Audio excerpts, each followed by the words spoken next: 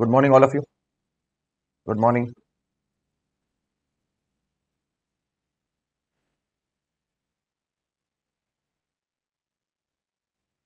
Pay attention, please.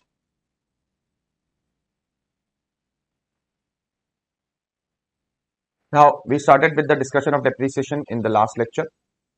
So, let's move ahead with that discussion itself, obviously. Now, one of the primary condition to claim depreciation under the block scheme, because we are following the concept of block, we are not following the concept of individual asset. We are computing depreciation on a block of an asset. So, one of the primary condition to claim depreciation under the block scheme is as follows. Pay attention, please. When can depreciation be claimed? There are two conditions which you have to fulfill. Two conditions. One is the block. This is something which you might have done in CA Inter also. Definitely you would have done. The block of asset must be positive on the last day. That is on the last day of the financial year. That is on 31st March 2023. The block of asset must be positive. Positive in what sense? The block of asset must have a value which is positive. It should not become negative. I'll explain you with numbers. Second, the block must not cease to exist on the last day. It means the quantity of the block, the number of assets in the block does should not become zero. There has to be at least one asset in the block on 31st March. So the two conditions, if I sum up both of, both of them, then it will come like this. On the last day, whichever block it is, plant and machinery, furniture, building, etc. On the last day, you make two columns. One is quantity column, one is amount column. Okay. The quantity column should not become zero. There has to be at least one asset in the block. Is it clear? Even one asset is sufficient. And the amount column, amount column should not become negative. It has to be positive. Positive, positive, positive. Let me give you an ideal situation. This is an ideal situation. Okay. Opening WDV of the asset is nil. Okay. Then I purchased two assets during the year for 2 lakh rupees. I sold nothing. Then everything is zero over here. Then at the end of the year, my quantity is 2 and my value is also positive. Therefore, I am eligible for a depreciation of 10% on furniture. Is it clear? Is it clear? Now listen carefully. Take a situation where we will try to violate one of the conditions. My opening WDV is suppose nil. I purchased two assets for 2 lakh. Everything is same till here. Now suppose if I sell one asset for 3 lakh, is it possible? I sold one asset for 3 lakh rupees. Is it possible? So now the quantity column is still positive, but the amount column has become negative. Can you see this?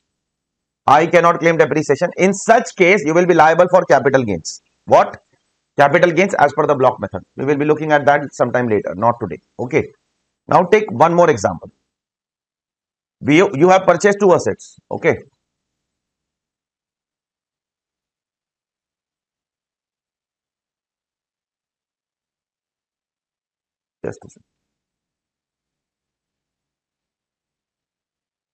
You have purchased two assets for 2 lakh and you have sold both of them. So the quantity became 0. Okay. But you sold both of them for just 1 lakh. So the amount is still positive, but this is not sufficient.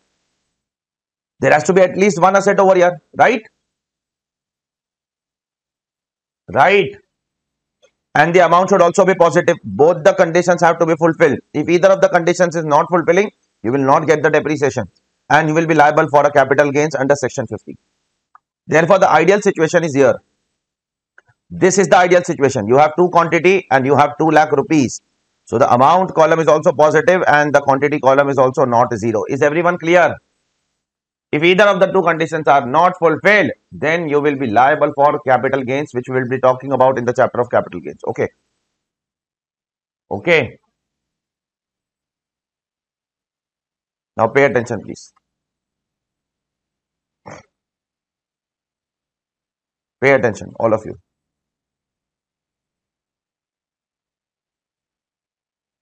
There was one assessee. Just a second.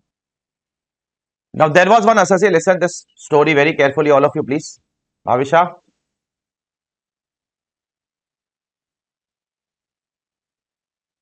Listen this story carefully and you try to explain me why the assessee is doing so. Why the hell is doing so? I am telling his act. What is he trying to do? Pay attention on the board, please. There was an assessee who bought some building of say 100 crores. He used that building for business. Okay. After he used that building for business, he did not claim depreciation. He said, I don't want depreciation. He said, I don't want depreciation. Should department have any problem?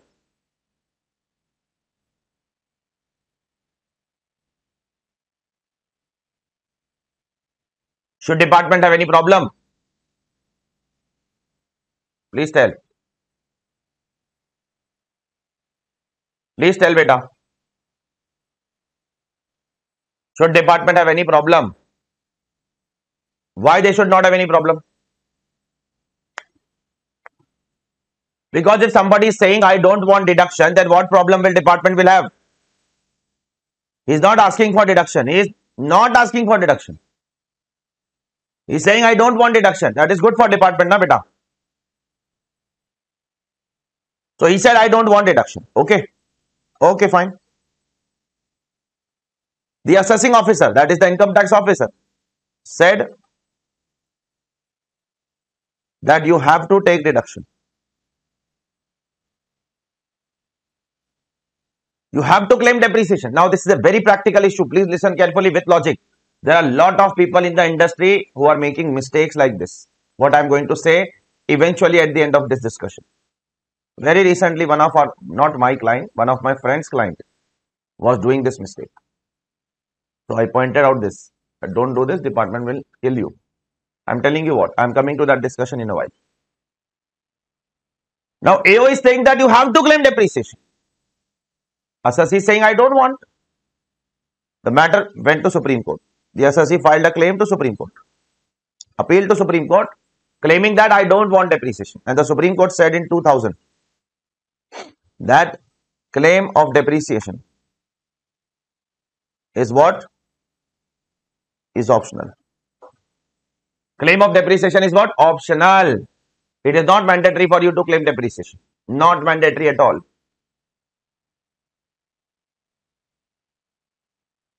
So, who won the case? Who won the case? Assessee won the case, right? The government of India made an amendment in Finance Act 2021 overriding this judgment. First of all, let me ask you one question if you know. Can the government of India override a judgment of Supreme Court and make a law?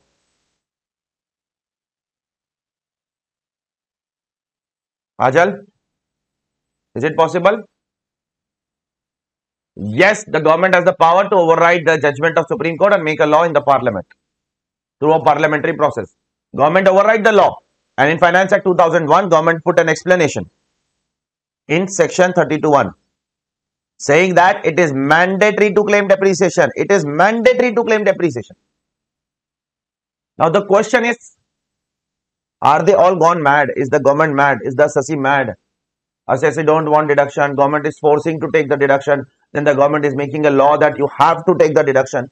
We need to understand the reason behind it. One person can be mad. Not everybody can be mad. Department is also mad. Assessee is also mad. Lawmaking process is also mad. Everybody is mad. There has to be something behind this which we are not able to see. Can you please tell me? Why? Why and why? The assessee do not want to claim depreciation even though he is using the asset for the purpose of business. Please tell.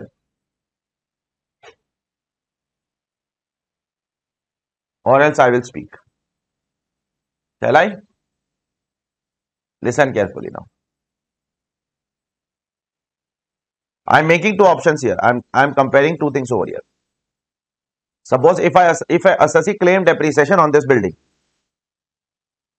what is the worth of the building? 100 crore. Okay. So how much depreciation he will get every year? 10%, right, beta? 10% depreciation he will get every year right? Say after 10 years, the WDV of the building is how much? Say, say 30 crore. Okay. Can I take a random number? I am taking a random number. Okay. Now, what benefit I have got over the 10 years? What benefit I have got? Can I say I get a benefit of 70 crore depreciation over the year? Over the years, over 10 years, right? On that 70 crore, can I say 30% tax I have saved? That is 21 crore I have saved. A very basic calculation, right? Now, see the disadvantages of claiming depreciation. After 10 years, if you sell this asset, say for 250 crore, okay, building a building the value will increase in future, right? So at that time, because the building is a part of what block, you have to compute depreciation as per block. And in block, what happens, you know? Sale consideration 250 crore minus directly compare with WDV. This is the way of calculating block ka capital gains. Minus directly 30 crore. This will be 220 crore. This will be directly short-term capital gains. So now what will happen when you sell the building? First of all, you will not get the deduction of cost of acquisition of 100 crore. You will have to reduce your WDV, which will be lower than your cost, right?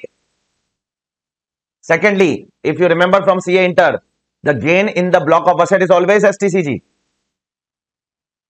In block of asset, the gain is always STCG because of which, because of which, you will always be liable for higher tax rate because short-term capital gains are chargeable at a higher rate as compared to long-term capital gains. I don't know whether you know this or not.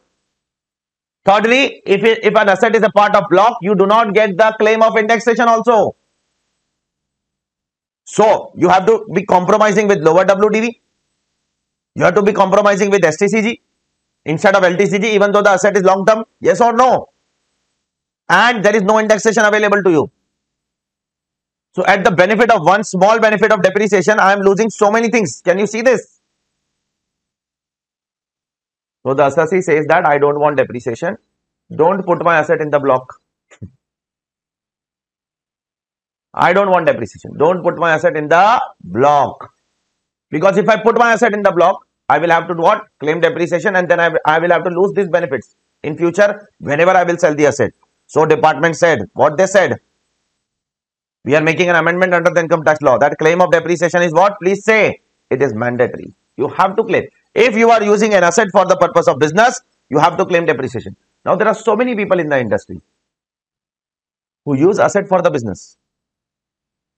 In fact, their building is registered in GST also. That this is the official business premise. Okay. But they do not claim depreciation. With the fear that once they start to claim depreciation, they will have to do what? Put the asset in the block, right? You just imagine now you have an office of 1 crore rupees. Okay.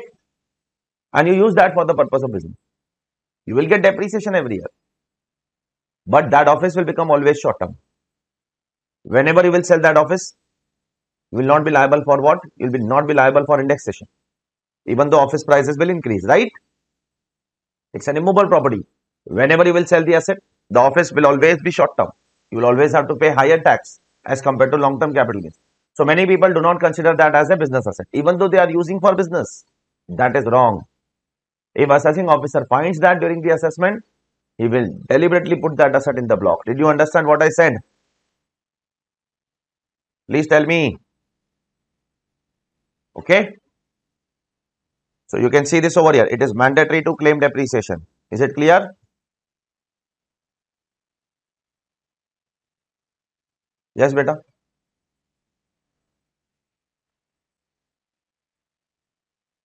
That we will talk. That will talk in the chapter of capital gains. Don't worry, beta.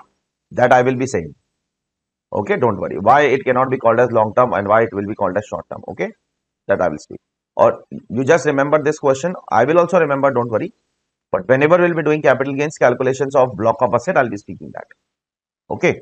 Now coming to this first page, beta, all of you come. On the first page, what I told you yesterday, is the word building defined? The answer is no. Is the word machinery defined? The answer is no. Is the word furniture defined? The answer is no. Is the word plant defined? Please tell me. The answer is yes. Where is it defined, sir? It is defined in 43 subsection 3. Okay. Now, let me tell you the story of this also. This is also a very beautiful story. Shall I start? We'll learn the subject like a story. Assume that every morning you are coming for a Netflix episode. Okay. Come listen and go. But don't forget like Netflix. Remember. Okay. You have to remember. You don't have to forget it. Now listen carefully. I'll explain you this with a logic.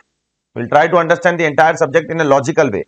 Not in just in a theoretical way. It's a beautiful subject here. It is useful for life. Listen carefully. Shall I start? Sir, what do you mean by the term plant? The word plant is there under income tax law in 43.3 but in an inclusive manner. There is no meaning of plant. Meaning of plant is not there under the income tax law. What is there under the income tax law is only and only and only a list of assets which can be called as plant. Clear? Now, so if I want to understand the meaning of the term plant, where will I go? I will go to the dictionary. And if I go to the dictionary and if I read the meaning of the term plant, what is written in the dictionary? Listen carefully, all of you, please. Listen carefully. Plant means any tool or apparatus. Plant means any, this is the dictionary meaning, Oxford dictionary, you can open and you can check. Plant means any tool or apparatus which is necessary to perform any function.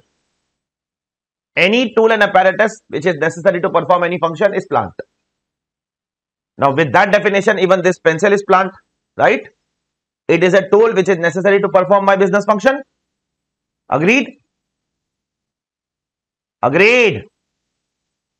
This chair is also a plant. It is a tool which is necessary to perform my function. I cannot stand over here for 6 hours and take lecture. That is not possible for me practically. That I do in class, but not in studio.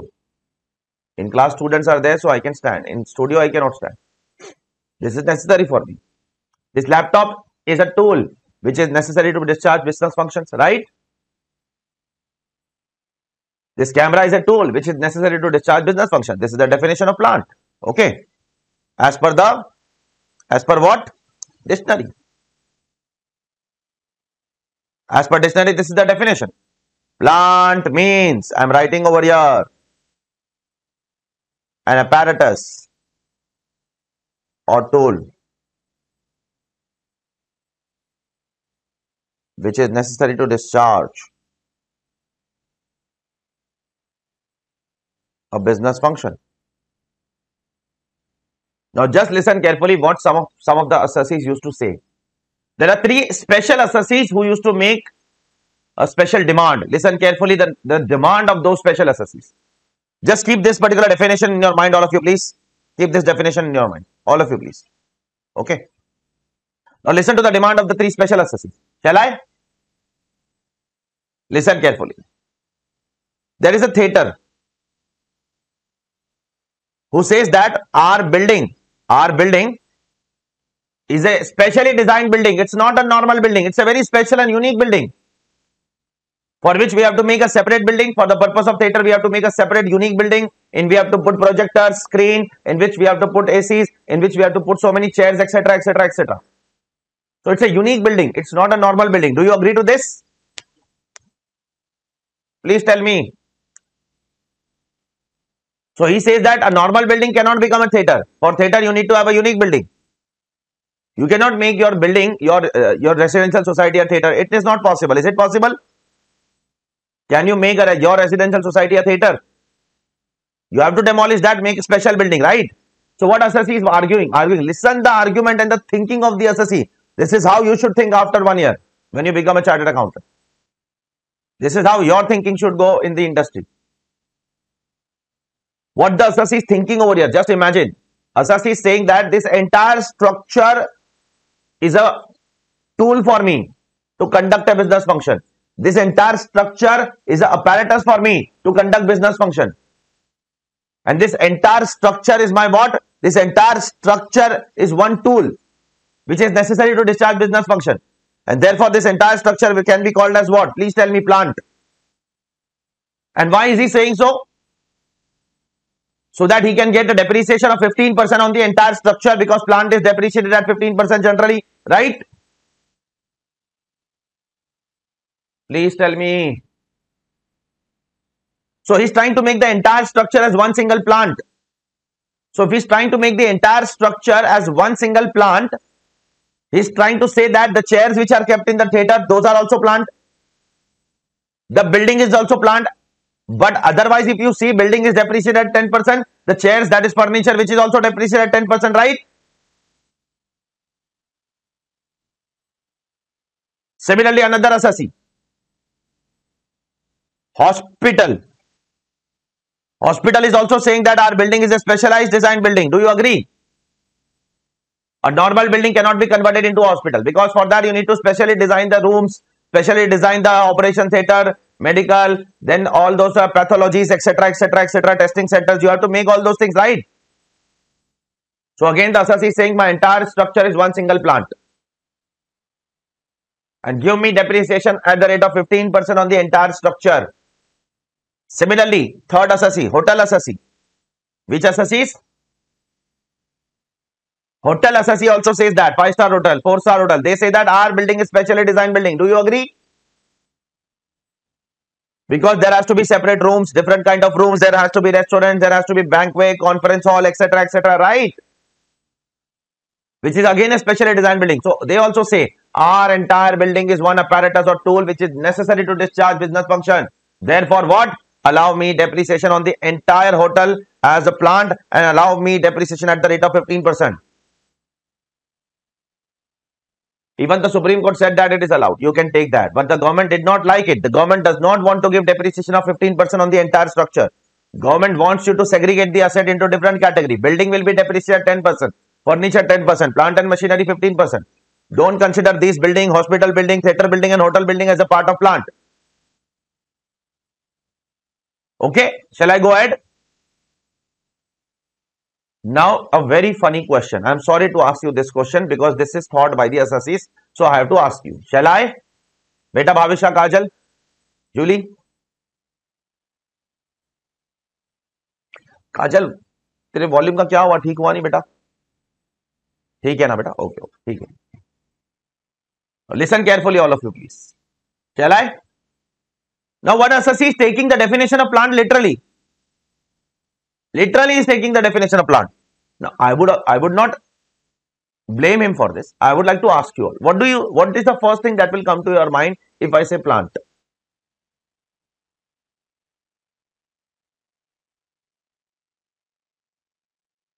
If i say plant what is the first thing that will come to your mind?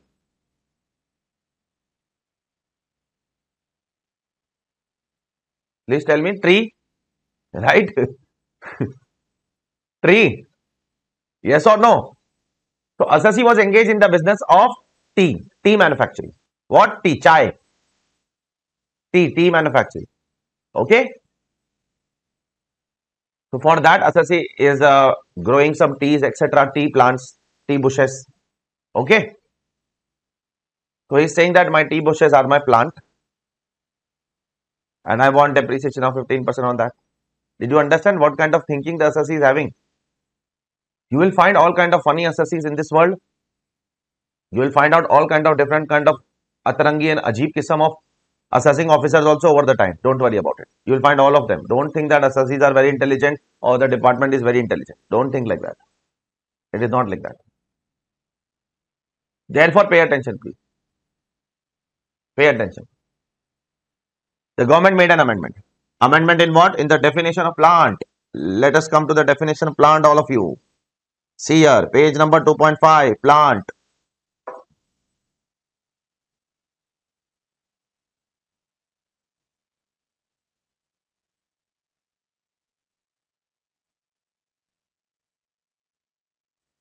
Forty-three three defines plant. Plant to include what? Ships. Okay. Vehicle. Okay. Books. Okay. Scientific apparatus is plant, okay. Surgical equipment is plant, used for the purpose of business or profession, but does not include, does not include what? The government is excluding few things. Which things are excluded? The first thing which the government is excluding is tea bushes. Remove this. That cannot be called as plant. Or livestock. Livestock cannot be called as plant because they have a special benefit later on. A special deduction is given to them. Third is building. Building is removed. Are you able to understand?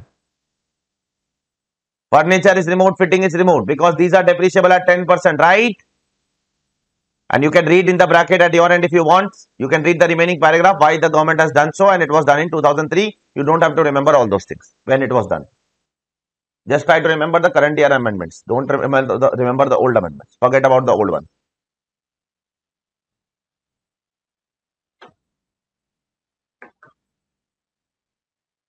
Okay. Is it clear? Now, one last thing for as of now that I would like to ask you one question. Please try to answer, beta, all of you. How good will come in business? How good will come? Do you know that good will come when you acquire a business? Do you agree to this? When you acquire a business, you make excess payment to the other party and goodwill comes, right? So the government thought that these transactions are generally of billions of dollars, of crores of rupees. Do you agree to this? The acquisition transactions are of huge amount and the goodwill portion is, is in crores and crores of rupees, 500 crore, 1000 crore. Government does not want to give depreciation on that because that becomes a very big amount. Yes or no? That becomes a very, very, very big amount. Do you agree to that or not? So just last to last year, from 2020-21 onwards, before that, depreciation was allowed on goodwill. But from this year onward, the government removed the de definition of goodwill, uh, the mention of goodwill from the list of assets. You can check over here. Check here. From which year? From previous year 2021. You can write this over there.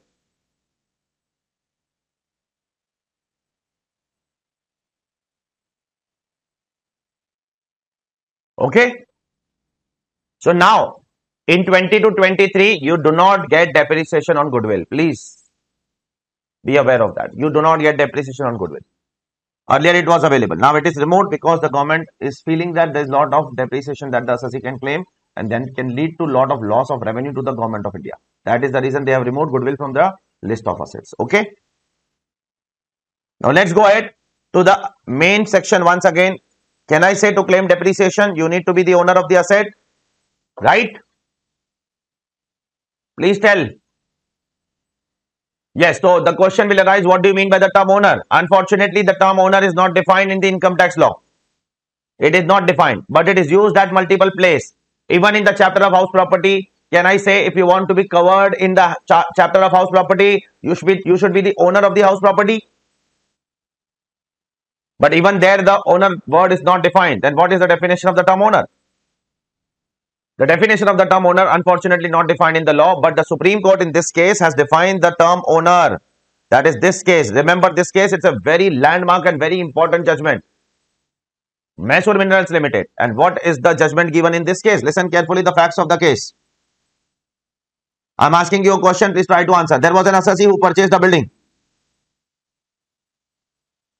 He paid the amount. He took the possession. Okay? And he also used the building for business. So the building is purchased by the assessee. He paid the amount. He took the possession and he also used the building for business purpose. Is it clear? But one thing is pending.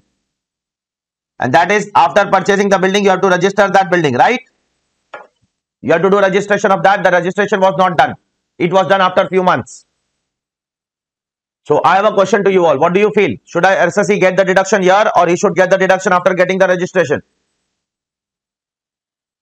After the registration or now? Kajal? Before registration, he should get the deduction. But he is not the owner. He have the possession, he have paid the money. That is sufficient evidence. Bhavisha, the term owner is not defined in the law. Then how are you defining the term ownership? In the law, it is not defined, beta.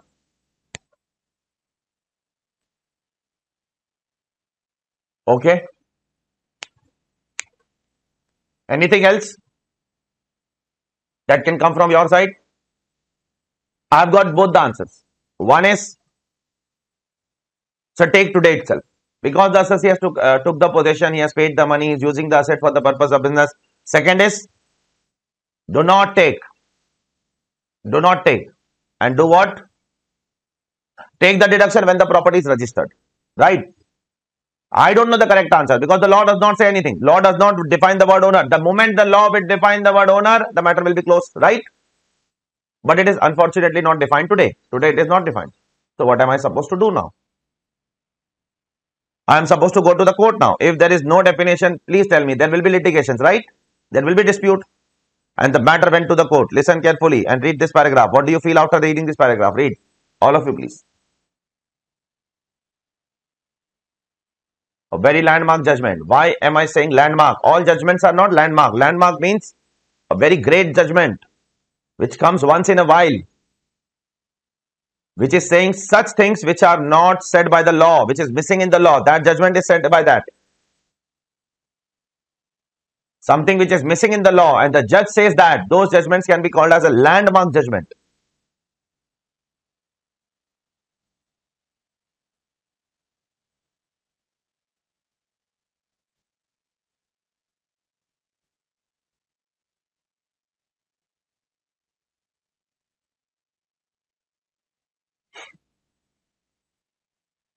So what does the judgment says, beta?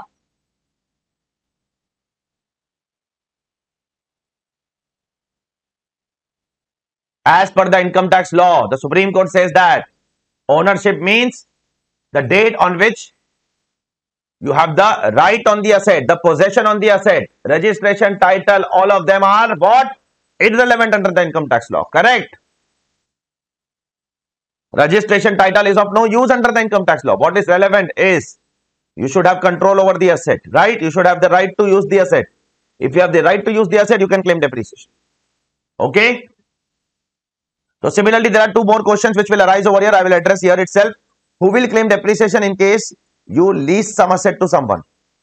In case of lease, there is a lessor and there is a lessee, right? So who will claim depreciation in case of lessor and lessee? It is the lessor who will claim depreciation in case of lease transaction. This is said by a CBDT circular. CBDT has issued a circular for the same. Okay. And who will claim depreciation in case of hire purchaser? In case of hire purchaser, there is a vendor and there is a buyer, right? So in this case also there is a CBDT circular which was issued in 1943, long back, around 70 years back, 80 years back now, which says that the claim of depreciation in case of hire purchase will be made by the purchaser. That is the buyer. Buyer will claim depreciation. Is it clear? Is it clear? So in case of lease transaction, it will be claimed by the lessor. In case of hire purchase transaction, it will be claimed by the purchaser. Is it clear? But still the court says, but still the government says that this is for general purpose. If there is a specific case, then you have to look into the facts and circumstance of every case and then decide who will claim depreciation.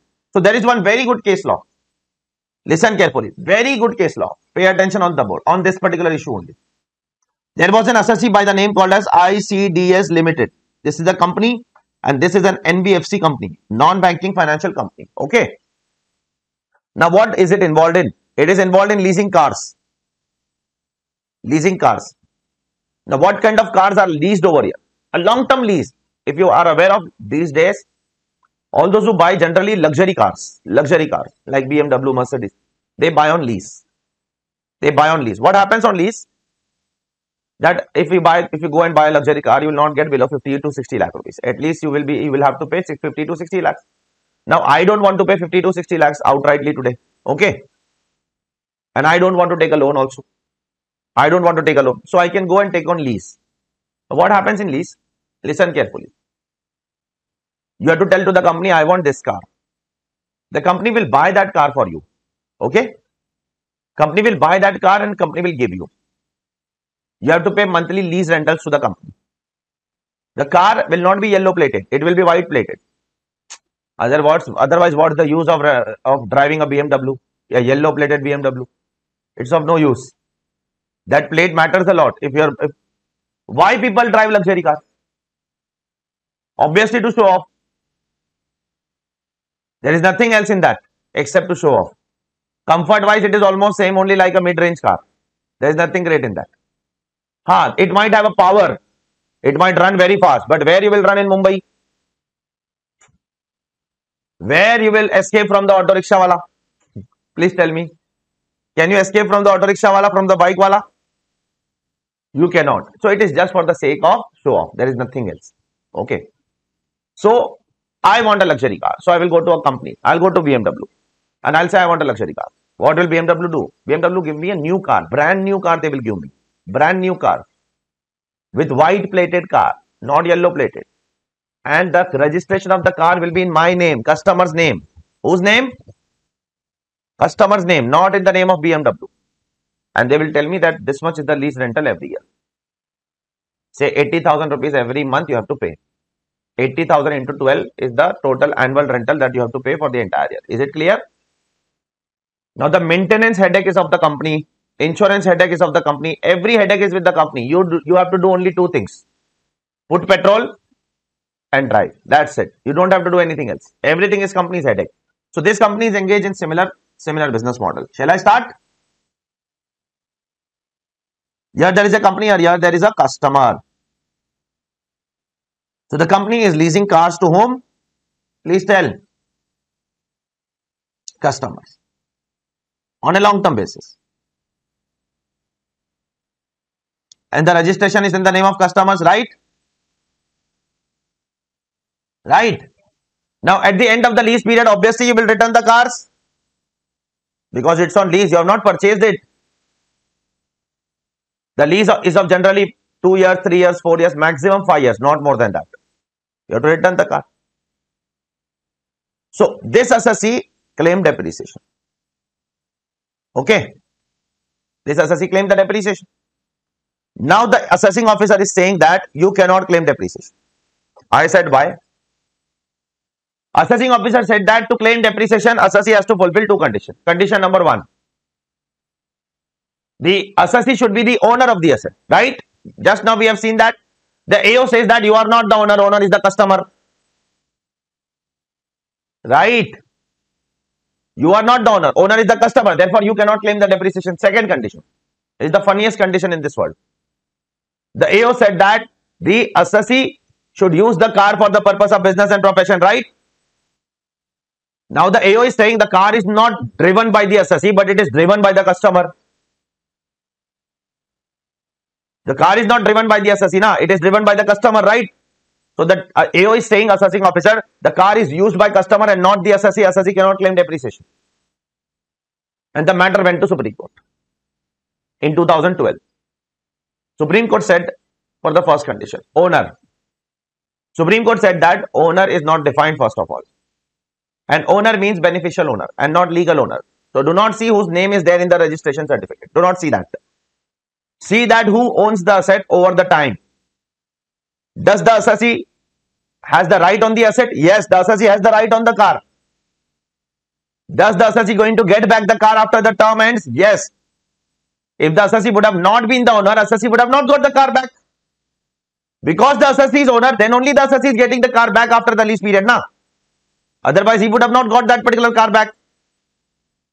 Therefore, the court held that do not see the ownership just on the paper. Go beyond paper and check whether the assessee is owner or not. So assessee is owner in absolute terms, not on, on registered terms. In registered term, the customer is, is the owner because that is the requirement of Motor Vehicle Act. What does Motor Vehicle Act says that if you give a car on lease to someone for a long term, register that car in that person's name. Because he is using that for long term, right? He might do anything wrong with that car. He might get into an accident. He might do a crime with that car. So whom the government will catch? Why BMW will be responsible for everyone? That is just a requirement under the Motor Vehicle Act to register the car in the name of customer. That does not mean that the customer has become the owner. The very fact that the customer is returning the vehicle, it means that customer is not the owner. Yes or no? The second, the funniest condition. What does the assessing officer says in the second condition? The car is not used by the assessee. Is the depart is the department mad or what? If my business is of leasing, my business is of what? I will only drive the car.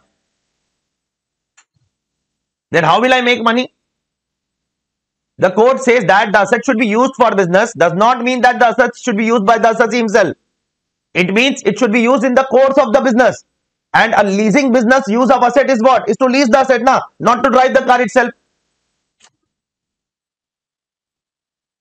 If I am into a leasing business, I will not use that particular asset myself. I will lease that asset and let other use that asset. And then I will earn the money, right?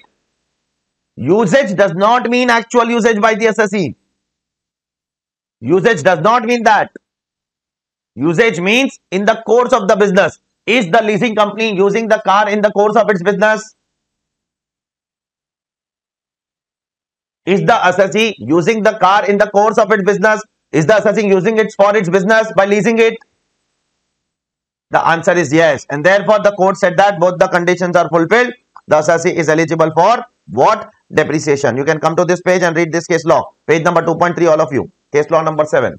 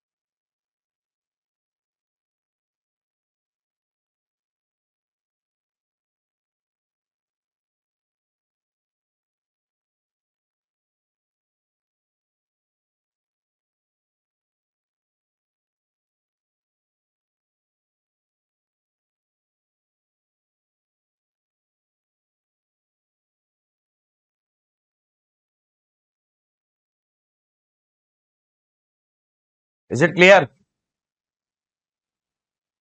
Please tell.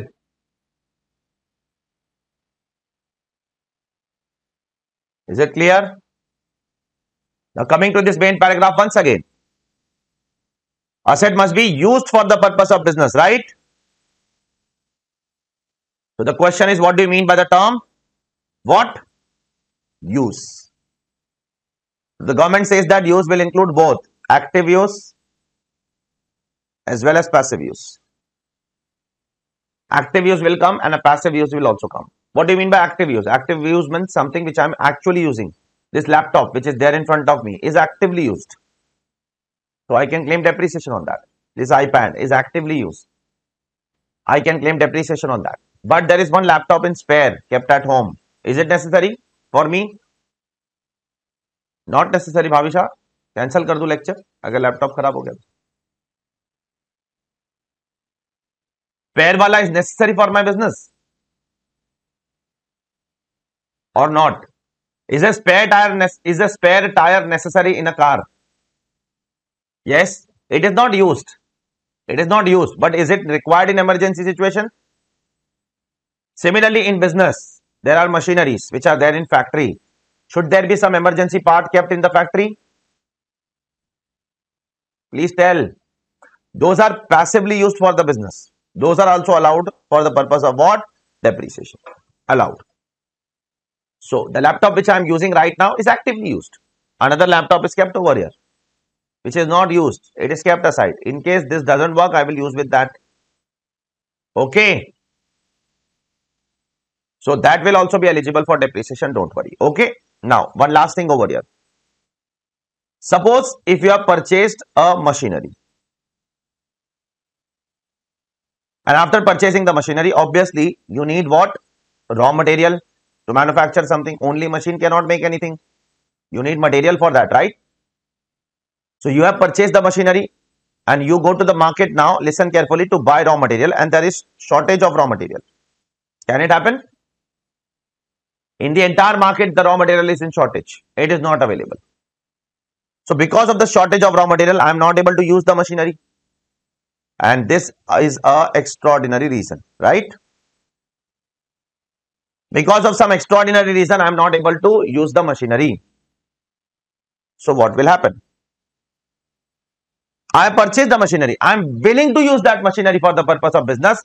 But because of the shortage of machinery, I am not able to use it. So the Madras High Court has held that, that if you are not able to use a machinery because of shortage of material, then you can claim what? You can claim the depreciation. That is not your mistake that there is a shortage in the market. Did you understand? That is not your mistake that there is a shortage in the market. Is it clear to everyone? So now, whatever we have done so far, let us sum it up from here. That is in your book. That is colored book. Come over here. Whatever we have done so far, at least so far. We have not done much in depreciation, but still, whatever we have done. Chapter 2 Depreciation. First of all, I told you yesterday there are four types of depreciation, right? Right. Then I told you what do you mean by the term owner just now? Clear? Then I told you in case of lease transaction, lessor will claim. In case of hire purchase, hire purchaser will claim. Then I told you about this small judgment, ICDS Limited, right? Just now. Then I just now told you about use. Use means active and passive both. If due to some extraneous reason like shortage of raw material, depreciation would be allowable. Clear? Then this block chart. Here you can circle other than goodwill of business and profession. You will not get depreciation on goodwill. Okay? Okay. Then the rates of depreciation we have seen yesterday, right? Then when depreciation become half, that also we have seen. Do not forget this word that. Right? Then definition of plant we have seen today. That plant does not include tea bushes, livestock, building, furniture.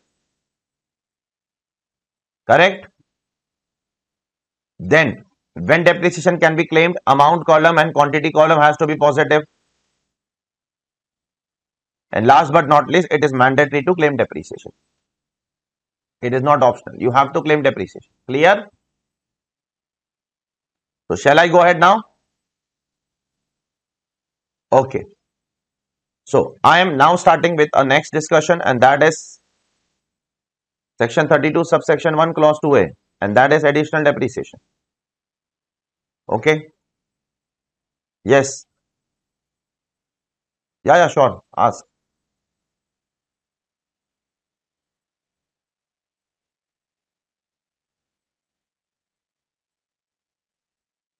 It is not necessary actually.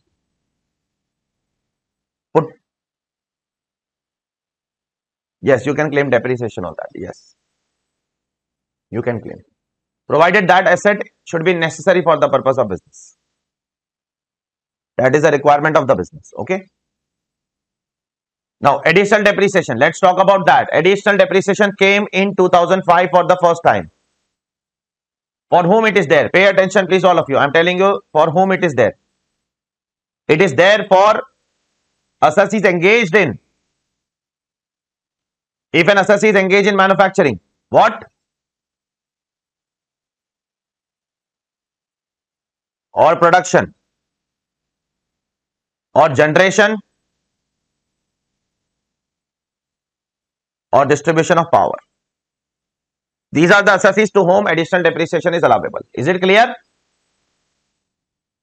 Assessees engaged in manufacturing, production or generation or distribution of power. That's it. Are these business necessary for the country? Is manufacturing necessary? Very much necessary. Is production of power, generation of power necessary? Yes, to these businesses, government has said that if you purchase and use a new plant and machinery, what?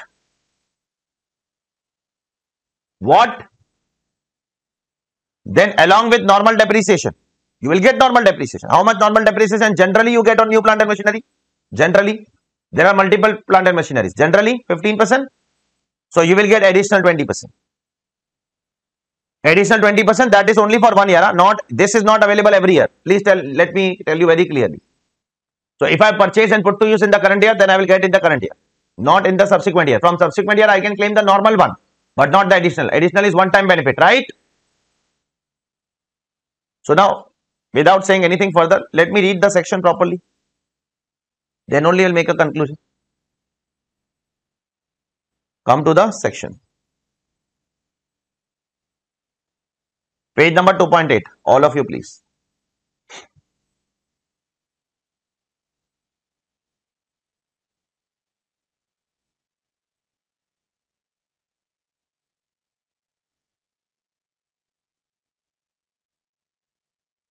Two point eight. Let us read this much first. Please read from year to year. Along with me. In case of any new box, put in box any new machinery or plant other than ship and aircraft ship and aircraft is removed okay it means ship and aircraft are not eligible for what additional depreciation right which has been acquired and installed by an assessee engaged in the business of manufacturing and production of any article or thing engage in the business of what any article or thing right? So I would like to ask you, leave, leave everything here. I would like to ask you, will I get additional depreciation if I if I manufacture alcohol?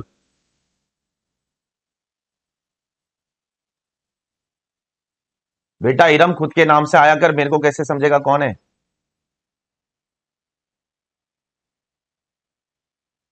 Doctor फरत था कोई?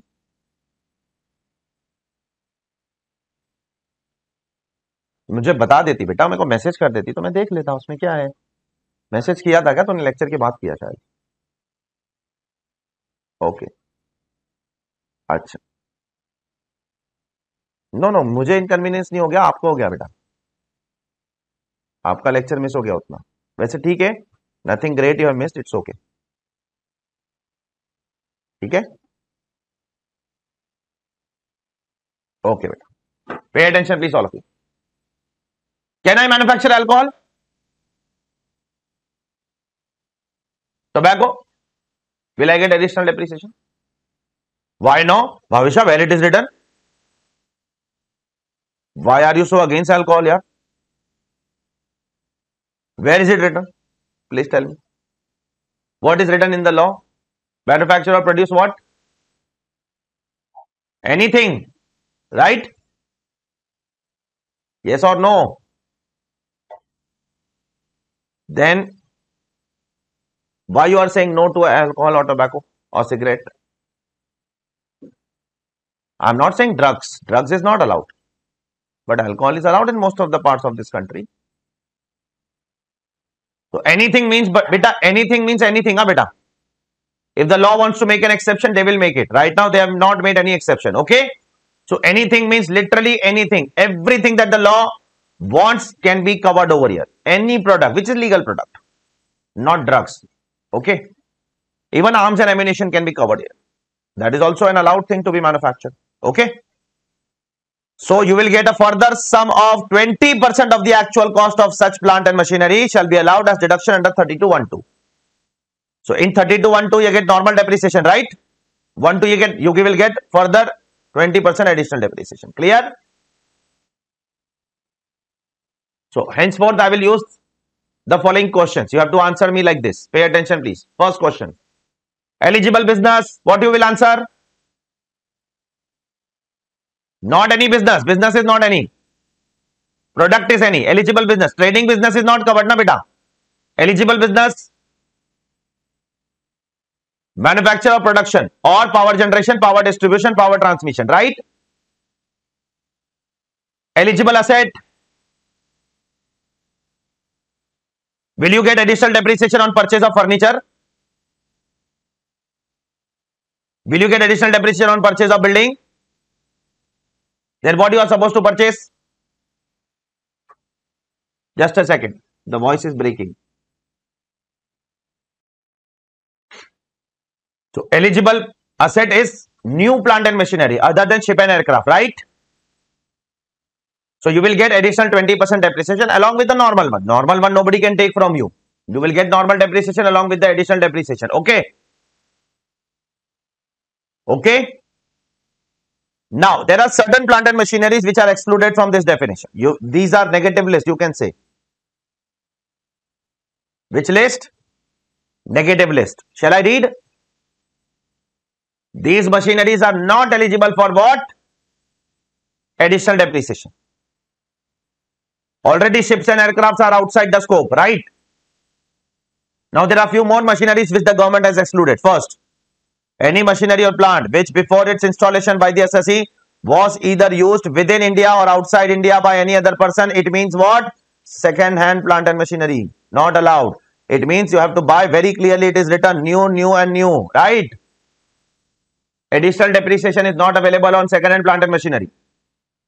Now an assessee will make an argument. I have imported a second hand plant and machinery from Japan.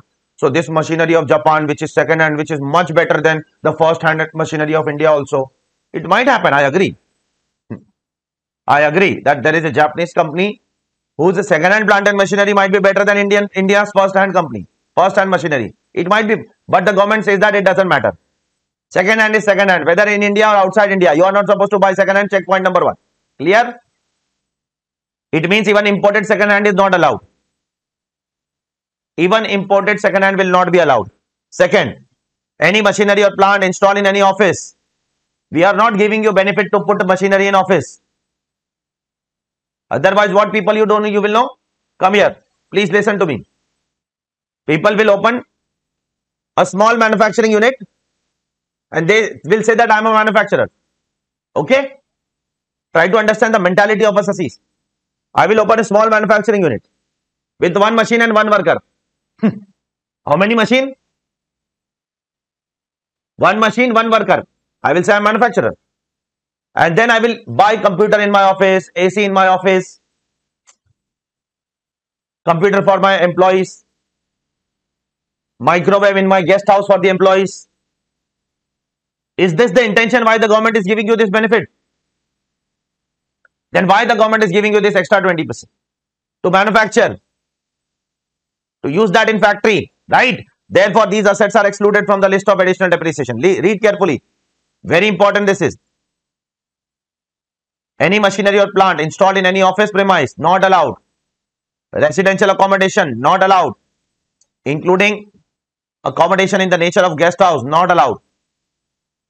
Any office appliances, not allowed. Like computer, etc., not allowed.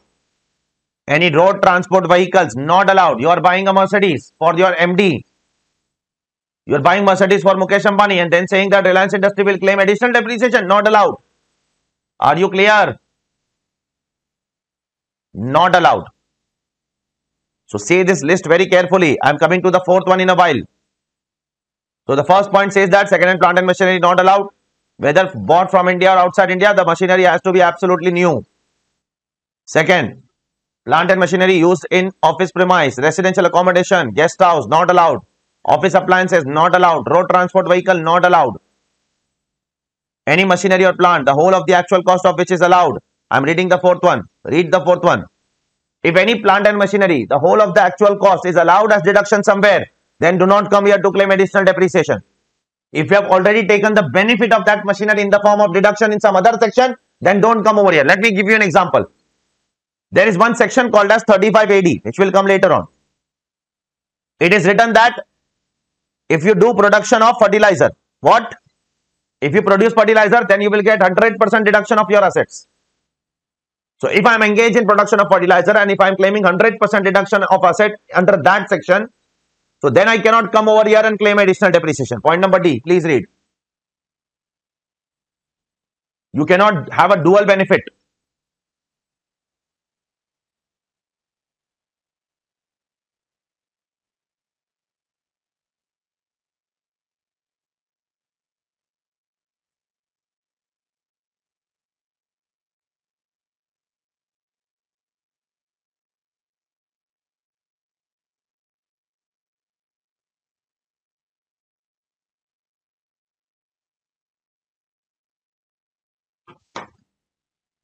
Clear?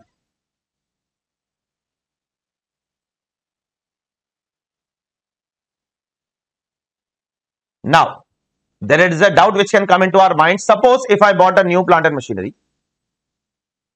say of 100 lakhs, I'm a manufacturer, obviously. Okay. Shall I go ahead? And if I use that from say 15th of December 2022. So my first question to you all is what will be my normal depreciation? Say fast.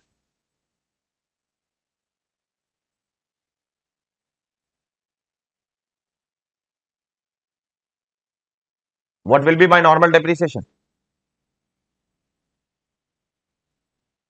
Not able to listen. 7.5%. Okay.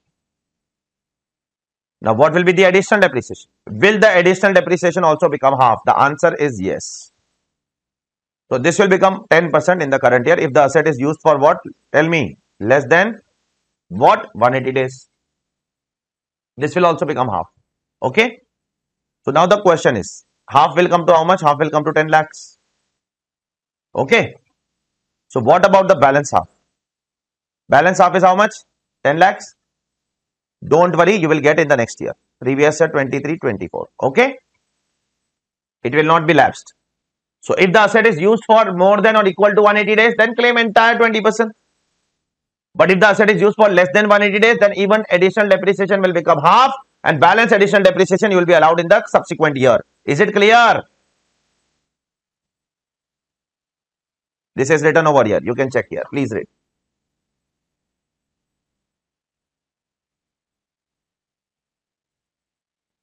Bhavisha कुछ बोल आवाज़ नहीं आ रही थी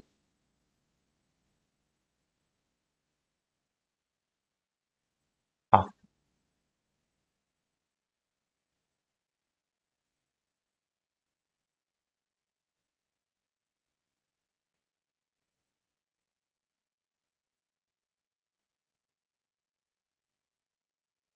The moral of the story I'm trying to say the balance will be allowed in the next year. It will not be lapsed. Don't worry about it. Okay.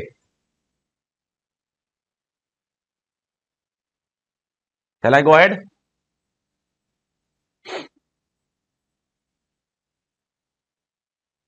Shall I go ahead? Okay. Please make sure that one thing, beta, you all are giving exams when? Except Julie. Julie, I know about you. Bhavisha, when is your exam? November 23. Aniram? Kajal? So I know that your exams are very far away, but just make sure that whatever we read every day, forget about textbook, read from the summary book, color book. Please do that. Make that practice. Your very big subject will be done here. It's a very big subject. It's not a subject at the end of the syllabus. You will say that ICAI should make one group for DT. One separate group it is. You will realize that at the end of the subject. It's a very, very, very big.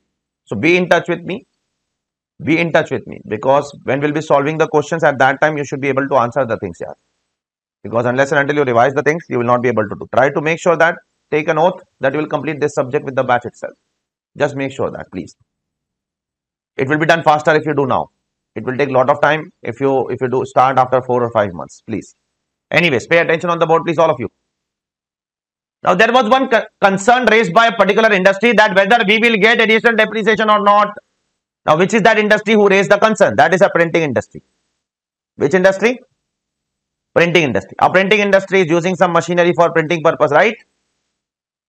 So they are asking whether our business is also covered in manufacturing or not.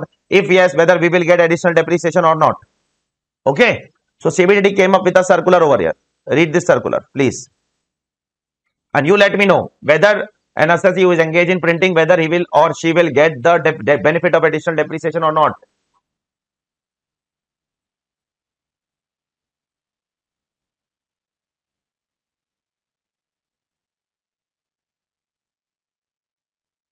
And after that, I will explain you something about CBDT circular. I will explain you a few reasons of CBDT circular, what circular is all about, how the circular should be, how the circular should not be,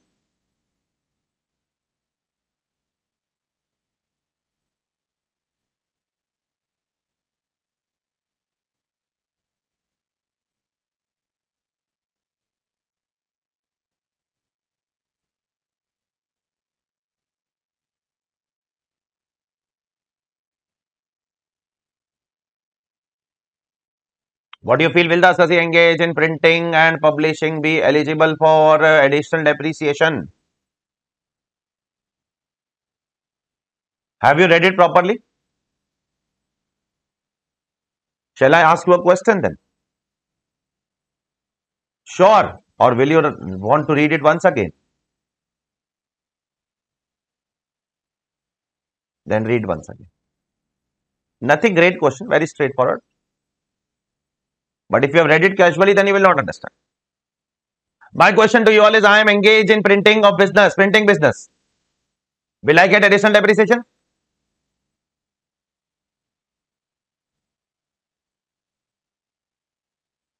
Will I get? The answer is yes. My question is, I am engaged in printing and publishing both. I print also, I publish also. Will I get additional depreciation?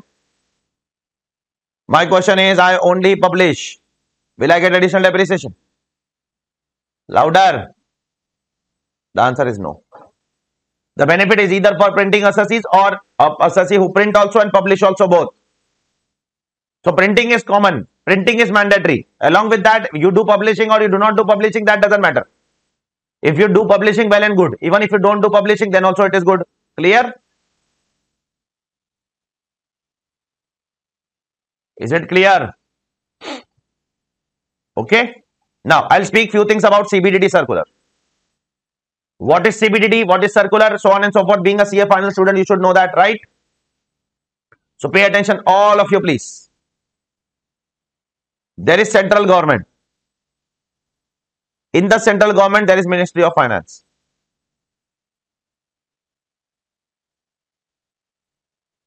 And in the Ministry of Finance, there are a lot of different aspects like GST, like income tax, etc. Okay? Okay. Now, in income tax, there is CBDT. CBDT is the head of income tax.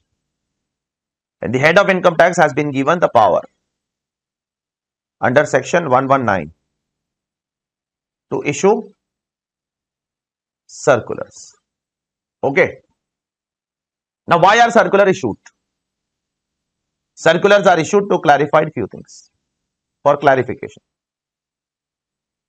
And the circular's nature, try to understand the nature of circular. Always, whether it is an income tax or GST, it doesn't matter. This logic applies to both. Always remember circular is not binding on assessees. It is binding on department. And the circular should be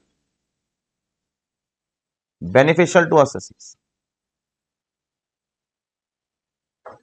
Okay, pay attention please. What do I mean by this?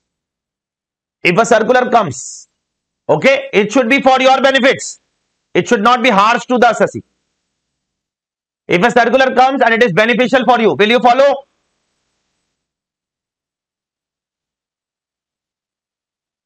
If a circular comes and it is beneficial for you, will you follow? Obviously, I will follow because it is my, in my benefits. For example, if a circular comes for extending the due date of filing of return, will you follow? Obviously, I will follow. What is so wrong in that? I should not be, that is not harmful for me. I should not feel offensive about it. Why the department is extending the date? And that is for your goodness. But if a circular comes and it is harsh, it is against you, it is disallowing your expenses, it is taxing your incomes, then it is not binding on you. You may not follow that. It is not binding on assessee, but it is binding on the department. Why so? This has been so because CBDT is no one to make laws. Do you agree to this? Laws has to be made where? In the parliament, right? And CBDT does not sit in the parliament. If every power is given to CBDT, then the law is of no use. Every day CBDT will issue one circular and make changes. Right or not? So if there is any circular, have you ever seen that CBDT has issued a circular and reduced the date of filing? And CBDT said that this time we will not file on 31st July, everybody will file on 15 July this time. Have they done so ever? They have always extended. Fortunately, this year they have not extended. Because they were very firm and adamant that we will not extend this time. We will not means not. And they have been notifying every assessee through emails and through WhatsApp and through uh, SMSs that we will not extend, not extend, not, and they have not extended this time. This has happened, I think so, after 10 to 12 years that the date has not been extended. I don't remember when was the last time the CBDT has not extended date. Every year it was extension. I agreed that the last two years because of COVID it was extended. That is a that is a different scenario. But before that also in 2019, 2018, 17, 16, 15, 14, 13, 12, 11, I do not remember a single year where they have not extended. This is an exception for me.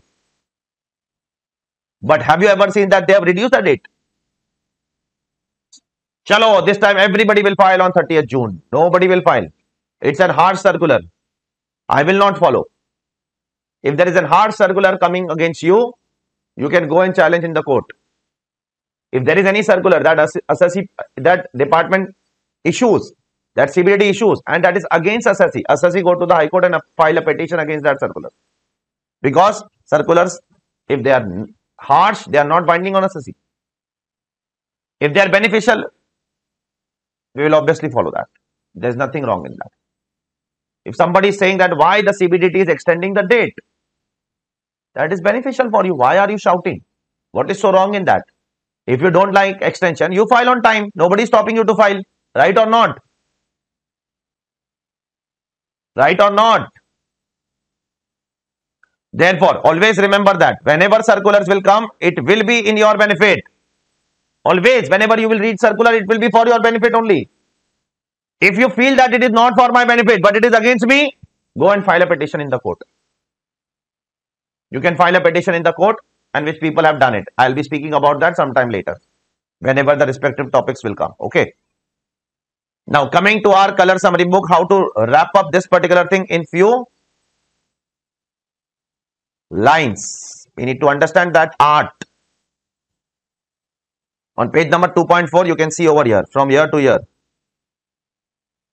We have wrapped up the entire additional depreciation in few lines. Shall I start? Rate 20%. 20% new plant and machinery. Acquired, install, use. Okay. Either manufacturer or power generation, distribution, transmission. Clear? Certain machinery is not allowed. Which machinery? Second hand machinery not allowed.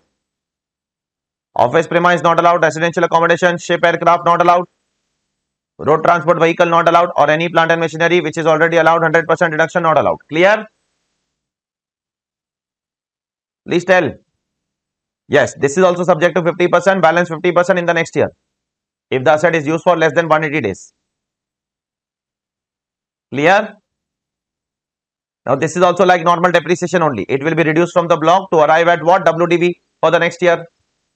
You want wdv for the next year right so you will reduce this also from the block. This is just like a depreciation.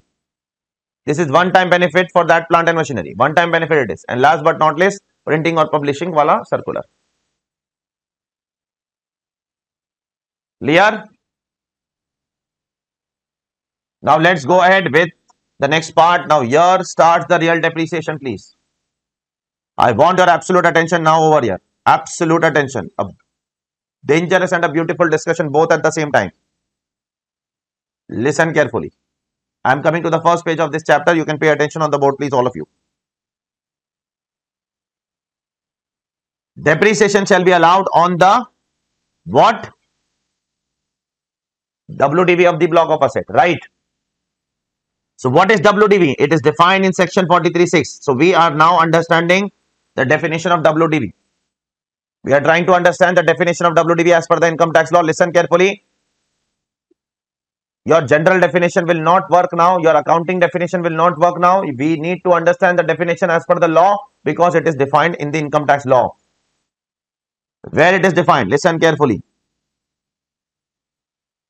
WDV is defined in section 43.6. Now, before I start with the definition of WDV, I want to explain you one principle. Every day, I will try to explain you some or the other principle to make your subject strong and to make you more knowledgeable in this subject. My objective is to teach you for exams also and also for your life, for your practical life. So somebody might ask me a question. Sir, you said, said on the first day that definitions are there on are there in section 2, right? So I will say I did not say. I asked you a question, you all said and I agreed. I did not say. I asked you a question. What is section 2? You said definitions. I said yes, agreed. And I move, moved ahead. Right? I did not counter question you all. So right now I am asking myself a question. I am not asking you all. So if we agreed that definitions are there in section 2, then why this WDV definition is there in 43.6? Right? So let me tell you the definitions under any law, any law, not only taxation law, are scattered at three places. Three places. First, section 2.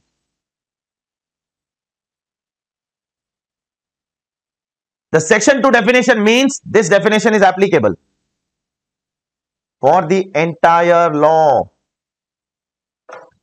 It means wherever the term will come, it will be applied in the same way in the entire law. Section 2 definitions are applicable for the entire subject. Example, India is defined in section 2, clause 25a as I have shown you in the first lecture. Now, wherever India will come in the entire paper, in entire 298 sections, India will mean that only. Is it clear? There are certain definitions, second type, which are there in different sections like 43.6, like 43.1. Those are chapter specific definition. I have told you earlier, income tax law is defined, is divided into 23 chapters, right? So this definition which I am talking about in 43.6, this is applicable to certain sections, not to the entire law. I don't know whether you got this point or not, beta. This definition of 43.6, the WDV definition is applicable to the chapter of PGBP, you can say. Not to the entire law. Is it clear? So this is applicable to certain series of sections, not to the entire law. And there are certain definitions which are applicable only to that section. And that is given in that section itself in the form of an explanation. What do I mean by this? Listen carefully. Do you know that in CA inter you might have done and even in office you might have done to, to compute remuneration to partners you have to compute book profit. 90% of book profit, 60% of book profit you, you might be doing in office, right? So what is book profit? That is mentioned in an explanation to section 40b and there it is written that, listen carefully my words, for the purpose of this section, for the purpose of not series of section, for the purpose of not the act, but only for the purpose of this section, book profit means this. It means the definition of book profit is applicable only to that section that is 40b. Are you clear? So as I'm going ahead, can I say I'm narrow down, narrow down, I'm narrow downing the definition of definitions. Firstly, I told you the definitions which are applicable to the entire act, right? Then I'm telling you the definitions which are applicable to certain sections. Then I'm telling you definition which is applicable only to that section. Did you understand? Therefore, don't be under an impression that all definitions are there in what? Section 2. No, no, no. It's not like that. Definitely, section 2 is the most important part of definitions and that is the biggest part of definition because their maximum definition comes, but not all. There are some definitions which are scattered here and there. I hope everyone is clear with this concept today, right? So, I have taught you two concepts today. One is circular ka concept and one is definition ka concept. Yesterday I explained you notwithstanding concept, right? Proviso concept. Are you clear? What is a proviso? What is notwithstanding? So likewise, I will be explaining you lot of concepts relating to income tax law and that is not only applicable to income tax law. That is applicable to all the laws that you are going to learn in your life. Anyways, WDV. Let us talk about WDV. Sir, what is WDV? The loss is a very simple definition. WDV means what? Listen carefully. Actual cost of an asset minus depreciation actually allowed. This is the definition of WDV. Now you need real brains huh, to understand this. Please. Pay absolute attention. Try to understand. We'll be very patient enough to understand this concept. It's a very, very, very important concept for exam also and also for the further discussion of the chapter. So please pay absolute attention. Shall I start? Sir, what is WDV? Nothing. Sir, we have learned in accounts, sir. What is so great in this? This is the only, this is the same thing which you have done it in accounts, right? Whatever is the cost of the asset minus whatever is the depreciation is your WDV, right? What is so great in this definition, sir? There is nothing great in this. There is a great word over here that is actually allowed. Sir, actually means what? Actually means that depreciation which saved your tax in the current year. Does depreciation save your tax under income tax law? Acha, what you doing for depreciation in office? What do you do? Suppose there is a company whose P&L account is there in front of you. What will you do for that company to compute income tax law? When it comes to depreciation, what effect you will give? You will add back the depreciation of accounts, right? And you will reduce, you will add back the accounting depreciation. And you will reduce the th section 32 wala depreciation. So the moment you reduce section 32 depreciation, can I say every rupee that is reduced under section 32 is saving your 30% tax? Is it saving or not? So, so reduce from actual cost only that depreciation which is saving your tax. If a depreciation is not saving your tax, it cannot be called as actually allowed. And if it cannot be called as actually allowed, do not reduce from the block. You will understand this in a while. Takes give some time to yourself. Give 10 minutes at least. You will understand it after I explain the entire concept. But for as of now, just try to understand one thing that WDV is equal to a cost of an asset minus depreciation. I'm putting more emphasis, absolute emphasis on actually allowed. Actually allowed. Whatever depreciation is actually allowed has to be reduced from the block of asset. So actually means what? Actually means actually. Actually means जो really has been allowed to you to save your tax in the current year. Now let me give you an example.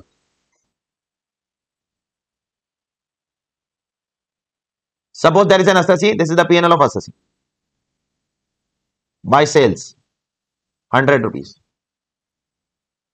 To expenses, 120 rupees. So there is a loss. Okay. Now the assessee has purchased some furniture of 100 lakhs. The rate of depreciation of furniture is 10%. Okay. So with that logic, the assessee will get a depreciation of 10 lakh rupees over here, right? Right or not? So there will be a loss over here now. Loss of how much? 30 lakhs? Now, I don't know whether you know this or not, but in income tax law, you segregate this loss into two parts. You keep business loss separate and you keep unabsorbed depreciation separate. Do you know that?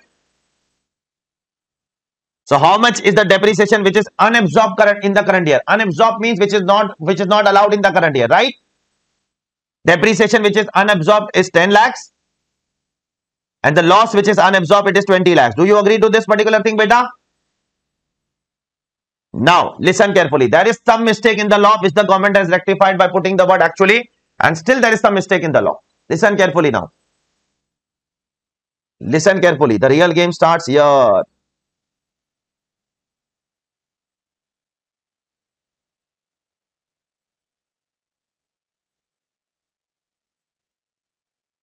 Now, just now I have told you what is the definition of WDV. Please repeat once what is WDV?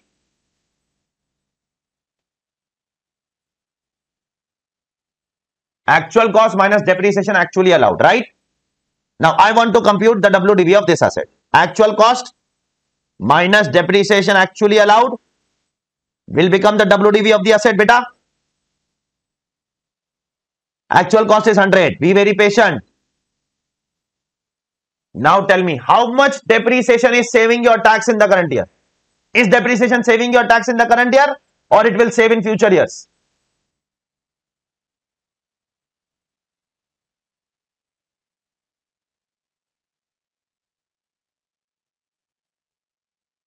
Is depreciation saving your tax in the current year or it will save in the future years? How future year? Because in the current year, your sales are just 100 rupees and your expenses are sufficient to knock off your sales. So there is no use of depreciation in the current year to knock off your sales. That is the reason the current year depreciation is unabsorbed, right? And it will be allowed in the subsequent years. So are you taking any depreciation ka deduction in the current year? Are you are not taking that is the reason it is unabsorbed now. If you would have taken then it would have been absorbed. Please try to understand this. It's not easy. I understand this. Students take time at this point. I know that. That's the reason I'm very slow at this moment. I am again asking you. My sales is 100. My revenue is 100, but my expenses are already 120. So the depreciation will obviously not be used in the current year. Please tell me, yaar. Therefore, if somebody will ask you, is depreciation saving your tax in the current year? What will you say? It is not saving. Therefore, can I say depreciation actually allowed will be nil only now? Because actually means that depreciation that saved your tax in the current year, right? Now, this depreciation is not saving tax in the current year because this is useless in the current year. It is of no use. It will be used in the subsequent years, maybe. With that note, my WDV will be 100 lakhs. Now, what will happen? This will lead to dual benefit to the assessee. What will happen? Next year's opening WDV will be again 100 so next year you will claim 10% depreciation on 100. At the same time, you have carry forward unabsorbed depreciation of 10 rupees from last year. So you will start to take dual benefit on that. I don't know whether you got this point or not. You have already claimed depreciation of 10 lakhs last year, which you are not able to absorb. So you are carrying forward in the current year. And in the current year, you are again claiming depreciation on 100. So will it amount to dual benefit or not? So the government made an amendment and said that unabsorbed depreciation, can I say? Can I say? Is deemed to be actually allowed. What? Please tell. Is deemed to be actually allowed. Now, after the amendment, they have put one explanation in the definition. Cost is 100 lakhs and deemed to be actually allowed is 10 lakhs. Therefore, your WDV will be 90 lakhs. And in next year, you will claim depreciation 90 lakhs and 10 lakhs you can carry forward and set off. Are, are you clear? You can see this example over here. It is there in your book. I have put this example over here. Don't worry. Okay. Come to page number 2.3, all of you. You can go through this.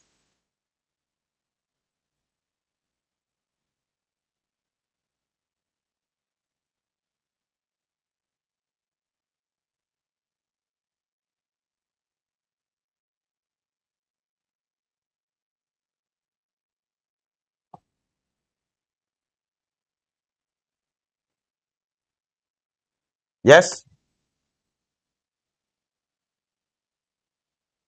Right. Not 10, na? 90, 10% will come to 9 rupees, na? That will be on WDV now.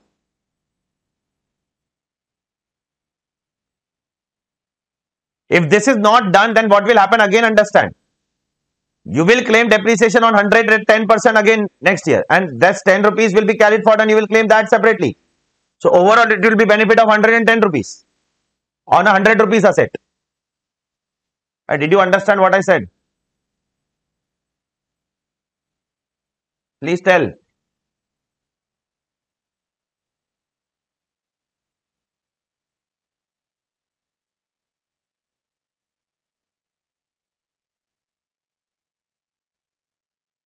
Clear?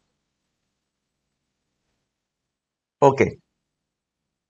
So the government did what? They created an exception that, okay, this is not actually allowed. Then we will put the word deemed to be allowed. If it is not actually allowed, then deemed to be actually allowed. Okay. Shall I go ahead? Now the second exception, listen carefully. It's a very beautiful exception now, very important also for exams. There was an assessee who was engaged in growing and manufacturing tea in India. Okay. So what is the activity of the assessee? Assessee is engaged in growing tea and then manufacturing. It means assessee has its own tea farms. Okay. Where the tea is grown and then the assessee plug in the leaves, put it in the factory, make tea. Now, the assessee's PGBP is as follows. Listen carefully. PGBP before depreciation. Or I would rather write proper words. The composite income of the assessee.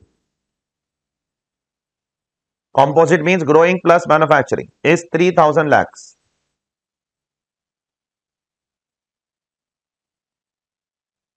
Okay. From that, assessee is claiming some depreciation of say 15% on actual cost of assets worth 1000 lakhs. So assessee is claiming 150 lakhs depreciation on that. Okay. This will come to 2850 lakhs. Now you might have done in CA in Inter if you remember that if an assessee is engaged in growing and manufacturing tea both in India, okay, then only 40% is taxable. Do you remember that? And 60% is exempt, agricultural. Remember that, beta? Do you remember that, Bhavisha? From your face, I cannot recognize that. So 40% कितना आता है एक बार कोई एक जन कर लो 2850 40% 1140 okay beta and this one? 1710 okay? Now this is exempt and this is what? Taxable. There was certain specific percentages given for three things. Tea coffee and rubber if you remember. Right? Even in CA final it is there. Don't worry I'll be teaching that later on. Don't worry if you, if you don't remember it. It's okay. Now, listen carefully. So, how much tax the assessee will pay? Assessee will pay tax on this amount, right? Correct. This is exempt. Forget about this. This is gone. This is not subject to tax. Now, when it comes to computation of WDV, again I will ask you, what is WDV? Actual cost minus depreciation actually allowed. Depreciation actually allowed means which has saved your tax in the current year, right? Now, what the assessee is saying, listen. Uh, assessee is saying actual cost is 1000 lakhs of the asset, right? Less depreciation actually allowed. Uh, assessee is saying what? I will reduce from here. How much depreciation assessee has claimed? 150 lakhs? Listen carefully now. 150 lakhs? Now, what is the argument of assessee? Listen carefully. This is the level at which you have to think being an assessee. If you are a tax planner or if you are a tax head of a company, your duty and job is to save tax for the company in some or the other way. One day it should happen that because of you, there is some amendment which has come. That day I'll feel proud of you that because of my student, this amendment has come because my student has found out a loophole in the law. That is what you are learning for. What the assessee is saying, you know? That I know that I have claimed 150, but 150 is not used to save my tax. Because this 150 got eventually broke up into two parts, 40 and 60. So my actually allowed depreciation out of this is only 60 lakhs. That is 40% of 150. I don't know whether you got this point or not. If you have missed last 4 seconds, then the point is gone. What I said in the last 4 seconds, I am again repeating. What the assessee is saying? Assessee is saying I am claiming 150 lakhs. Agreed. But out of my total income, only 40% is taxable. Not entire 100% is taxable.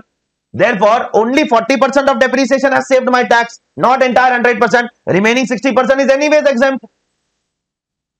So, depreciation actually allowed will be 40% of 150 and I will only reduce 60 lakhs. I will not reduce 150 and I will make 940 lakhs as my WDV. Why the assessee is doing so? Why the assessee is reluctant to remove 150? Because if we remove 150 then the WDV will, will come to a lower side. And the next year depreciation will be lower. Are you able to understand that? Please tell me. So the assessee is saying that this 150 lakhs, assessee is saying, I agreed 150 lakhs I am getting.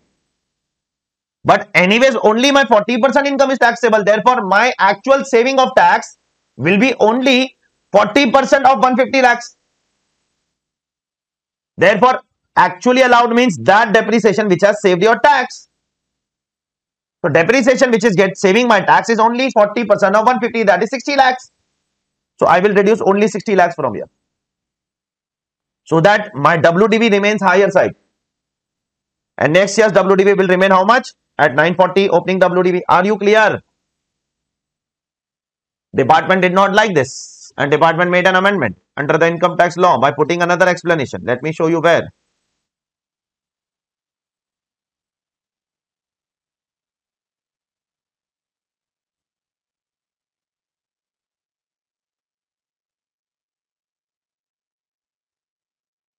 Come to page number 2.11.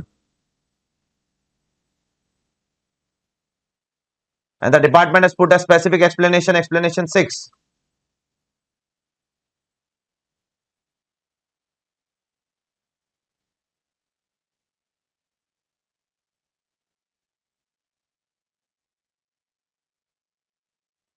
Explanation 7, sorry. Page number 2.11. Can I read this? For the purpose of computing WDV of the asset acquired before the previous year, the total amount of depreciation shall be computed. Computed what? Can you read this? As if the entire composite income of assessee is chargeable under the head PGBP. Assume that entire income is PGBP only. Forget about agricultural income. Assume entire income is what? PGBP and then depreciation so computed shall be deemed to have been actually allowed to the assessee. Check over here.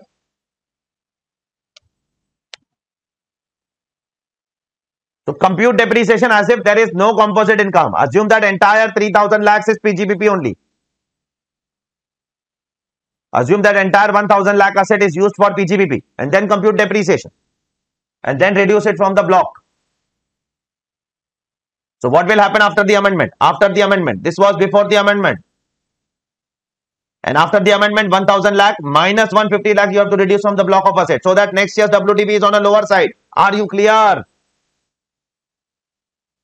Are you clear?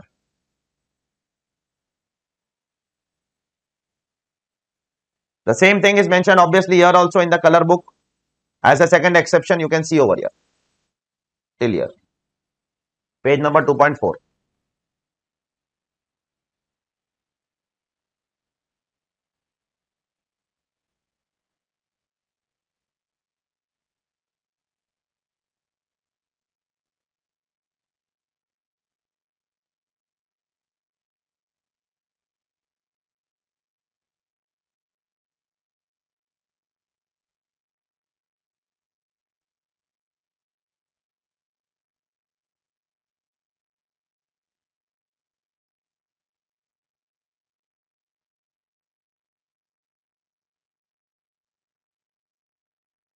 Clear? Now, there is one more thing which we need to understand over here. Today morning, I told you that today morning, I told you that goodwill is not a what? Depreciable asset anymore. Right? Today I told you. But from which year? Previous year 2021 right? Right beta? So from this year if you purchase any goodwill the value of that will be nil. You will not get any depreciation on goodwill. Okay? This amendment was made last year. Last year they made this amendment. Now listen carefully one thing. Very carefully. Shall i speak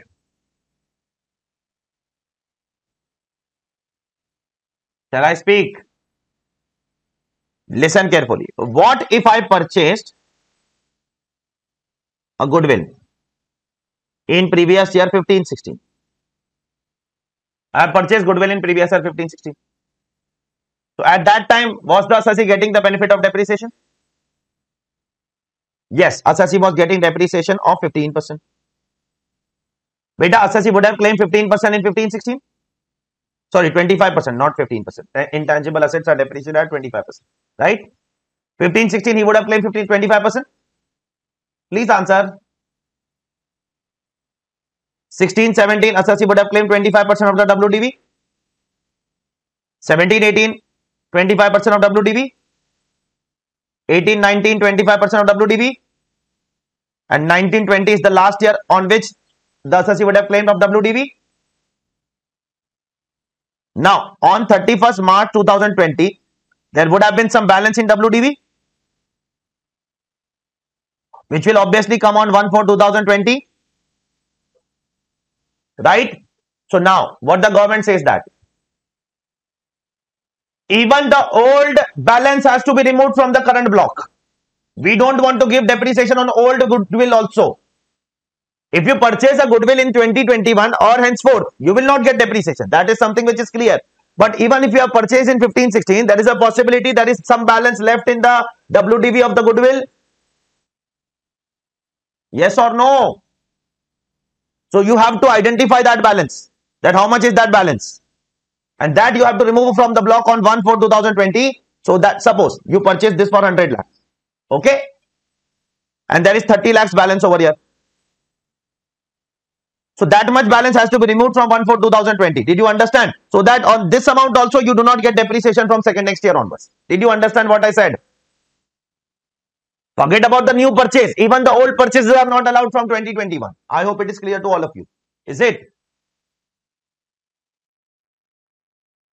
Now let me explain you the implication of this with an example. Shall we?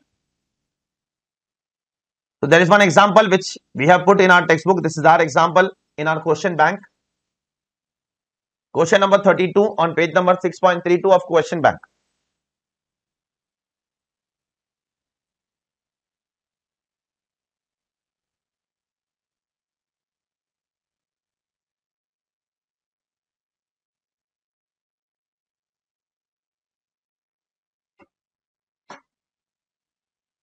Shall I start?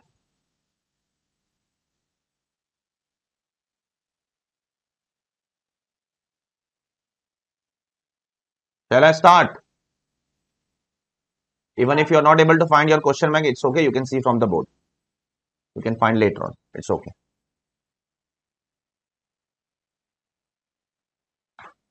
X Limited commences business of manufacturing on April 11, 2016 by acquiring goodwill of a business for 20 lakhs. So they have purchased goodwill of 20 lakhs. At that time, depreciation would have been allowable. Right? On the same day, it purchases few patents of 30 lakhs. So they have purchased two things. One is goodwill, one is patent. Both are intangible assets, same block. Both are same block. Yes, after 11th April 2016, the company acquires and transfers the following. In 2017, one patent is sold, that is transferred. Okay. So we'll reduce the, that from the block. Okay. Then in 2018, another goodwill was acquired and a new patent was purchased. Okay. And in 2019, on the next page, you can see another goodwill was acquired and one patent was sold. So we will go year by year, year by year we will go. Okay. We'll talk about the first year. First year is which year? 16, 17? Please tell. So what has happened in 16, 17? Opening balance is nil. Okay. And you purchased two assets. One goodwill, one patent, total 50 lakhs. Do you agree to this? And both of them are purchased on which date?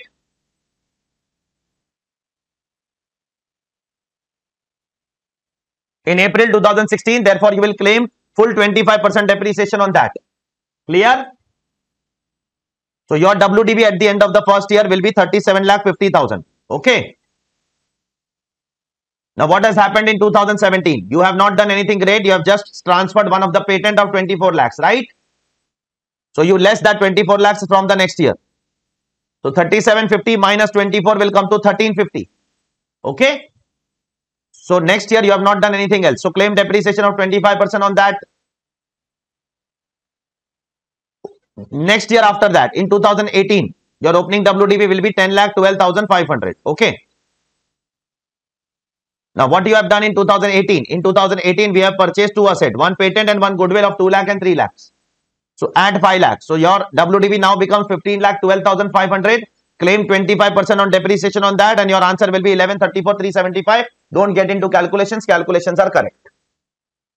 Is it clear till here? Next year, that is last year, 1920, I have purchased one goodwill and I have sold one patent. Correct? So I am adding goodwill, reducing patent, that will come to 1259, 375. I will claim depreciation and then I will get WDV as on 1 4 2020, right? Now, please tell me, does this include goodwill and patent both?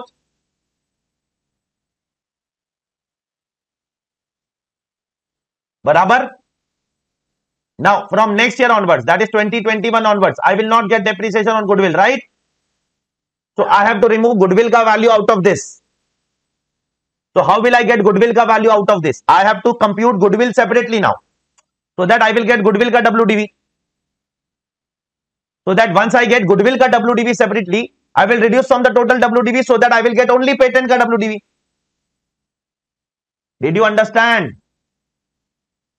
So now we will compute from 16 to 20 only goodwill. So in first year I have purchased a goodwill of 20 lakhs and patent of 30 but I am not taking patent now I want only goodwill. So I will claim 25% depreciation on that. Okay. Okay. Next year it will be 15 lakhs. Very good काजल तू एक ही साथी है मेरी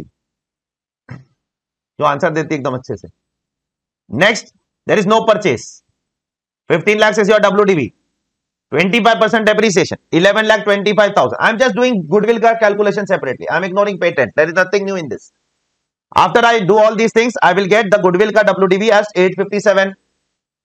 What was the total WDV beta? 944. Therefore, the differential amount will be what? The opening WDV for the next year. Did you understand? So, out of the total WDV of patent and goodwill, I will remove goodwill because goodwill is not allowed from 2021. I hope everyone is clear. Is it? Shall we go ahead? Okay. Now pay attention please. Let's go ahead with the next discussion. Pay attention all of you.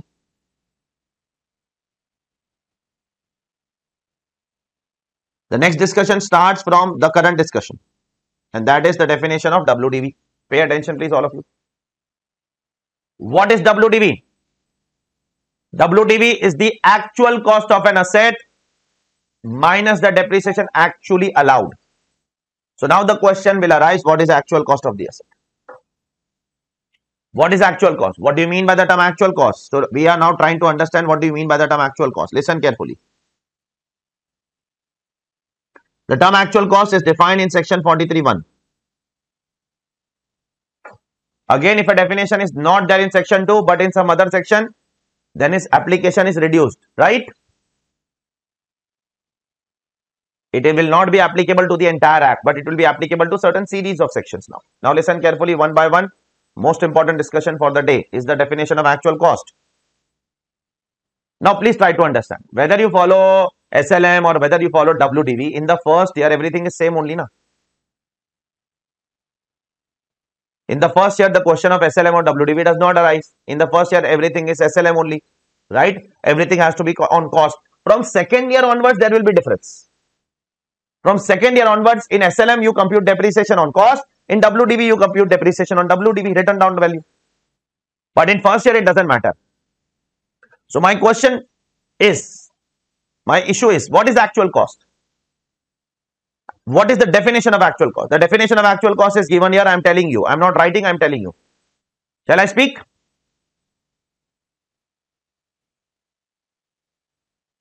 So listen, the definition of actual cost.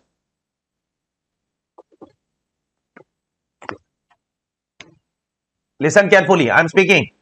Actual cost of asset means, listen carefully beta. Actual cost of an asset means an actual cost. What kind of this definition is this, sir? If I will ask Kajal, what is the meaning of your name Kajal? Then Kajal will say, Kajal means Kajal.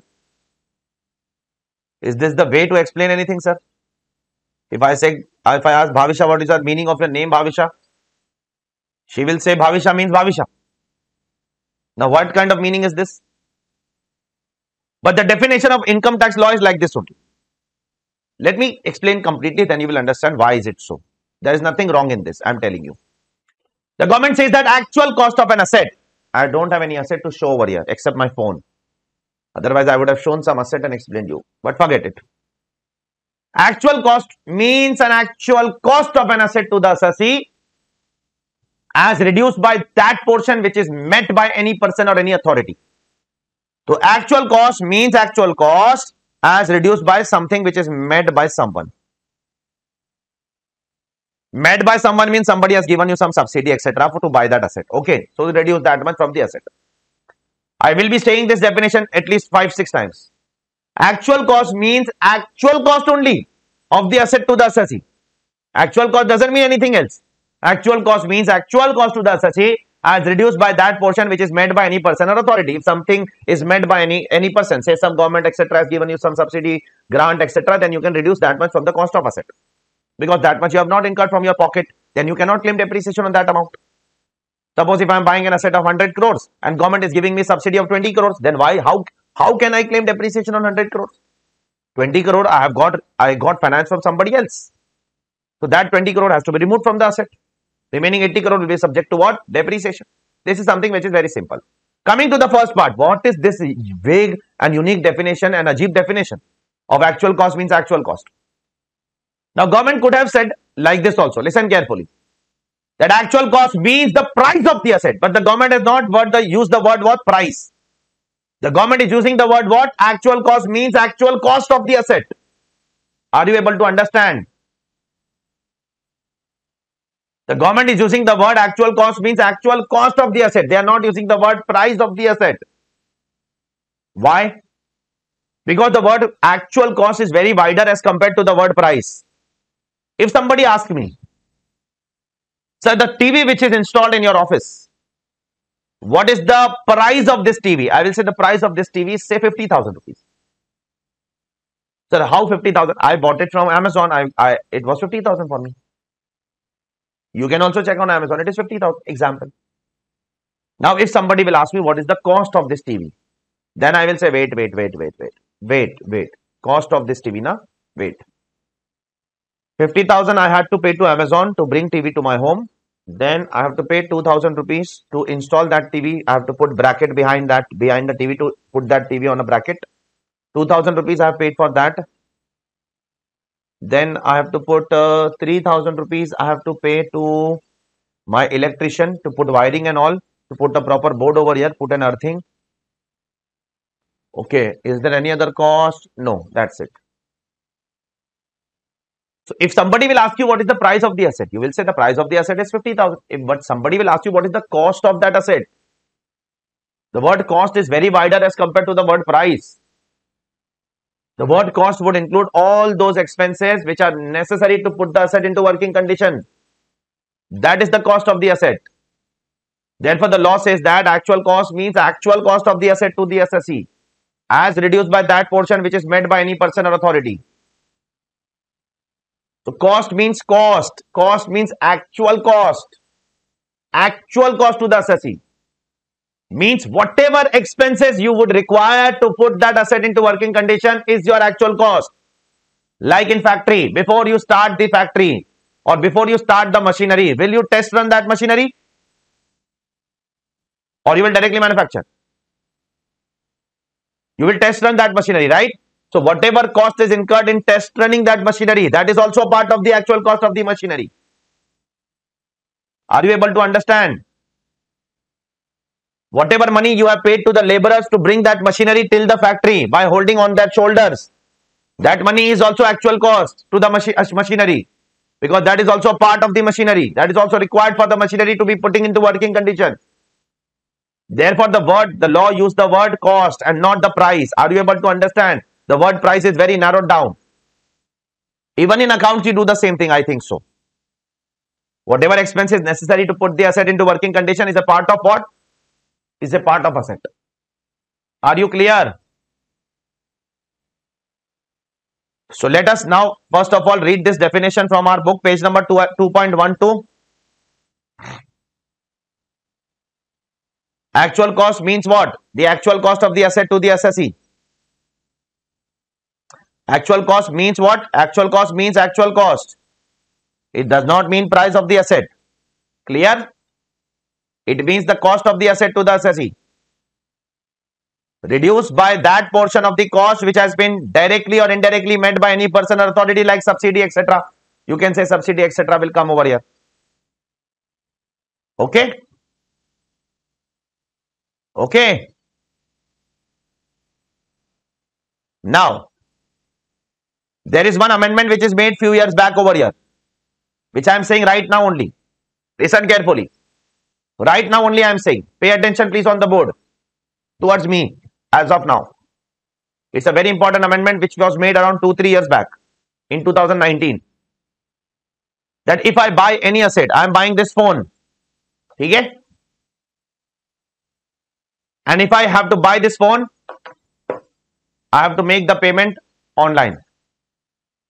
If I make cash payment, which payment? Then that will not form part of the actual cost. If somebody does something does not form part of the actual cost, can I say then depreciation will not be allowed on that asset? So now the government is saying you that buy assets also online.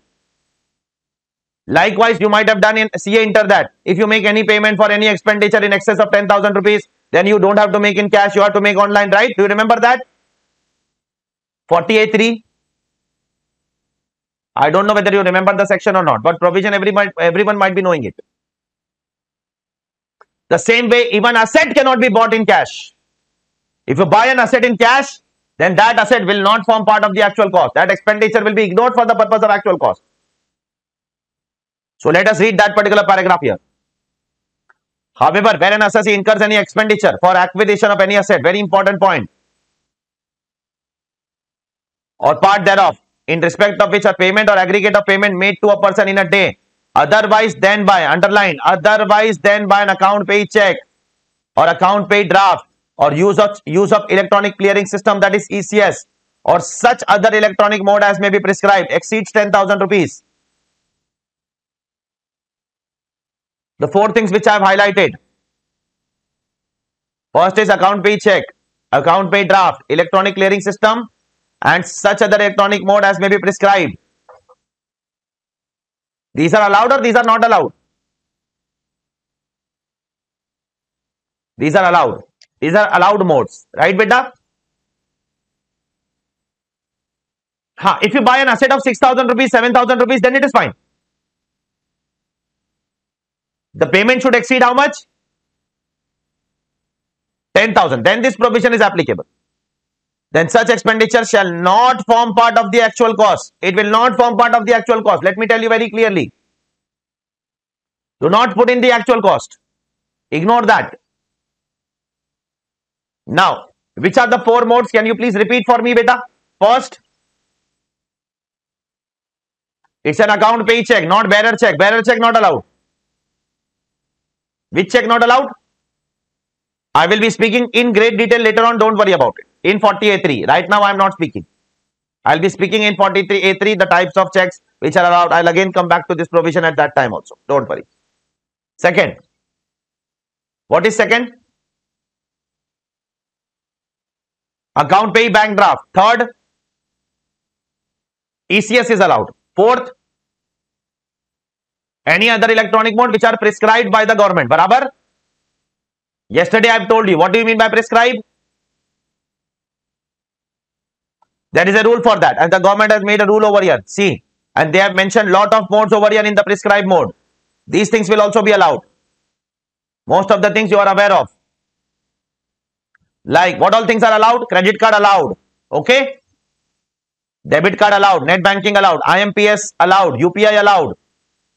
RTGS allowed, NEFT allowed, and BHIM allowed, Aadhaar Pay allowed.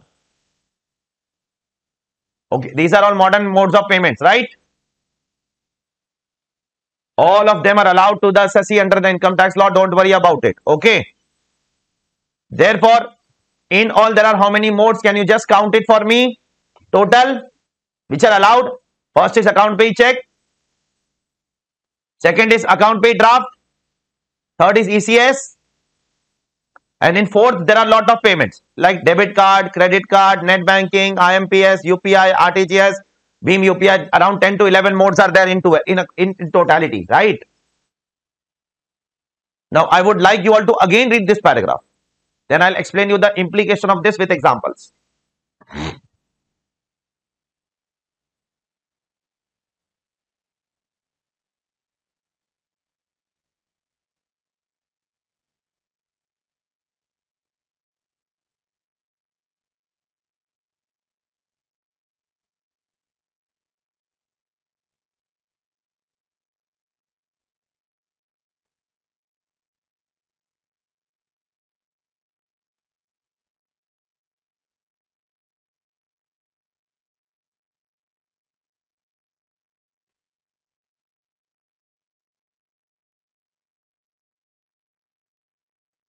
Yes बेटा। Number no no no no तेरे back तेरे background कैसे, तेरे बाल जा रहे भाविशा? तू लड़का बन गई, देख। Is that option there in Zoom is that option there in Zoom to blur the background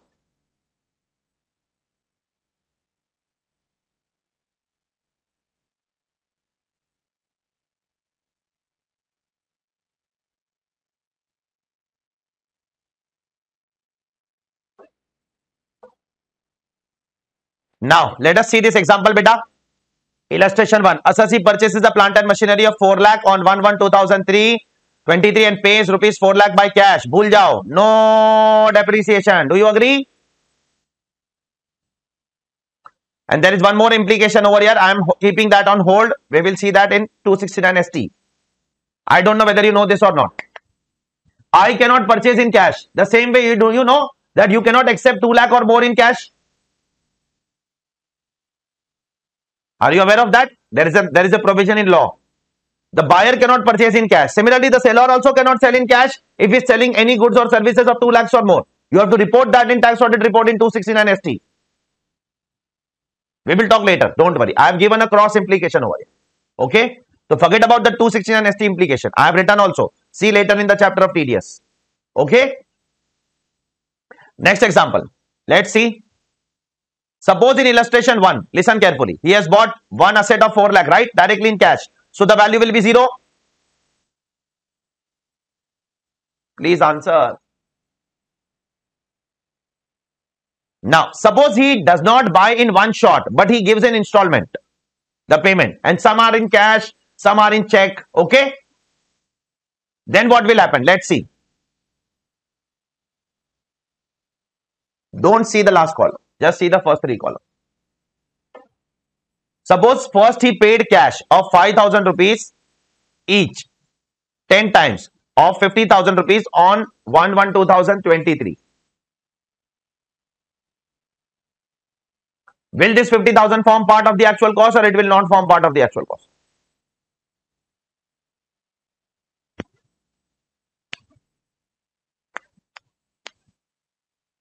Please say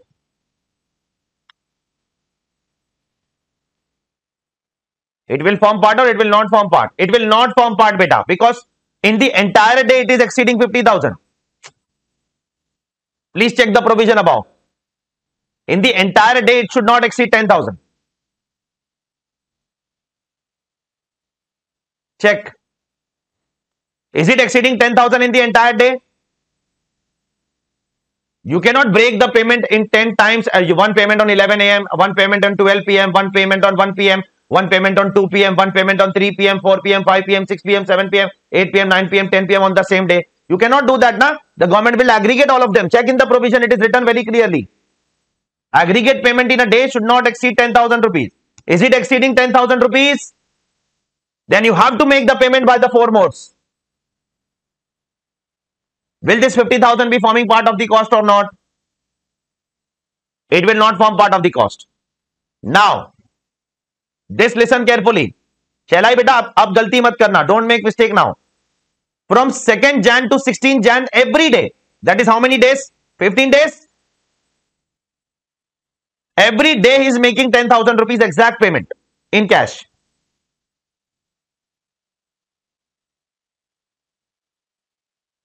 Will this be covered or will this not be allowed? Will this be allowed now? The answer is yes. Why it will be allowed? Because every day it is not exceeding 10,000. It is exact 10,000. The amount should exceed 10,000, right? Therefore, this will be allowed. And the third one will be obviously allowed. Correct? Therefore, the total cost of the asset which will be allowed as depreciation will be 3,50,000. Do you agree? And 50,000 which you paid here will not be allowed. What he should have done, he should have made this payment also in five different days. Correct? If he would have made payment of 10, 10, 10, 10, 10 in five different days, he would have, he would have been allowed on that 50,000 also. Beta clear? Okay, perfect. Coming to the discussion which I have started. That is the definition of actual cost. Okay. It's a big discussion. Today's entire lecture will go in this only. Okay. What is actual cost? Till 1 o'clock. Till 1 o'clock, we are only interested in actual cost today. What is actual cost? Please, you guys speak once so that I get a confirmation and then I'll go ahead. What is actual cost? Actual cost means this is the most simplest definition that a student can answer. Actual cost means beta actual cost of asset to the assessee. Is it is it wider than the term price? Much wider. Okay. Now let us take up some issues now. Pay attention on the board. There was one assessee by the name called as Challapalli Sugar Mills Limited, commonly known as CSM. We address that as CSM. I will write the complete name also. Challapalli Sugar Mills Limited. Listen carefully. Shall I start? The discussion which I am going to do for the next half an hour can be summed up in 5 seconds. It is not a discussion of more than 5 seconds. I can speak right now and just go ahead. You will not realize also what I have missed. But that is something which I will not do. You will not realize what you have missed. But I realize that what I am not saying. That is something which I will not do. I will do justice with the subject. But telling you the reasoning behind each and everything in a proper manner. So what has happened in this case? Long back, say in 1995, just an example, the assessee took a loan. 10% loan of 1000 lakhs. Okay. With that loan, the assessee started his own factory to start its business. So, he start constructing the factory, installing plant and machinery, so on and so forth. Okay. And in 1998, 1999, the business got what? Commenced. Okay. So this period will be called as prior period. Okay. Now in 95 96 96 97 97 98 assessee has paid a lot of interest to the bank right? Say simple interest also if i calculate every year 100 lakhs would have been paid as interest correct so in three years, assessee would have paid 300 lakhs as interest. Do you agree? Please say. So the question in front of the department and in front of the assessee was what will happen with this interest? What will happen with this interest? Okay. So the first opinion which the assessee gave, this is the prior period interest, right? The first opinion which the assessee gave was allow me that 300 lakhs in previous year 98 99 the department said no. It will not be allowed as deduction in previous year 98 99 i asked why. I have incurred whatever interest i have incurred in the earlier 3 years. Allow me in the current year. Because my business is commenced the government says no. The government says have you read ever section 28 that is the charging section.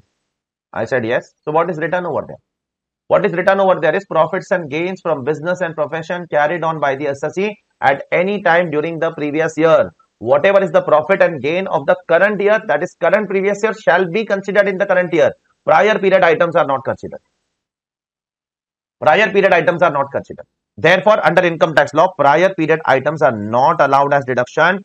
And if you henceforth analyze a tax audit report, you can see over there, there is one of the clause in tax audit report where you have to report that as a chartered accountant, is there any prior period expense? Have you seen that? In the tax audit report. Why is it so? Why is it there? Because it is not allowed under income tax law. Prior period expenses are not allowed in the current year. So Assessee is asking what to do with this interest then. What will happen with this interest? Listen carefully. What will happen with this interest? Assessee asked a very genuine question, right? The Department said that we don't know what to do with it, with this interest. But this interest will not be allowed as deduction in the current year 98-99. Assessee went to Supreme Court. And the Supreme Court gave a beautiful principle. Listen carefully. Supreme Court said that there is a difference between prior to commencement of business and post commencement of business. What is the difference? Such a beautiful difference created by Supreme Court in the case of Challapalli Sugar Mills Limited. Supreme Court said that till the time the business is not ready, till the time the business is not ready, a businessman put his soul, put his heart, put his efforts, everything which he do till the time the business is not ready is to make the business ready is, is, is something which he put his effort for the purpose of putting the assets into a ready condition. Is it correct or not? Till the time the business is not ready, you are not interested in customers. You will be interested in customer after the business is ready, right? So till the time the business is not ready, you are putting your heart, you are putting your soul, you are putting your sweat, you are putting your all your efforts in keeping the asset into a ready condition. Yes or no?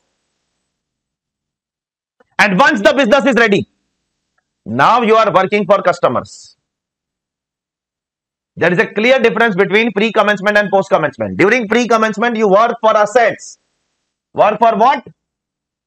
And post-commencement, you work for revenue. Till the time the business is not ready, you do not think about revenue at that time. You think about starting of a, a business. You think about installing a factory, plant and machinery, furniture in the factory. And once the business is ready, you think about what? Please tell me your customers, your revenue, your P&L account.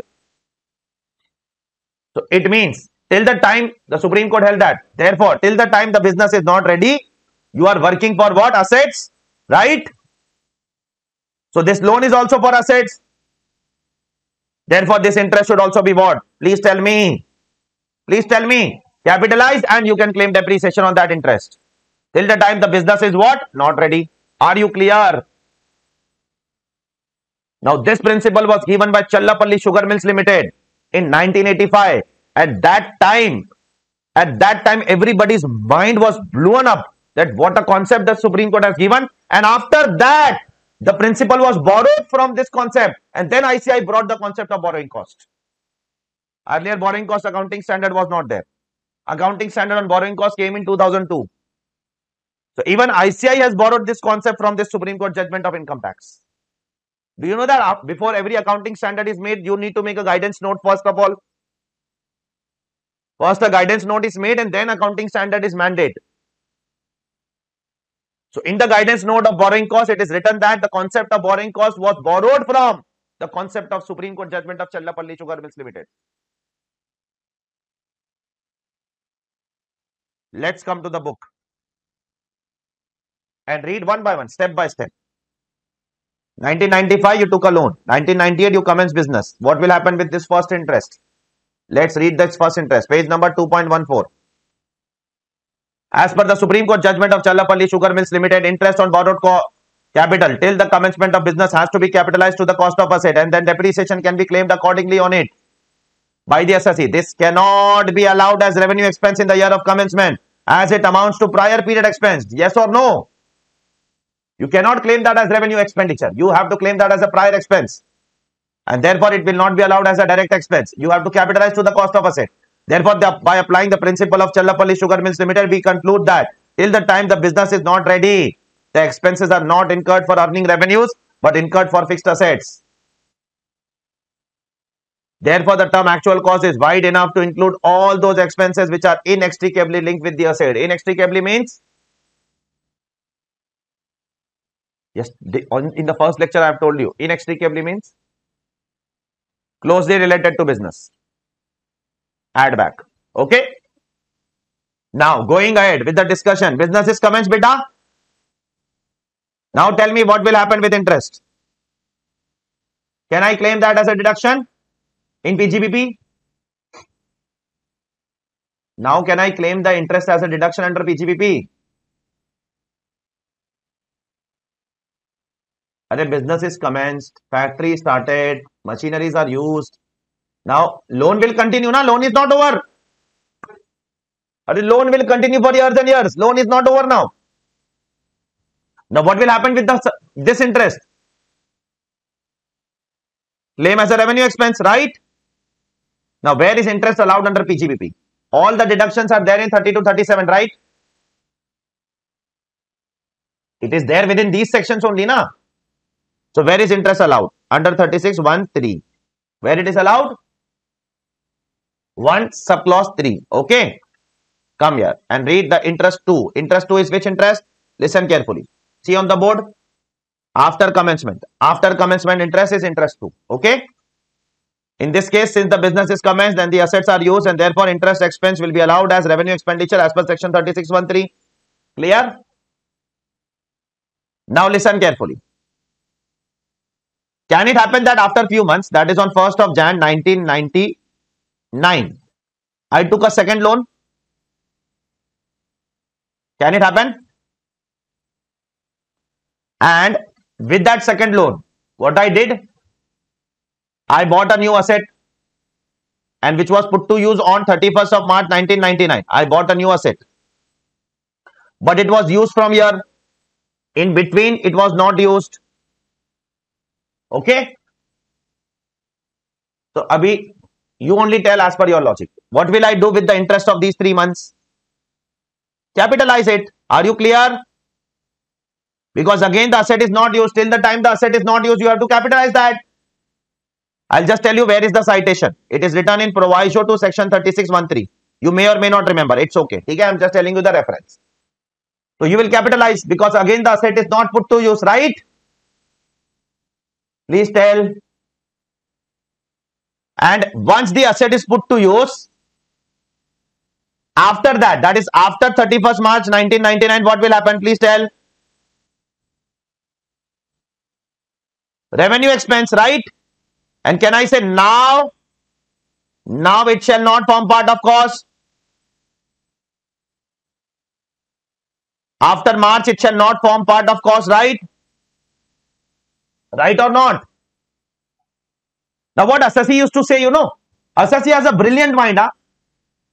After March, after March, obviously the asset is put to use. Please tell me, so once the asset is put to use, you can claim as a revenue expenditure. What assessee used to do, pata? Assessee used to claim dual benefit. First, assessee used to say, because the asset is put to use now, I can claim as a revenue expenditure. And at the same time, the assessee used to say, this loan is not over. The loan has a relationship with asset till the time the loan is not completed. Do you agree to this sentence? Suppose if I buy this phone on a loan. Okay. I buy this phone on a loan of 24 months EMI. Example. Then the asset, I have you, I am using this asset, right? Please tell me the relationship of loan or with this phone will be for how much time? Till the loan is over, right? Till the time the loan is over, the relationship of the asset has to be there with the loan, na? Are you clear? So what Assessee used to say? Out of the way thinking. After 31st March 2019, Assessee used to say, whatever interest I will pay on the asset now, on the asset, asset only he is paying now. He will get the deduction under 3613. Obvious, this is correct, allowed. Now, Assessee used to make a second argument by saying that my loan is not over and the loan is related to what? Please tell me. Asset so whatever interest I am paying, you have to capitalize to that to the asset. Till the time the loan is not over, the loan is related to the asset, right? And actual cost means actual cost. All the expenditure which are necessary to put the asset into working condition has to be part of the cost of asset. So the assessee is saying that this interest should also be forming part of the cost. This will lead to dual benefit or not? On one time, you are taking a direct deduction of under PGBP. On other hand, you are adding to the asset and again claiming depreciation. So the government made some amendment. What amendment? Pay attention over here. They put one explanation over here. You can see from the board directly. Asset acquired out of borrowed fund. Can you see this? Interest on loan relating to the period after the asset is first put to use shall never form part of actual cost. The government had to say this specifically. Once the asset is put to use, the asset, the interest should never form part of what actual cost. Is it clear to everyone? Please tell me. Now, I would like to just sum up this entire discussion in 5 seconds. What is this discussion? The discussion is very simple. If the asset is not what? Put to use then interest has to be capitalized. And once it is put to use then interest has to be claim as revenue expenditure. That's it. This entire discussion is this only. Is it clear to everyone? So shall i ask you one last question and complete this discussion here? Please please allow me. Shall i ask you will you answer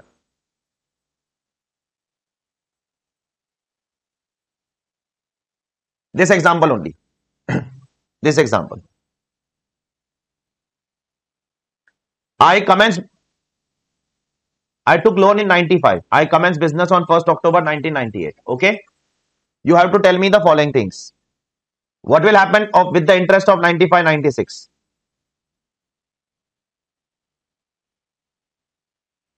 Capitalize. What will happen with the interest of 96, 97? Capitalize and claim depreciation, right? Capitalize. What will happen with the interest of 97, 98?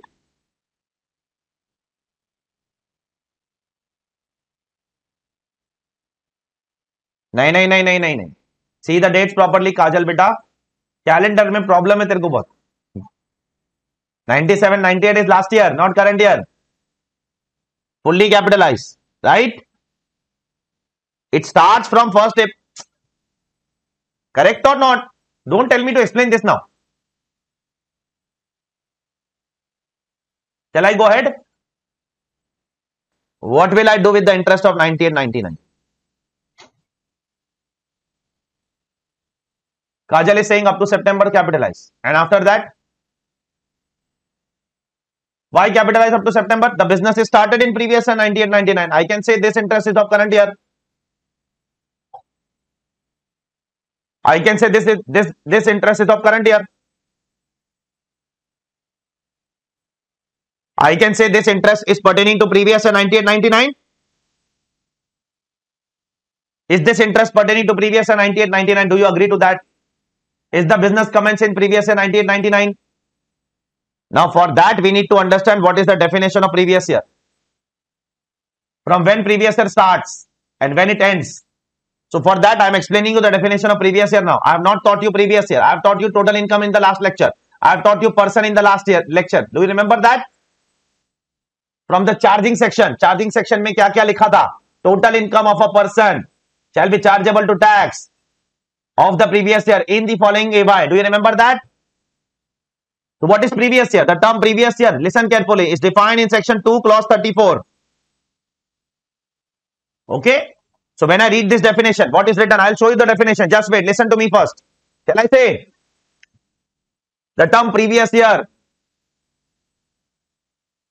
means as defined in section 3.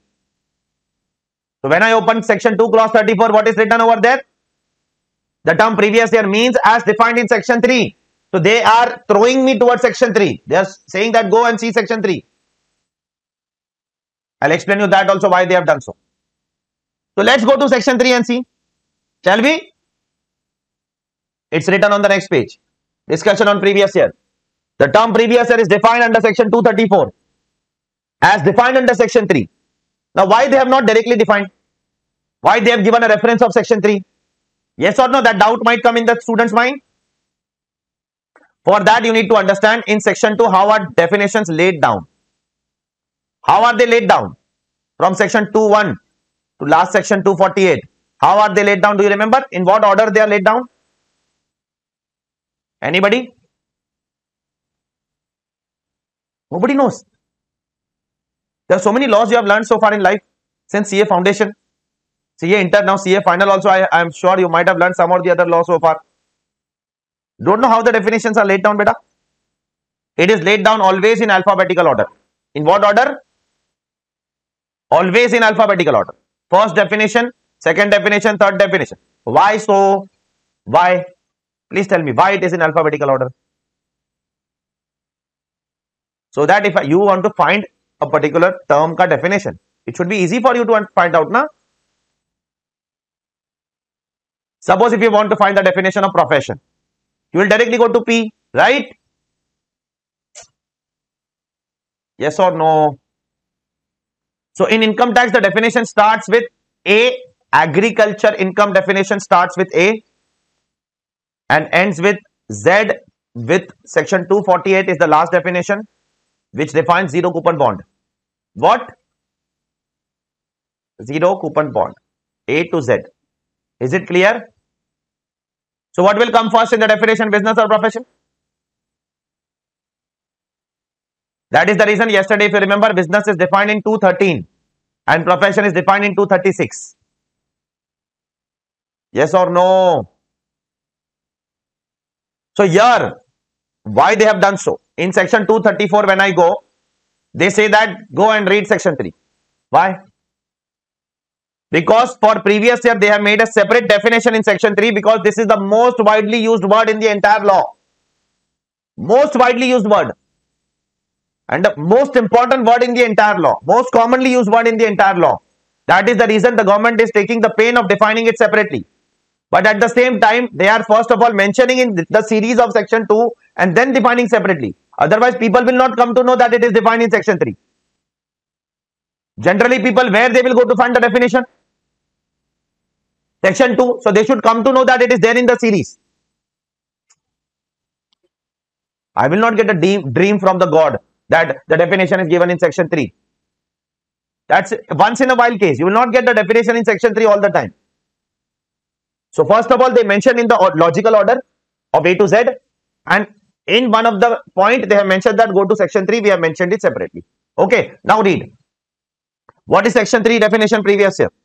For the purpose of this act, a previous year means a financial year. A financial year is of how many months? 12 months immediately preceding the AY. Okay. With that logic, with that logic, 98, 99 is the previous year. Which starts from which year? Which date? 1 for 98. So I can say my business is commenced in the previous year that is from 1 for 98, right? But you will not be able to say so. Kajal was correct. Because there is a proviso to this definition. Proviso means exception which says that if your business or profession is newly set up, which is uh, in our case, it was newly set up in October, right? Then the previous year will not start from 1st April, but it will start with the beginning of the commencement of the business. I hope you understood now what they are trying to do. So in our case, it will not start from 1st April, but it will start from the date of commencement of business. And please tell me when is my business commenced? Can I say my previous year is a shorter previous year from 1998 October to 31st March 99? Do you understand this? So can I say till September that period can be called as a prior period? And the interest has to be capitalized. Nahi otherwise what people will do, you know? Even if they start their business in March, they will say that this business is started in this previous year. Na? Allow me the interest of first 11 months. Government will not allow you. Government will say what? Capitalize to the cost of asset. And did you understand what I said? Is everyone clear? Now, there is one ICDS also. ICDS means Income Computation and Disclosure Standards. I have told you na beta about that. Yes or no? Which also says the similar things only don't worry about it there is nothing great said by icds icds is not something which is very great part of your syllabus it's a very small part of your syllabus so what does the icds says There is one ICDS on tangible fixed asset. You also have accounting standard and Ind AS for tangible fixed assets, right? What does it says Admin and general overhead expenses are to be excluded from the cost if they do not relate to the asset. If they are not related to the asset, exclude from the cost. Okay. Similarly, if certain expenses are specifically attributable to a particular asset, then it should be included in the cost of asset. If an expenditure is related to that asset, include that as a part of the cost. Similarly, expenditure on startup, commissioning, etc., test run shall also be capitalized to the cost of asset. As I have told you, whatever test run, etc., you do, you have to add it to the cost of the machinery. Yes or no? Similarly, once the production is started, okay, after that, the expenditure should be treated as what? As a revenue expenditure. So, ICDS is not saying anything great to you. Don't worry about it. It is saying the same thing which you have learned in accounts and which you have learned in the last half an hour. Okay. So I would like to sum up the discussion as of now of actual cost. So let me sum up the discussion now. First of all, we saw the definition of actual cost. What is actual cost? Actual cost means actual cost, which will include all the cost which is necessary to put the asset into working condition, right? Right. The second thing which we did over there was, once you buy an asset, you should not make a payment of more than 10,000 rupees to a person in a day by other than four modes. If you do that, that, that expenditure will not form part of actual cost. Okay. And the third and the most important thing, till the time the asset is not put to use, you can capitalize the interest cost. Once the asset is put to use, you have to take it in the P&L account. Then don't take it to the balance sheet. Then, then don't take it to the cost of asset. Clear? Now, one or two more things I'll just explain before we take the break for the day because I always believe shorter the duration post break is better for us. One or two things. Pay attention on the board. Break बोला काजल के मुँह पे खुशी आ गई अलग level की इतना खुशी पिछले तीन घंटे से पढ़ाई में भी नहीं आई चलो ठीक है that's very natural pay attention on the board Under income tax law,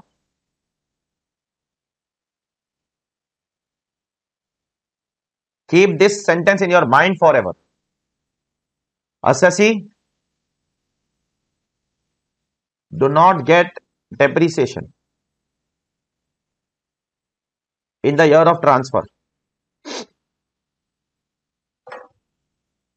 What do you mean by this? It means if I sell the asset in the current year, then on that asset you won't get any depreciation. Why? Because it will be reduced from the block now. It means even if you sell on 31st March, when? Then also you have used for 365 days and you have sold the asset on 31st March, you will not get the depreciation in this year. Because the block concept is very straightforward. Opening WDV plus purchase. Okay. Now, if you sell something, then it will be reduced from the block. And if it is reduced from the block, even on 31st March, if it is sold, you will not get depreciation on that asset unfortunately under income tax law. But in accounts, it is not like that. If you sell in the middle of the year, you claim depreciation for six months. Yes or no? But in tax, it is not like that. So, we always advise that if you are planning to sell at the end of the year, better you sell in the next year. Okay, so that you can claim some depreciation on it. Is it clear? If you have an urgency of funds and you have to sell, then you have to sell. Then that is a different case. Okay. And if you feel that if you further wait for one or two months, just the prices of the things will further go down, then you sell. That is your business decision.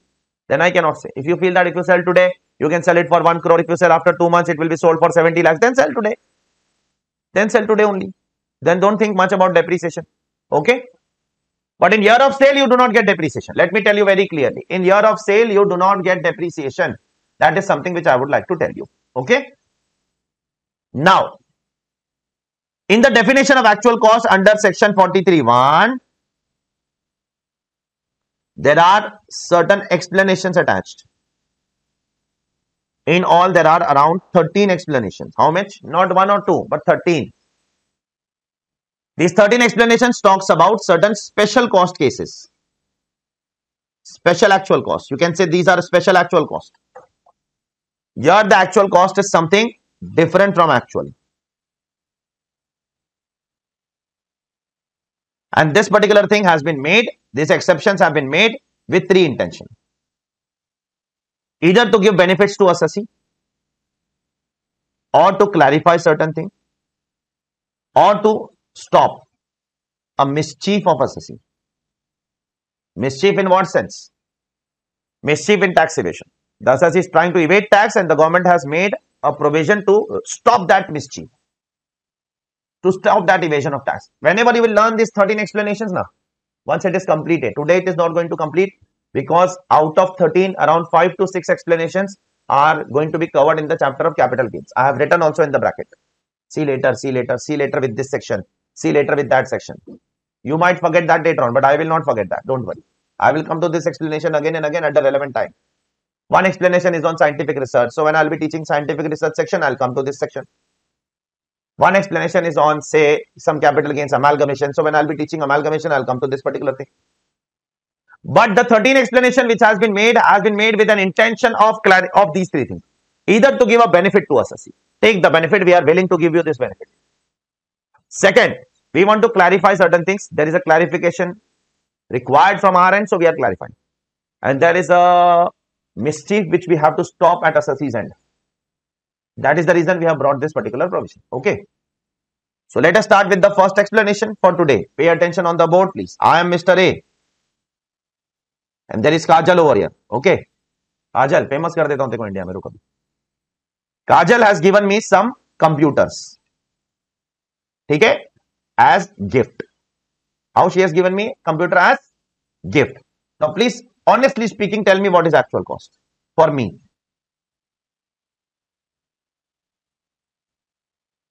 Actually speaking, what is the cost? Obviously nil, right? But the government is giving you some benefits. Don't worry about it. Come over here, page number 2.16. Explanation 2. 1 on 1A will be done later on. Don't worry.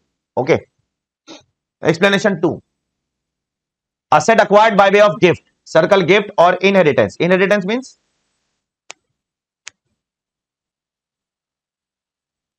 on the death of your or, or of your predecessors. Okay. Your father, your forefathers. Okay. Asset acquired by way of gift. What is the actual cost? Actual cost to the previous owner. That is actual cost to Kajal. Okay. Minus de depreciation actually allowed to her. Him or her is same only. Under income tax law, he, she, everything is same. That is a different thing which I'll speak later on. Why the law is male dominated? Why they are writing everywhere he, he, he, him, him, him? Why not her, her, her? She, she, she? Why not? That I'll speak sometime later. Okay, don't worry about it. But you will not find her in the entire income tax law. You will not find she in the entire income tax law. You will not find the word she. You will find the word he. You will find, you will find the word his. Not her, not she. Why the law is male dominated? We'll talk about that sometime later. Okay. So actual cost to Kajal minus depreciation actually allowed to her, right? So can I say whatever is the WDV in the hands of Kajal will become my actual cost? You can see this example below to further understand. Please go through this example. So is the government giving you a benefit here? Is the government giving you a benefit? In case of gift, you are not paying anything. Still, you are going to get the depreciation on WDV of Kajal. Yes or no?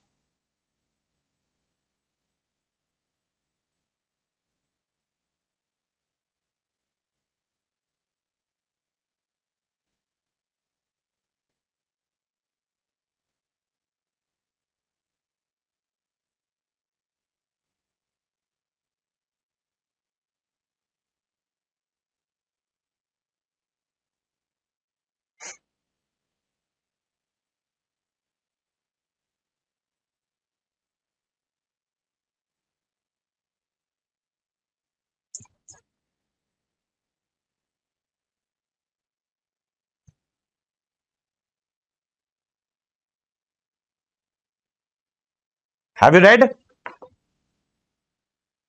So in first year, why it is seven and a half percent?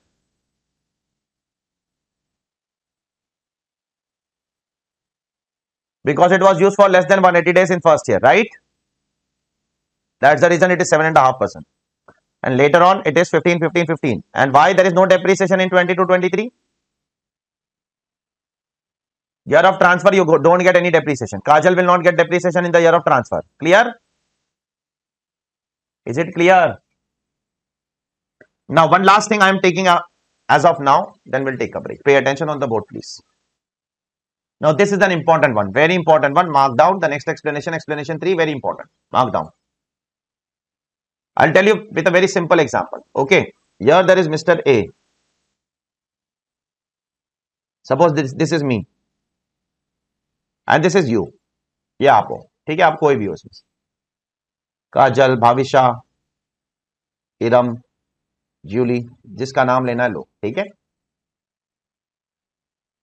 Now your mind is working in a negative way ना what kind of negative mind you are playing in to over your lesser cat बोली I am doing a business okay lesser cat बोली I have some capital gain loss over your some 1.2 crore loss is available with me. Okay. How much loss?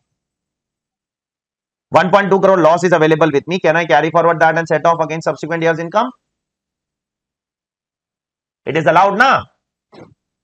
Listen carefully. This great tax planning by the assessor. Assessee WDV of the asset is 10 lakhs. How much? 10 lakhs. Now, Assessee, I am getting arranged, I am getting an, into an arrangement with you all. With you all. What I am saying you? Are yaar, please purchase this now. He will say, why I will purchase this? And at how much price I should purchase this?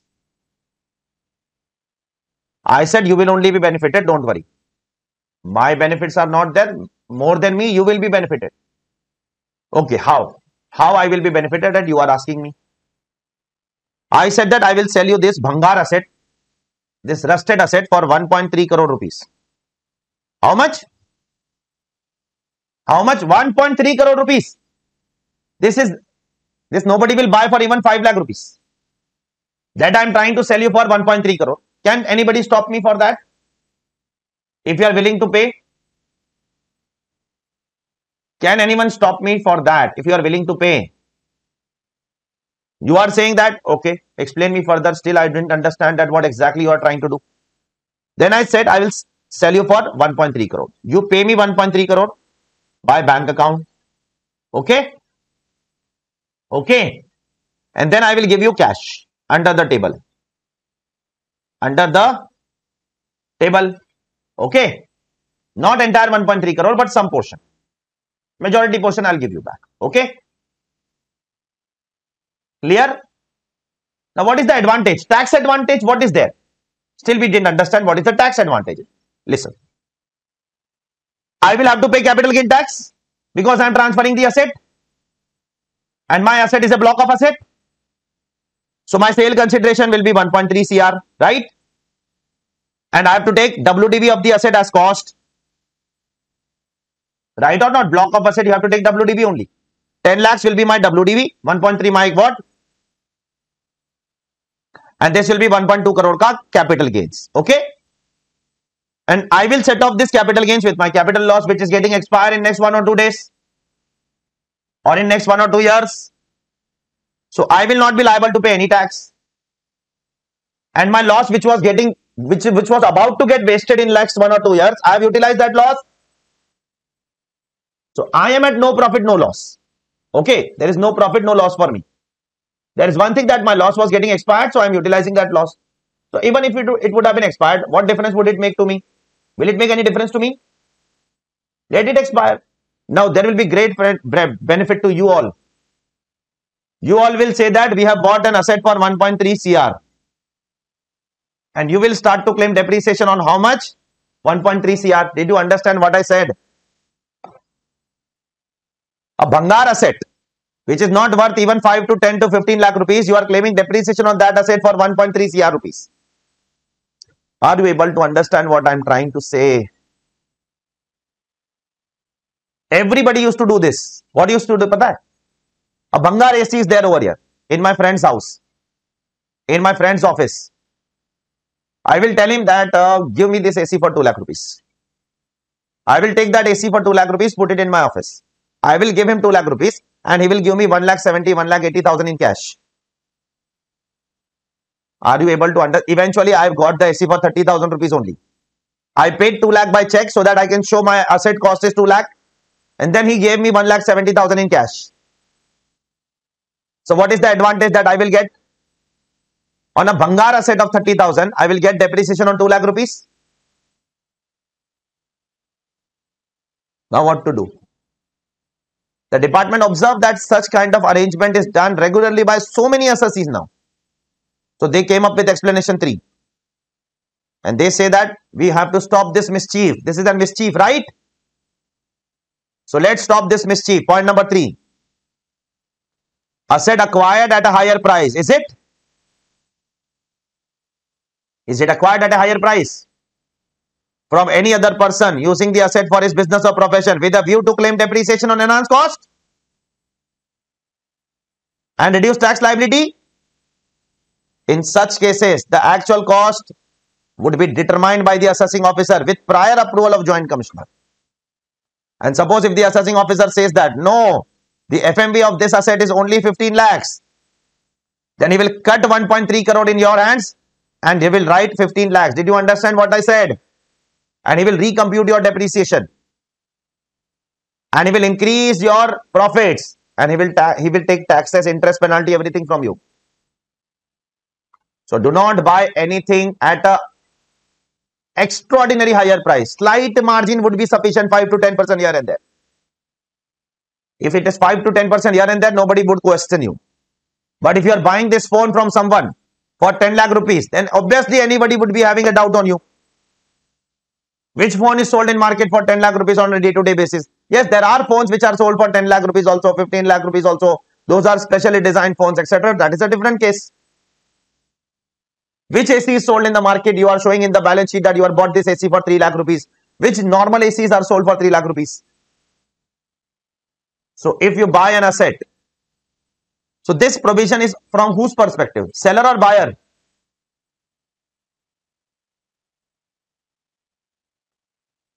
No, Bhavisha. It is not from seller's perspective. Whose perspective? Actual cost is in whose hands? It is from buyer's perspective, right? Now, this is called as Ek Tir Do Nishan. Let me tell you, Ek Tir Do Nishan means what? One aim and two arrows. Everything I have to say in English, unfortunately. How this is Ek Tir Do Nishan. The government will say that your actual cost is not 1.3 CR. They will change that to 15 lakhs, for example. At the same time, they will not change this calculation. They will keep this 1.3 CR as 1.3 CR because explanation 3 talks about actual cost. It does not talk about changing the selling price of the seller. Seller selling price will remain 3 1.3 CR only. I don't know whether you got this point or not. So seller will continue to compute capital gains at a higher price. But buyer's cost will reduce at a lower price. Did you understand what I said? So do not change the seller selling price. If you have any doubt, please ask me. Don't hesitate to ask anything. Always ask me. Don't hesitate ever. Even if you feel that this is the silliest of the doubt, don't worry about it. I am always there. Don't worry about it. Okay. What do I mean by The seller can also say, if you are making changes over here and making it 15 lakhs, then make this also 15 lakhs. Government is saying that make this also 15 lakhs and make this uh, as what? As a capital gains of just 5 lakhs so that I can use only 5 lakhs out of it and I can still have 1.15 lakhs, 1.15 crore ka loss with me available. The seller can also say, na. The seller can also say, then don't use the entire 1.2 crore ka loss. Only use the uh, 5 lakh rupees ka loss. Because the loss is only 5 lakh now. Are you clear or not? But the government said that no, no, no. Seller will not change the selling price. Ek tir do nishan. Seller will compute capital gains as per 1.3 CR only and buyer actual cost will be redefined by AO with prior approval of joint commission. AO again alone cannot do anything. The moment while doing the assessment, if AO finds such things, how will this be practically done? Listen carefully. AO will do your assessment, right? He will go through a balance sheet, right? And he will ask you what are the additions you have made in the assets. You have to tell him. And suppose if he finds one of the assets you have bought at an excessively higher price, that will create doubt in his mind. He has also seen the world here. You will say, I bought a TV for 35 lakh rupees. Then he would like to see that TV. Which is that TV? And you say that this is a 21 inch TV. Then how a 21 inch TV has to be of 35 lakhs? I would like to see that. He will come for a personal visit to your office. He will ask for that. He will see that this is not worth even 21,000 rupees. And you are paying 35 lakh rupees. Explanation 3 will be attracted. He himself cannot do anything. He has to ask to the joint commissioner. Are you able to understand? He has to take an approval from JC. And after that, he will determine the value in your hands. He will revive the value and he will change the actual cost. This entire example is given over here. You can see over here. This entire example you can see over here. Mr. X is a seller. Mr. Y is a buyer. Seller has an opening WDV of 10 lakh, PGBP before depreciation of 4 lakh and PGBP and capital gain loss of 1 crore 20 lakhs. Okay. Now seller sells the entire block for 1 crore 30 lakhs. So the capital gains in the hands of seller will be 1 crore 20 lakhs. Okay. How it came? 1 crore 30 minus 10 lakhs. Clear? But he will set off the entire. They have just, listen carefully beta. They have decided the selling price based on this loss. Are you able to understand that? They have decided that selling price so that the loss and gain should come exact same to each other. Okay, now coming to buyer. Buyer will say that my profit is 50 lakhs. This is buyer's profit. Buyer's opening WDV of the asset is 20 lakhs. And now what buyer will do? Buyer will say 20 lakhs plus one more asset of 1 crore 30 lakhs I am buying. So total 1 crore 50 lakhs. Yes? This is what buyer used to say. But now after explanation 3 to 43 1, A will invoke this explanation and will say it is not 1 crore 30, it is just 15 lakhs. And he will say that now it is not 130 plus 20, but it is 15 lakhs plus 20. Is it clear to everyone? The 20 is your existing asset here. Forget about that. And last note but not least, the sale consideration of X will not change because of explanation 3. X will not change its calculation. X sale consideration will remain at 1.3 CR. Is everyone clear with this? So the first explanation which we did was to give benefits to the assessee. This explanation is to stop the mischief of the assessee. Is it clear? Now, let us move on towards the next explanation. All of you, please pay attention on the next explanation. All of you. Suppose this is previous year 15, 16. I am Mr. A. I bought a plant and machinery of say 3 lakh rupees. Okay. Or say 1 lakh rupees. Which is depreciable at 15%. Okay. Now, I use this uh, in the current year, I use this for the next year also. But in previous year, 17, 18, I sold this to Mr. B. Okay. And in next year, in 1819, Mr. B sold to Mr. C. Okay. And in 1920, Mr. C sold to Mr. D. Okay. And then in 2021, I again purchased that from Mr. D for 5 lakh rupees. Okay. So try to understand what exactly the mischief I am trying to do. I am trying to sell to one person, then I am telling that person sell to another person, then I am telling that third person sell to another person, and then I am again reacquiring that. So that that same asset is now costing me how much? 5 lakh rupees. Yes or no? Explanation 4 will attract. What will be the actual cost? Will that, what do you think? Will the actual cost will be 5 lakh? The answer is no. Explanation 4 will attract. Explanation 4. Very important explanation. Explanation 3 and 4 are very important. Mark down. 3 and 4 are extremely important. Explanation 4. Asset once belonged to the assessee. Yes. Which was used by him for his business and is transferred and is reacquired. It is transferred, it is reacquired. Right? Then what will be the actual cost in the hands of the assessee? Will it be 5 lakh rupees? The answer is no. The actual cost will be WDV at the time of original transfer or price paid for reacquiring the asset, whichever is less. So what, what is the provision talking about? Can you tell me? The second point is this 5 lakh. Correct? The price paid to reacquire the asset is 5 lakh. What is the first point? No, it is not 1 lakh. Read carefully. WDV at the time of original transfer. It means the WDV in 2017-18, right? Right or not? Whatever the WDV will come. So reduce depreciation of 2 years from this.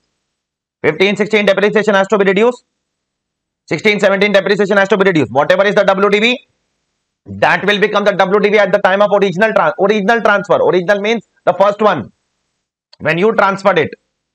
So WDV at the time of that transfer compare with reacquisition price that is 5 lakh whichever is less will become your actual cost. Is it clear? So this case is applicable when you sell and then reacquire. Okay. To check it, the example below. You can check this example. Read this once.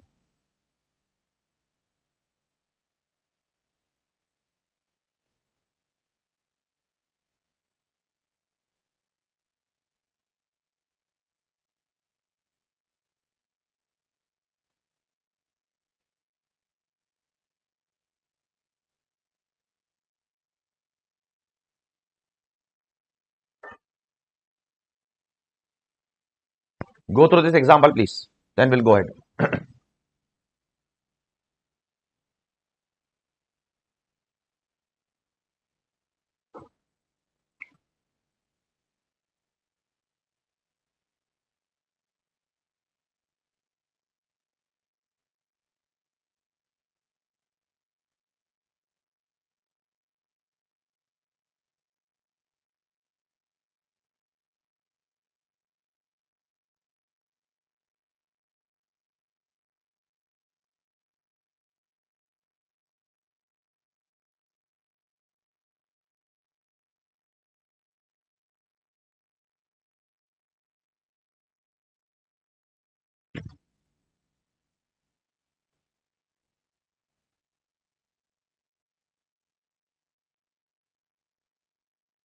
Done? Shall I go ahead? Now, explanation 4a is there. 4a. It's not 5, it's 4a. Pay attention, please. There are two persons. Mr. A, Mr. B.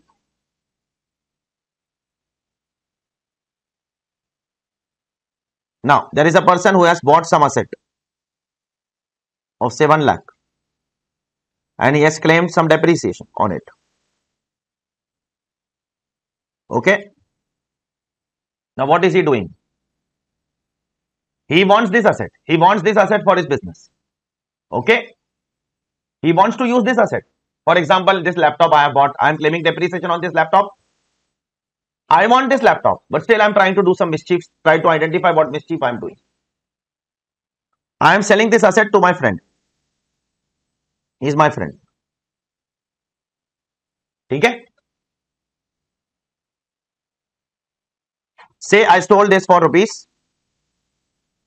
Say 1 lakh 20,000 I'm not selling at a very higher price. Okay? Not very high so that if I have sell it, it for very higher price then explanation 3 will attract. Yes or no? The one which we did in the last session. I'm not selling at a very higher price. I am selling at a normal price. I want this asset. Then why are you selling? Try to understand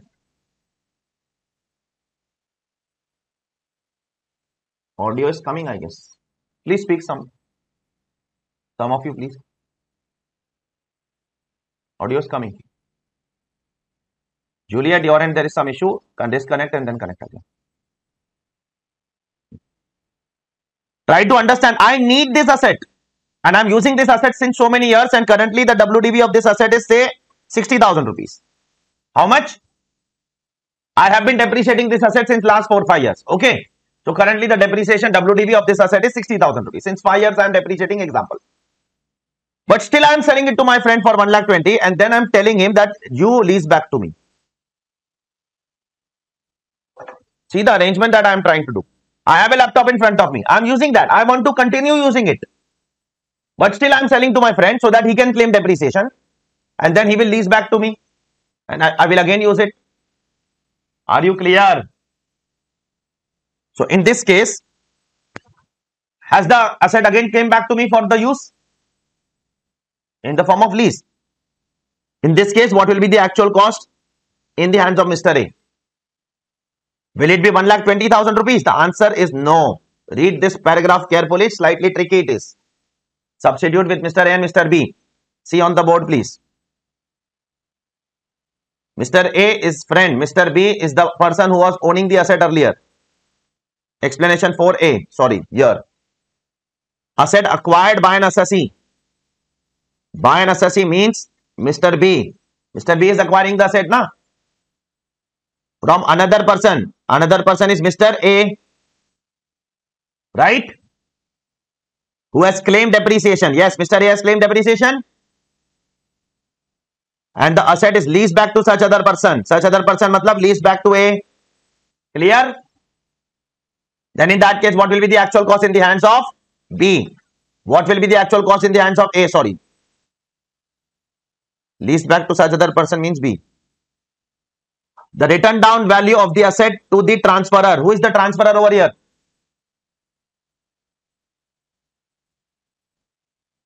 Who is the transferor of the asset? Who is transferring the asset? A is not transferor. A is not transferring. A is giving on lease. The transferor is B. Please try to understand very carefully this example and then substitute in the provision. B has acquired the asset, right? He is transferring the asset to his friend.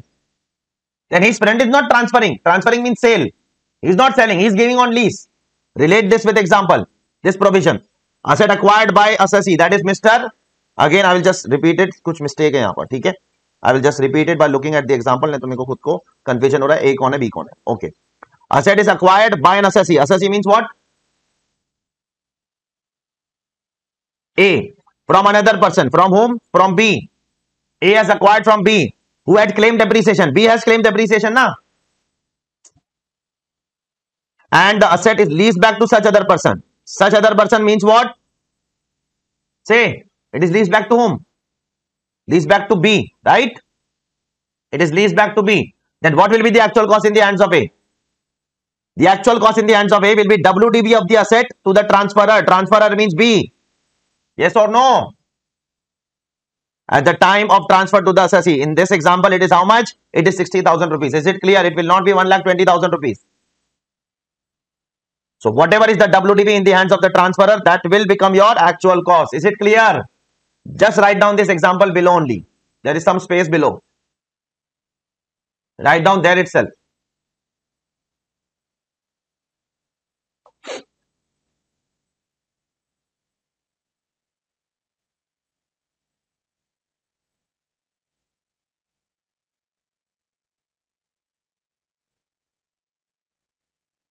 Yeah.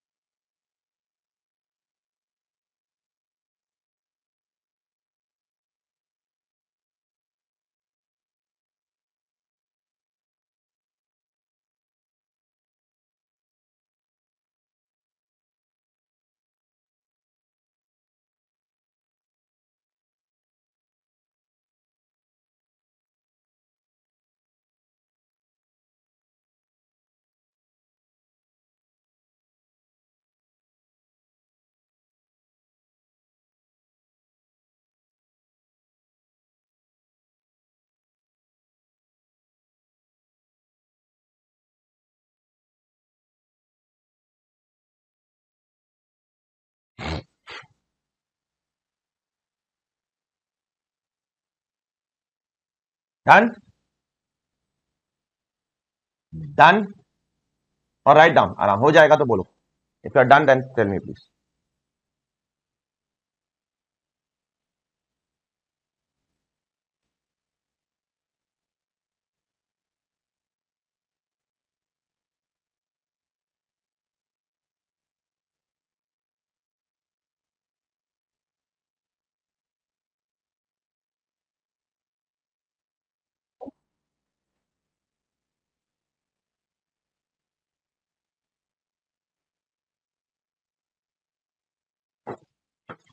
Now, so we have done four explanations so far. First one was respect of gift. If I receive gift from someone, what will be the actual cost in my hands? It will be the actual cost in the hands of the previous owner, right? Minus depreciation actually allowed to that person. In short, WDV in the hands of that person will become my actual cost. Correct? Second, if I sell some assets at a higher price to you, then what will be the actual cost in your hands?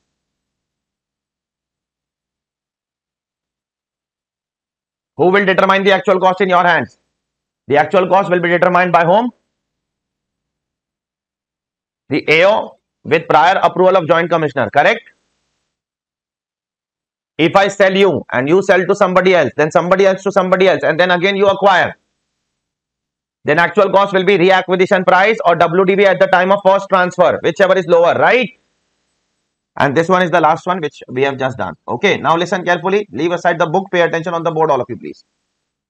Leave aside the book. Pay attention on the board. Suppose in previous year, 2021, there is one student, Mr. A, a CA student, tells her father or mother that I want a laptop. The parents ask, why you need a laptop at this age? I want a gaming laptop. Why you want a gaming laptop? He's there, he says that the processor is very good and because of which I can view my lecture properly. Parents also listened to him and bought a laptop for him. Okay. Which is worth 1 lakh rupees. Actually not necessary to view lecture. Okay. A gaming laptop is not necessary to view a lecture. But his intentions were something else. So he fooled his parents and bought a laptop. Okay.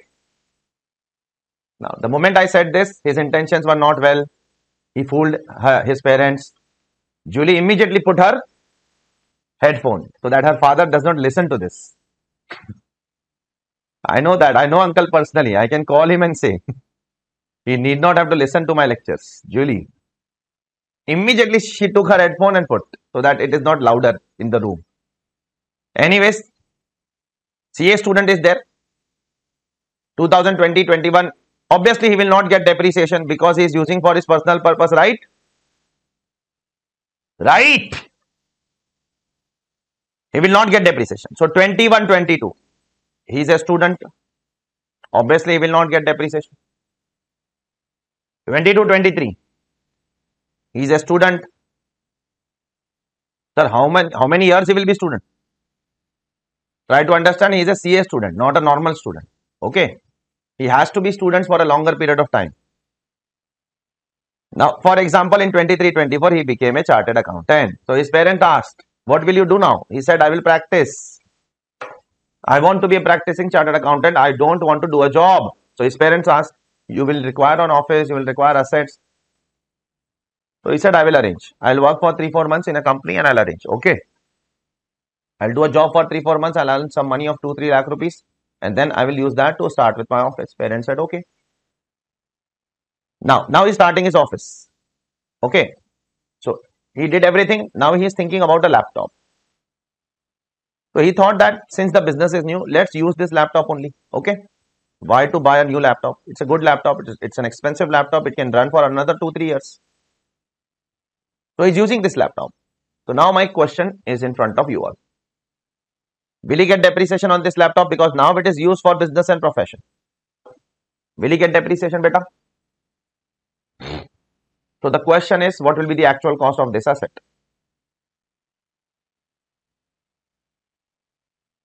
Say 1 lakh who said? Avisha? Why 1 lakh? Why 1 lakh? So you can play, you can take 1 lakh as your actual cost.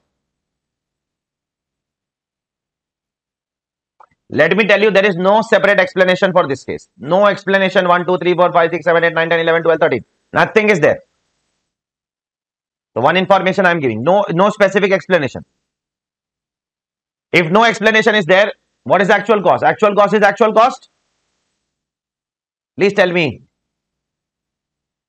Actual cost is actual cost now. Therefore, in this case, the actual cost of this laptop in the hands of that student who is now a chartered accountant will remain 1 lakh only. It will be actual cost means actual cost. That's it. Actual cost is actual cost only. Okay. Now, this logic is applicable to plant, machinery and furniture. This logic is not applicable to building because for building there is a specific explanation, explanation 5. Just listen to me carefully. Don't see in the books, just wait. It means if I convert my personal plant and machinery into business plant and machinery, actual cost will remain actual cost. If I convert my personal chair into a business chair, my personal table into a business table, my personal TV into business TV, my personal sofa into business sofa, the actual cost will remain actual cost. There is no specific explanation for plant machinery and furniture. Is it clear to all of you? But what about building? The government knows that building is very expensive asset. Yes or no? So suppose if I buy a building in 2020-21, okay? Suppose if I buy a building in 2020-21 or say 1 crore rupees. For how much? 1 crore beta. For personal purpose. And later on in 23-24. Okay. I use this building for business purpose. Then I will claim depreciation, right? Then, then what will be our actual cost? Will it be 1 crore? The answer is no. Now government says that. Read explanation 5. Read please all of you. Read. This is only for building. What I have written below. For plant, machinery and furniture, actual cost will remain actual cost. Can you see this? This explanation is specifically for building. Let us read together. Building used for private purpose and subsequently brought into what? Business use. Earlier it was used for what purpose? Private purpose. Subsequently it is brought into what? Business use. Clear? Then actual cost will be what? The cost of purchase or construction of the building. In my example, 1 CR. Correct? As reduced by the notional depreciation calculated at the depreciation rate. Listen carefully now. Applicable to the year of conversion for business use. So you have to take the actual cost as 1 crore minus you have to reduce notional depreciation. What rate you will take? What will be the rate of depreciation? In my example, you can keep your books open and answer. Which year's rate of depreciation I will take to reduce depreciation of 2021, 21-22 and 22-23? Because in 23-24 I have converted into business. Which year's rate of depreciation I will take? Check properly. I have converted in 23-24.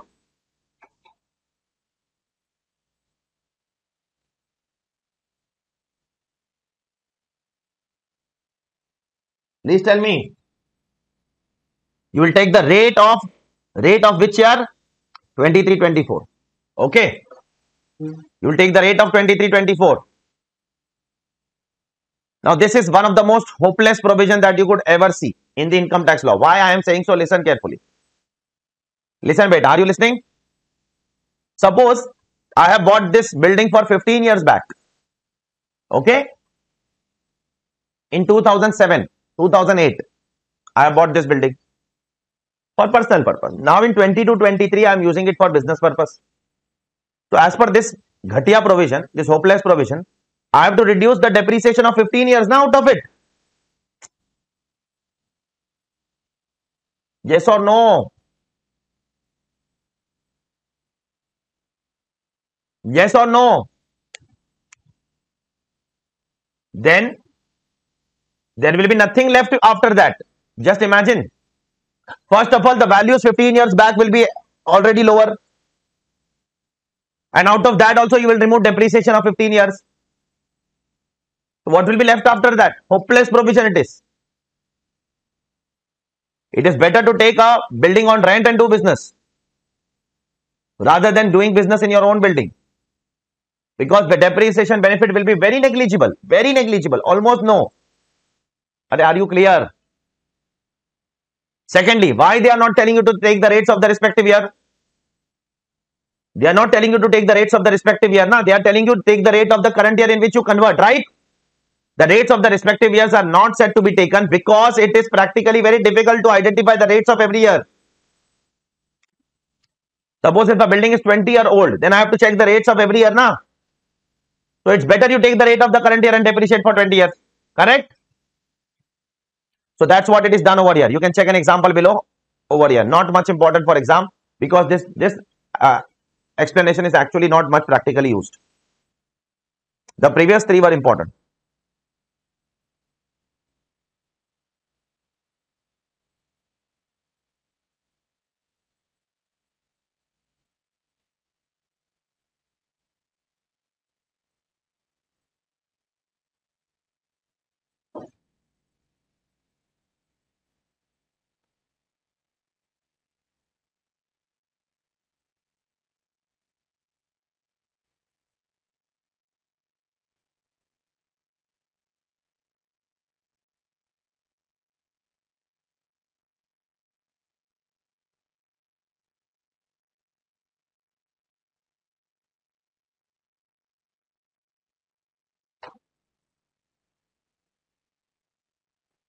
Go through this example, please.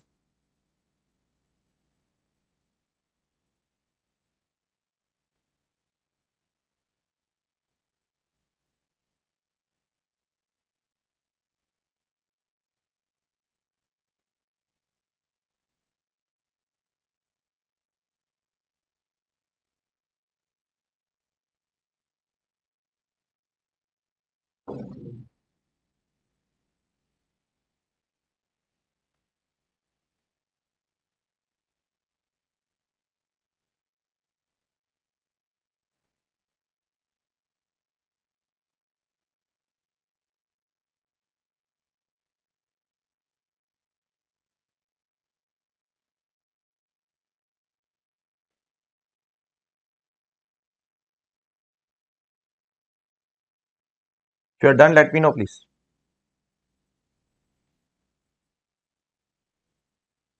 Done? Please tell me. Okay.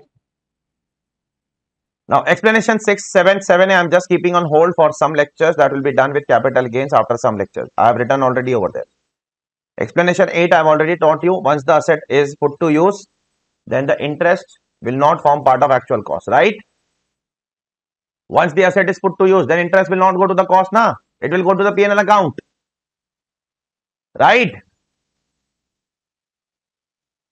Now, explanation 9. Let's talk about this now. Pay attention, please.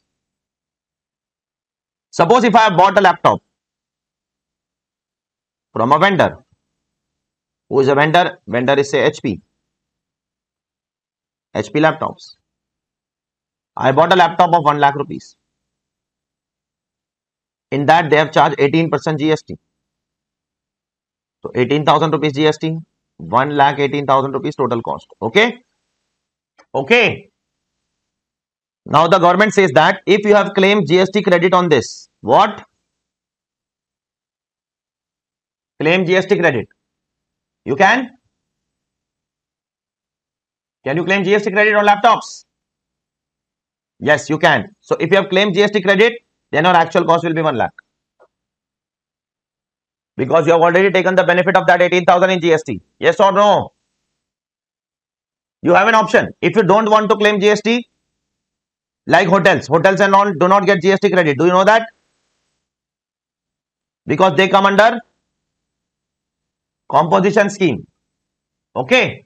So though they, they don't get GST credit. So for them, it is advisable to take at 1 lakh 18,000. Is it clear? So both option is available with the assessee. You can see over here. Read. Good. Explanation 9. Now the government is in the old zone of earlier than 2017. GST has come in 2017. Still they have not amended here. That's the reason I have also not amended. Today excise and all has no role to play under income tax law.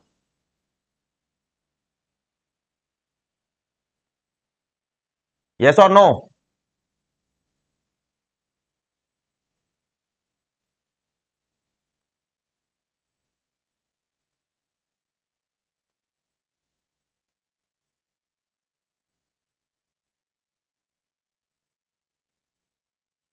Clear?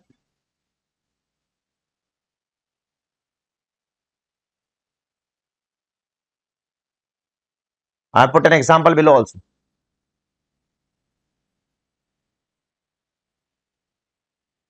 Shall I go ahead, beta? Now coming to a big one and a very important one. Please pay absolute attention now. A very important one it is and a very big one. Explanation 10. Very, very, very important. Avisha. What does it speak about? Please pay attention. It's very important now. There is a great interlinking of few provisions now. A portion of a cost of an asset acquired is met directly or indirectly by government or any statutory authority or any other person in the form of a subsidy, grant or reimbursement. Underline the word subsidy, underline the word grant, underline the word reimbursement separately. Or put in three boxes.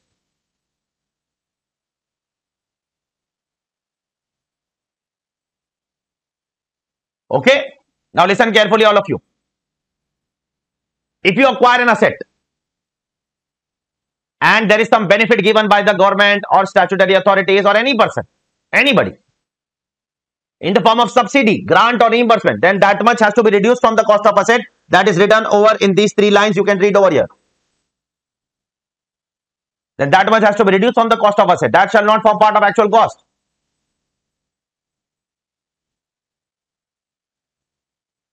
Clear?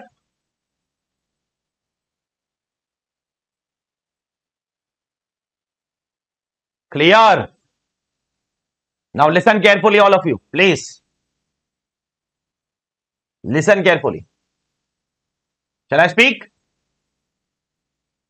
Listen. Now there was one assessee who was doing such mischief. Listen carefully. An assessee went to the government and said that I am starting with a new venture. For that I need 120 crore rupees. How much you are financing? The government said we will give you a subsidy of 20%. How much? 20%, which will amount to 24 crore rupees, right? Now, what he did?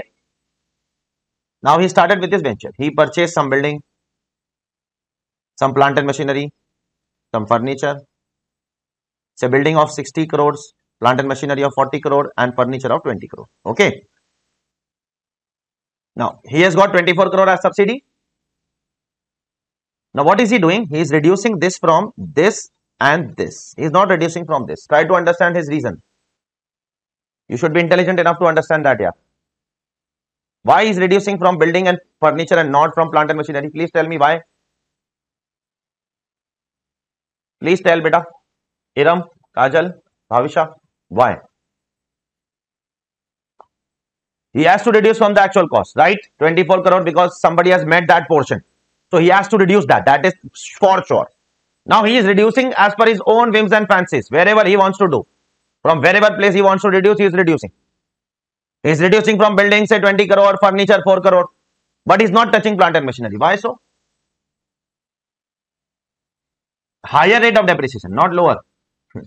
Plant and machinery is depreciated at 15%. So if you reduce this asset, you will lose 15% depreciation, right? But if you reduce this asset and this asset, you will not reduce 15%, you will reduce only 10%.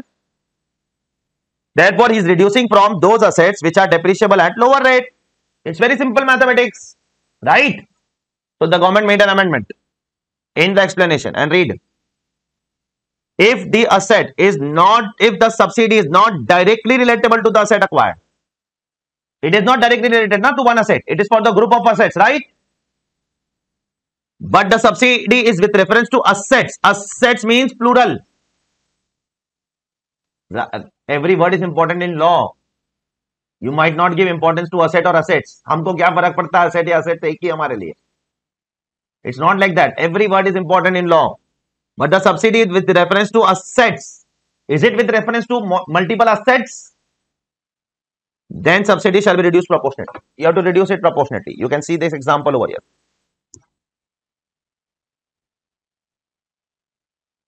Reduce 20% from this which will be 12 rupees right in this case it is 30% okay in the textbook example it is 30% 100 minus 30 is 30% na please tell So reduce 30% from this. 30% of this will be how much? 18. Reduce 18, that will give you 42. Everything is written here. You can see here.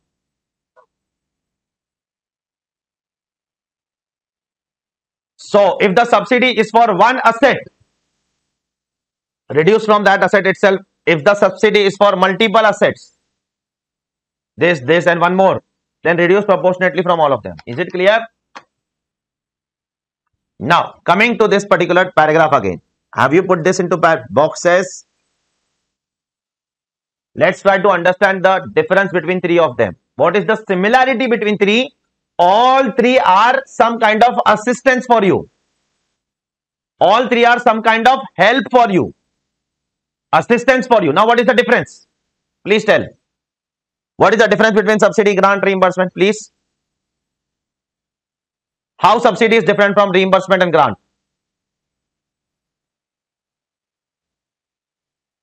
In case of reimbursement, we will purchase the asset and then government will give us the money. Okay. That is closed now. Let's talk about the other two. What is subsidy?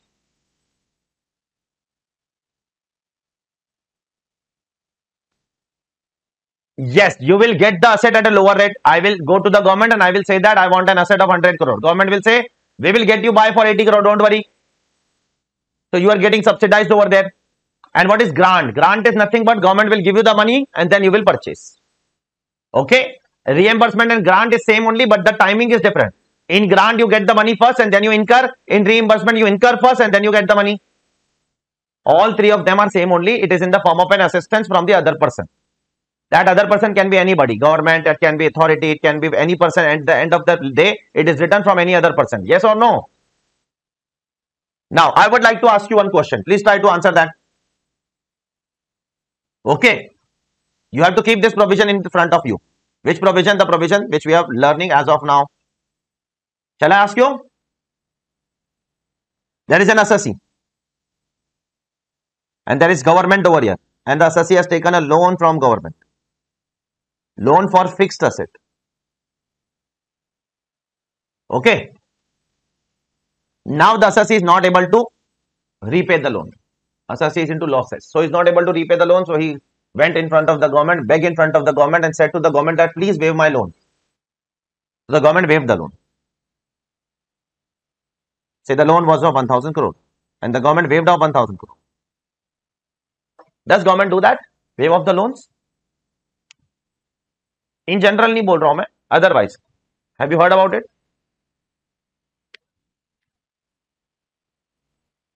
Have you heard about it?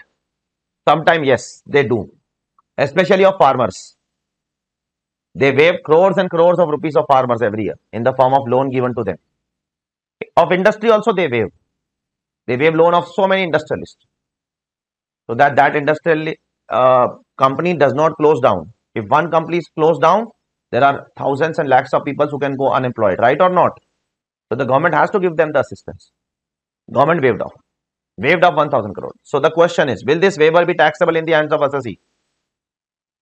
Or will this waiver, listen carefully, be reduced from the cost of the asset?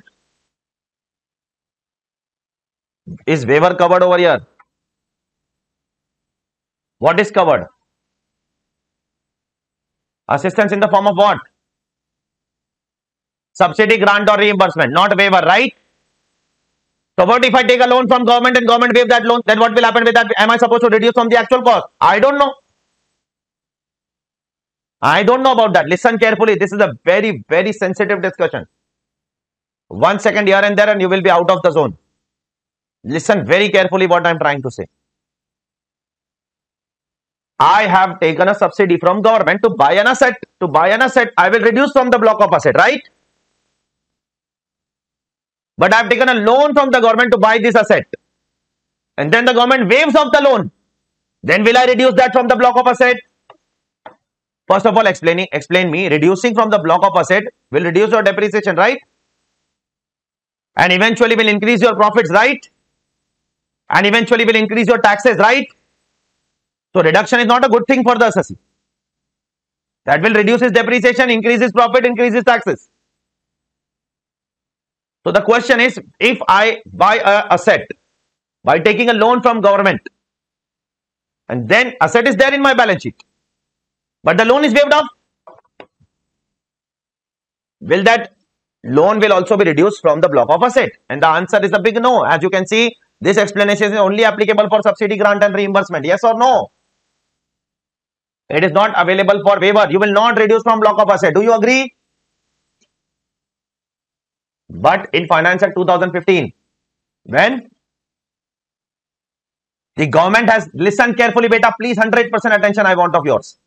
Has amended the definition of income which is defined in 224. I have told you na income definition is there in 224 on in the first lecture. The first lecture ka concluding discussion. By making that graph 97.75% tax rate. I guess you had you would have seen on Google. Right? So have the government made amendments by putting unnecessary things in the definition of income? The same way the government has made an amendment in 2015 by amending the definition of income. Come to page number 2.22. Definition of income was amended by inserting a new clause, clause 18. Very carefully we need to read this. First of all, I would like to ask you, forget about this. Please, beta, all of you, please see here. If I get a subsidy, grant or reimbursement for buying a fixed asset, what am I supposed to do? Reduce from the cost. If I get a loan from government to buy fixed asset and that loan is waived off, shall I reduce from the cost? No, it is not covered in explanation 10, right? Then, then what will I do with that 1000 crore rupees which is waived off by the government? Direct income. It means forget about reducing from the cost of asset. Directly add to the income statement and pay tax on that. Did you understand this great difference? Reducing an amount from a cost, listen carefully. Reducing an amount from a cost is a slow poison which will reduce your depreciation every year which will reduce your taxes, which will increase your profits every year and which will increase your taxes every year. But, but making entire amount as income in the current year is a, is a hard poison. So the government has given a hard poison to the citizens of this country in 2015. On one hand, listen carefully. On one hand, they give you subsidy. They waive your loan. On other hand, on their waiver of loan, they pay tax also. एक हाथ दिया दूसरे हाथ से थोड़ा बहुत ले लिया पूरा नहीं लिया थोड़ा बहुत now what all things they have included let's see how they have widened the base try to understand always the government will increase the x axis y axis they will not y axis they will not touch by increasing the x axis they will increase the tax not by increasing the y axis listen carefully income includes what assistance in the form of Form of what? Subsidy is income. Subsidy is income. Yes. Grant is income. Cash incentive is income. Circle subsidy, circle grant. Cash incentive is income. Duty drawback is income. Waiver is income. Waiver of that 1000 crore is now direct income. Forget about reducing from the cost of asset. Direct add to the income statement and pay tax. Concession is an income. Reimbursement circle is an income by whatever name called. Government is tired now. Government is tired of saying the words. Now they say that by whatever assistance, assistance by whatever name called. Are you understanding? Now this is given by whom? All these things are given to you by whom? That also needs to be seen. This is given by central government, Modi ji. This is given by state government, Eknath ji. If you stay in Maharashtra or respective state, whatever you are. This is given by authority, local authority like BMC and all, like Shiv Sena in Mumbai. It is given by any statutory bodies like RBI, etc. or any statutory agency. These are the five people who are giver. It can be given in cash or kind uh, to the assessee. That's it. Just wait here. Just wait here. So who is giving? Central government, state government, any body, agency, authority, right? These are all, all statutory people. governmental level people. Okay. What are they giving? If they are giving you subsidy, it is income. Listen carefully. Very minute point. If they are giving subsidy, that is income. What I said, if they are giving you, then it is income. But sir, here it is written, if you get a subsidy, you will reduce from the cost of asset. Then what to follow?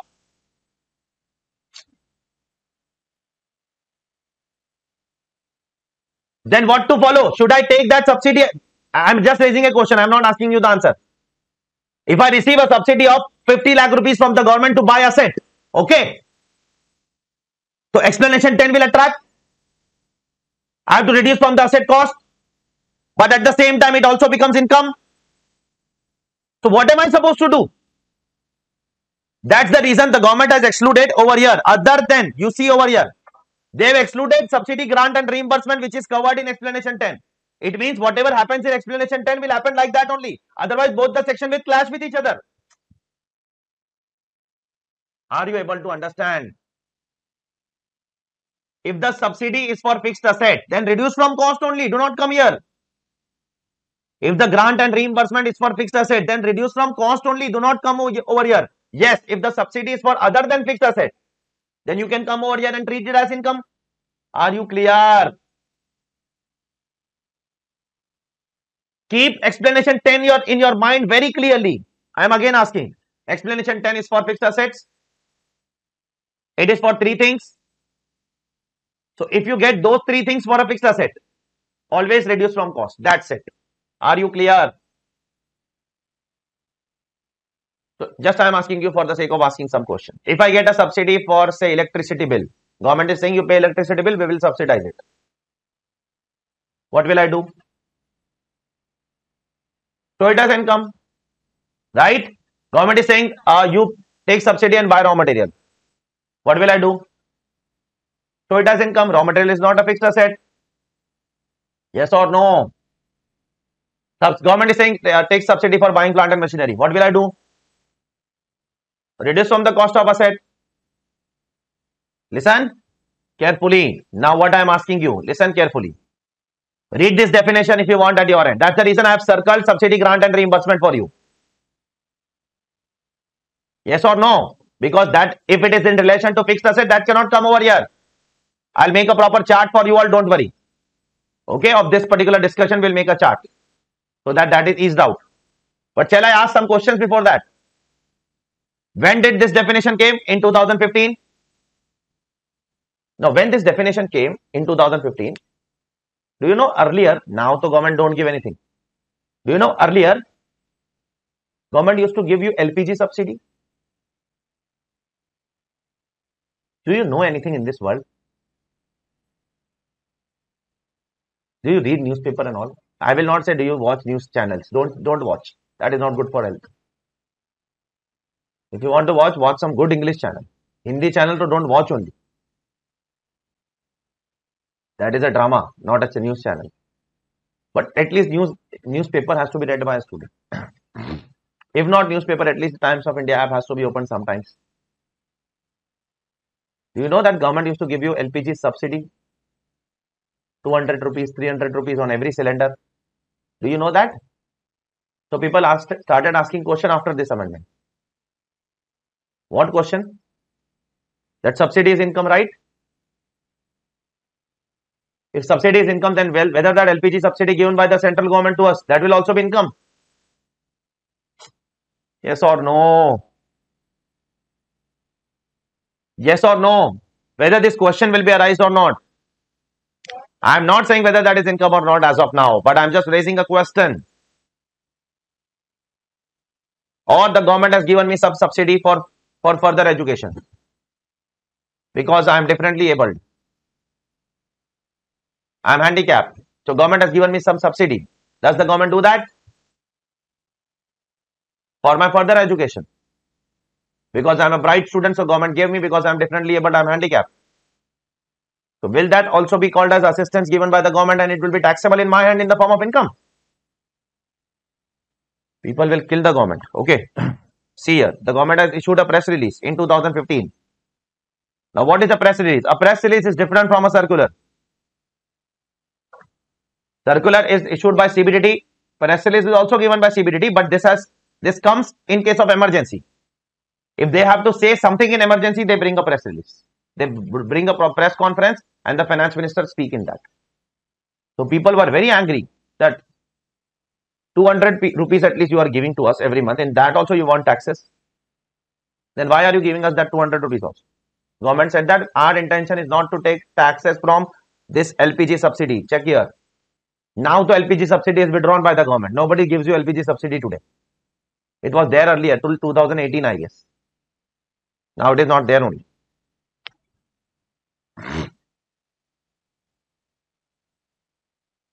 Clear? So if the subsidy grant reimbursement is in with respect to business, then only it is taxable. If it is for your personal benefit, education purpose or LPG purpose, then it is not taxable. Is it clear? Again, I am asking the definition which is over here, you can look and answer. Who is giving you the benefits? Go which government? Tell me completely. Complete list. Central government, state government, any authority, any body, any agency. That's it. Full stop. This is an exhaustive list. Okay. Now this amendment again I am saying came in 2015 and the one of the funniest thing with that happened in 2015 is as follows. Listen carefully. What funniest thing had that happened in 2015? Finance Act 15, the government brought an amendment in section 2, 2418. Okay. Now, the budget is on 1st of Feb every year. I don't know whether you have listened budget ever or not. I am not aware of that. I don't think so. You would have listened also budget. Have you heard any budget so far on TV live? No, sir. कुछ समझता ही नहीं तो क्या देखेंगे what is there to understand sir uh, it's not that easy for everybody to understand that but the budget is generally on 1st of feb every year it starts at 11 a.m in the morning ends approximately at 1 p.m approximately a two hour session where the finance minister will speak continuously and what all she will speak listen carefully bhavisha what all she will speak she will speak about different aspects, not only taxation. Taxation is one of the part of the budget. She will speak about different schemes of the government that government is going to implement in future. She is going to speak about how the funds will be allocated different to different sectors of this country. For example, the finance minister will say, I propose to allocate 10,000 crore rupees for this scheme. I propose to allocate 20,000 rupees for health scheme. I propose to allocate 30,000 rupees for 30,000 crore rupees for education scheme. I propose to allocate 50,000 crore rupees for the purpose of say education purpose or for farmers development. I propose to allocate 20,000 crore rupees for women's safety. I propose to allocate this much money for this, this much money for that, this much for this, this much for that. That is the way the budget is allocated. And based on whatever is the allocation, government will bring tax amendments. So that that much tax also should be recovered now. Ultimately, it's a PNL account for government also. From where will Modi ji bring the money? It has to be from you only and me only. So the allocation of funds at different scheme has to be aligned with the taxation amendments that GST increased. Something was exempted in GST, put that in GST. Increase the tax base by including subsidy in the definition of income, increase tax. Tax on virtual digital asset like crypto. You might be knowing from this year crypto is taxed. Are you aware of that or not? We need to learn the taxability of crypto in our syllabus. How crypto will be taxed. We need to learn that also how crypto will be taxed. What does crypto means? What all things will come in the cryptocurrencies? Are you clear? So the finance minister is allocating funds. जैसे हम लोग नहीं गए ऐसा दिवाली में बांटते बच्चे लोग को ए पचास रुपया तू ले दस रुपया तू ले the way she is distributing funds 50,000 crore for this purpose, 20,000 crore for this purpose, 30,000 crore for this purpose, 10,000 crore for this purpose. Now the question is, how will that be implemented? how will those schemes those schemes have to be implemented now in practicality suppose if i am giving 30000 rupee crore for swachh bharat abhiyan So there has to be somebody who will do something for Swachh Bharat, na? Who will keep dustbins, who will buy dustbins, he will create awareness, put banners. That money has to be utilized somewhere, na? Suppose if I allocate 30,000 crore rupees for clean Ganga program, so that has to be done na, through to some process. Ganga has to be cleaned. So for that, what the government do? They do. I'm not saying, I'm not blaming anybody that they do not do anything. I'm not saying that. For that, what they do? They create a trust. They will create multiple trusts. For every objective, there will be a trust. A separate trust or association will be created. Suppose the first one is for women's safety. So the Nirmala Sitharaman ji will say, give him 20,000 crore rupees, they will take care of women's safety. Okay, and it is their duty to convert to do women's safety in India. Whatever they want to do, they want to create awareness, they want to put uh, CCTV everywhere, they want to put marshals everywhere, they want to increase police officers, etc. Whatever they want to do. So Nirmala ji is saying that give uh, 50,000 crore to this trust now, another trust. Why, ma'am? For what purpose? Uh, Swachh Bharat Abhiyan. So they will do put dustbins everywhere, they will create awareness, they will put posters everywhere. Yes or no? Now the funniest thing that happens over here is what is assessing officer doing, you know? Assessing officer is saying this trust that this 20,000 crore rupees is income in your hand because it is an assistance from central government. Are you able to understand what I'm trying to say? It will blow your mind. Arey bhai, central government is giving money for its own work, not for others' work. It is just that Nirmala Sitharaman ji herself cannot do everything now. There has to be an association who such big work of 30,000 crore, 40,000 crore cannot be done by one entity. So they make separate institutions for that and allocated the work to different institution. Now the assessing officer is saying that you will be liable to tax. Government said, bhai, we are making amendment, don't worry. Okay. So they made second exclusion. Other than second point. This is not subject to tax. What is written, beta? Shall we read? Every point has a logic. Unless and until I give you the background, you will not understand the things. Now, if, if we could have directly read this paragraph, I could have said that central government if give anything to anybody, then it is not taxable. I could have completed my discussion like this, but I will never do that. That will not engage you in the subject. You will not understand the subject in a proper manner. And you will not remember also for a longer period of time. Now, if I make a reference of Nirmala Sitharamanji, you will try to recall it at least. So let us read. Other than point number B, point number B is not covered. What is covered in point number B? The subsidy or grant by central government who is giving subsidy or grant?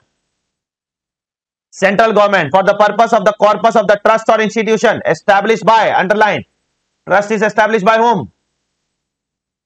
Or state government. Central government can give the money to the state government trust also. So the giver is central government and the taker is, receiver is state government or central government both. But the giver is central government. Be very careful. And one word is not written over here. Can you imagine that? Which word is not written over here? subsidy and grant is written reimbursement is not written because reimbursement becomes illogical here let me tell you how the government cannot tell nirmala sitharaman ji cannot tell the trust 50000 crore kharcha kar de main deti hu he cannot say the trust incur 50000 crore i'll give you you have to give first then only that trust will be able to do are you able to understand beta that is the reason reimbursement will not be found over here are you clear okay now, I would like to ask you a question. Listen carefully. Then we'll make one chart, small chart. Shall I ask you? Let's see whether you answer properly or not. Even if you answer, don't answer properly, it's okay. But at least try. There is assessing. Shall I go ahead? There is ICICI Bank. I have taken a loan from ICICI Bank for fixed asset. Okay. Shall I go ahead? And of 500 crore. And later on ICICI Bank waived off that loan. Whether it will be an income under section 22418.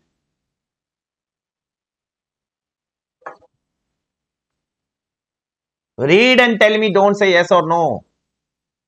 The speed at which you are answering, even a Chief Justice of India will not answer at such a speed. He will also think once. after I ask a question. And then he will answer.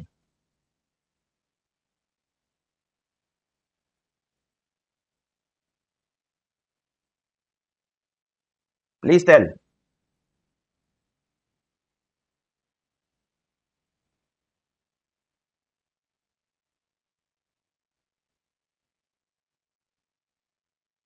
Please tell. ICICI Bank is waiving my loan for fixed asset. Will it be taxable?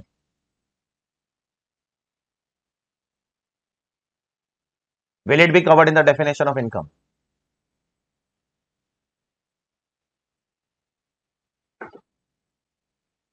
Yes or no? No? Why no? The answer is no. It will not be taxable. Listen carefully. Why no? Because this section is applicable only if these things are given by a central government. Is ICICI central government? State government? Any authority? Any body? Any agency? It's a company. The word company is not written over here. Are you able to understand what I'm trying to say?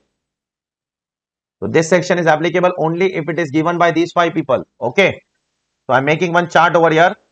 Chart for subsidy, etc. Just wait. You can take a photograph of this chart later on and maintain a notebook for the same. And whatever chart I will tell you, take a photograph and write down in the books on the same day, please. Listen carefully. If there is a subsidy, grant, or reimbursement for fixed asset from any person, then what to do? Don't answer. Don't answer. Okay? Shall I go ahead? If I get subsidy, grant, reimbursement, waiver, concession, duty drawback. Okay. From government, body, agency, authority, then what to do?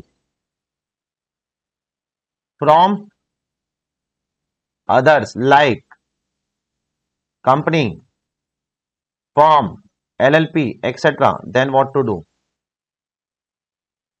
Third, subsidy or grant given by central government to a central government or state government trust, then what to do? Will you tell me? पहला वाला क्या करूं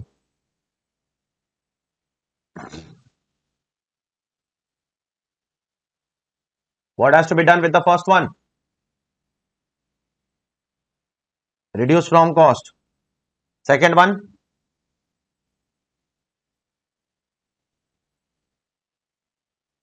third one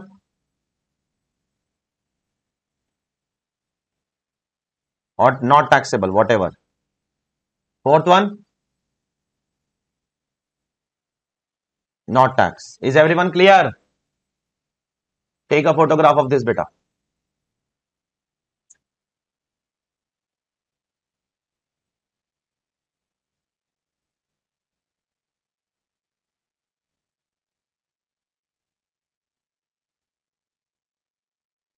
Okay.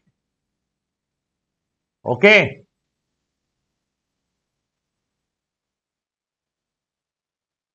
All this discussion came from where? All this discussion came from here. This is explanation 10. This is from where we started, right? And we have combined all the discussion into one chart. That's it. Clear? And LPG subsidy is something which you will remember. Don't worry about it. Now, let us go to the next explanation, the last explanation as of now. Last explanation, explanation 11. Shall I start? Now listen carefully. What is this explanation all about? There is a non-resident who is in USA and he is doing some business in USA. Okay. And there he has purchased some computers of say 1 lakh. Okay. In previous year 15, 16. Okay. Now in 2022 23, he wants to come to India and do business. So when he is coming to India to do business, he is bringing this computer to India and he will use that computer in India. Okay. Shall I go ahead? So see the condition. Non-resident is what? Is in US. Doing his business, he has purchased computer. Now he is coming to India to business to do business in India and he is bringing that same computer to India. So will he be taxable in India now? Because he is doing business in India. His income is accrued in India, right? So now he will ask depreciation on this computer. Because his income is taxable, he will ask for depreciation, right? So the question will be what will be the actual cost of this depreciation? Correct? So see this particular explanation, explanation 11 to section 43.1. Asset brought into India by NR or foreign company for use in its business or profession. So NR is bringing, non-resident is bringing the asset in India for its business or profession. Is it clear? So what will be the actual cost? Actual cost that is 1 lakh as reduced by the amount of depreciation calculated at the rates in force as if the asset was used in India since the date of acquisition. Assume that if the asset would have been used in India since 2015-16, then how you would have depreciated the asset? The same way you depreciate and arrive at the cost. Are you clear? Are you clear? Just go through this example once. Now, in this example, just initially the rate of depreciation is taken at 60%. Listen carefully because earlier computers were depreciable at 50%. You might 60%. You might not be aware of that. From 1920, it became 40%. That is the reason I am taking like this. You don't have to remember that in exam. In exam, they will give you the change of rate if it is there. Okay. If in earlier year the rates are changing, they have to tell you. You cannot remember the rates of every year, nor it is written in the study material.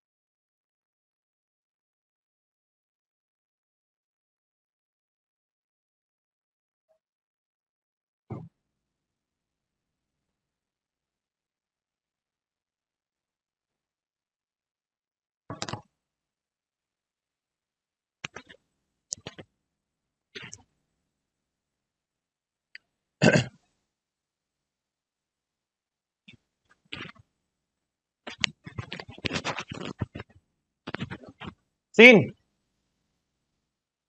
Okay. Now there are some ICDS which I'll be taking care of tomorrow only, not today. Okay, just give me a second. Just give me.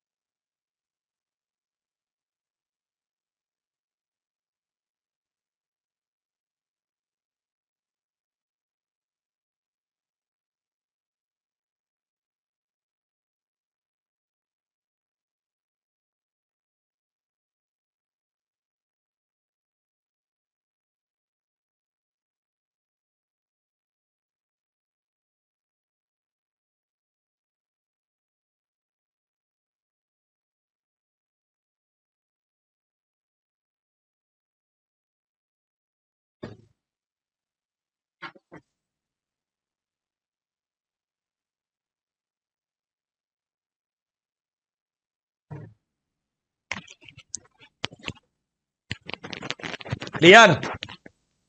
So, how many explanations we have done so far? Let's go through it once. We will try to recap after some time.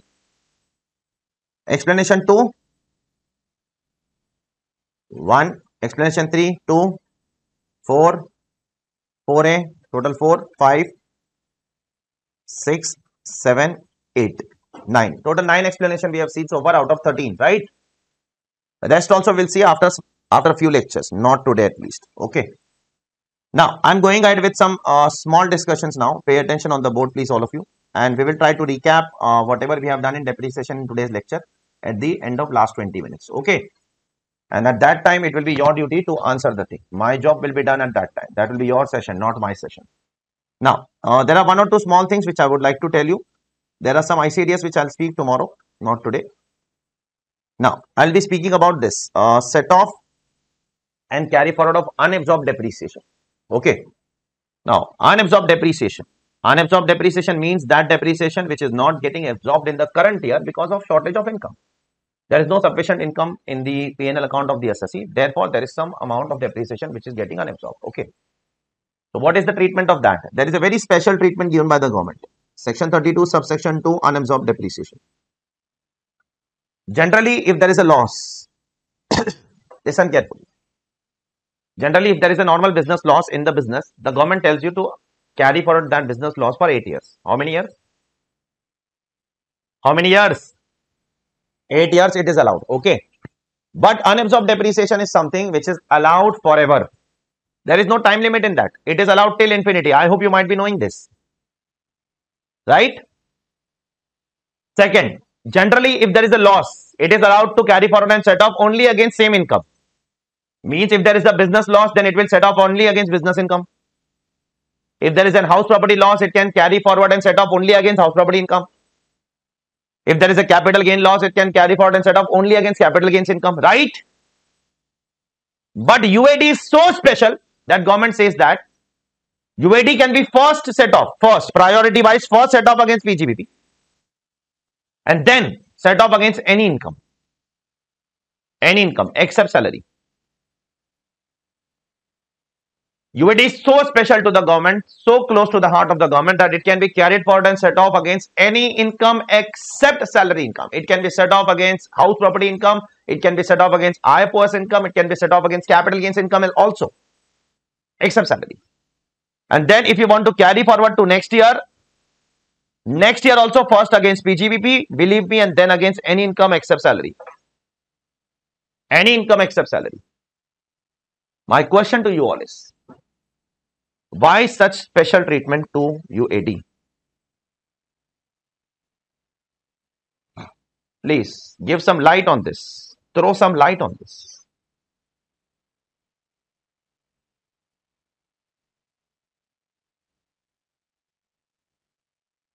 Please.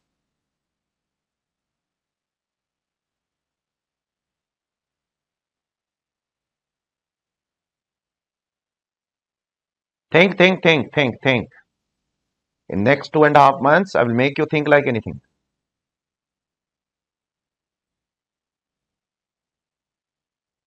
You have to think. Say anything, yeah. It's okay. You have come to learn over here.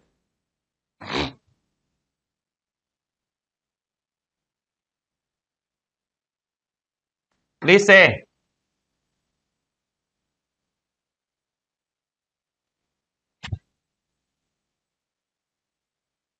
और at least say I don't know we don't know sir forget about this okay leave aside all this things यार tax wax तो बढ़ते रहेंगे यार let me ask you something what are you planning to do after becoming a chartered accountant one by one please हा, चल। क्या करेगी बेटा सीए बनके you might have thought something ना, कुछ तो सोचा होगा। जॉब अदरवाइज़ प्रैक्टिस कितना परसेंट क्या चांस है? इनिशियली ओके जॉब जूली या जूली जो भी तेरा नाम है. Job job okay Iram that is a job only right Bhavisha hundred percent ratio is job to the extent to the people I vast okay To whomsoever I am asking, they are saying job only. Why you don't want to do business? Please tell me. Why you don't want to do a business?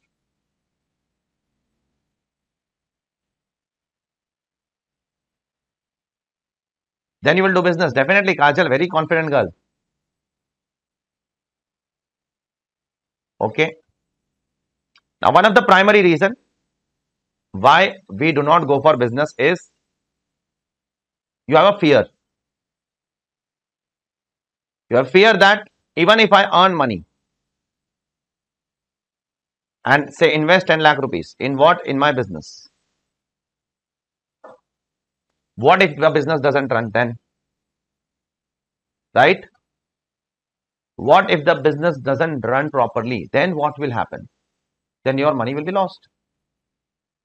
So I started a business. I bought a plant and machinery of 4 lakh, furniture of 2, 3 lakhs, another plant and machinery of 3 lakhs. Total I invested 10 lakh rupees in my business. Okay. Sorry. Sorry. I invested 10 lakh in my business. I started my business first year.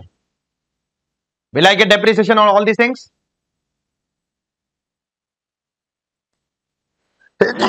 Sorry.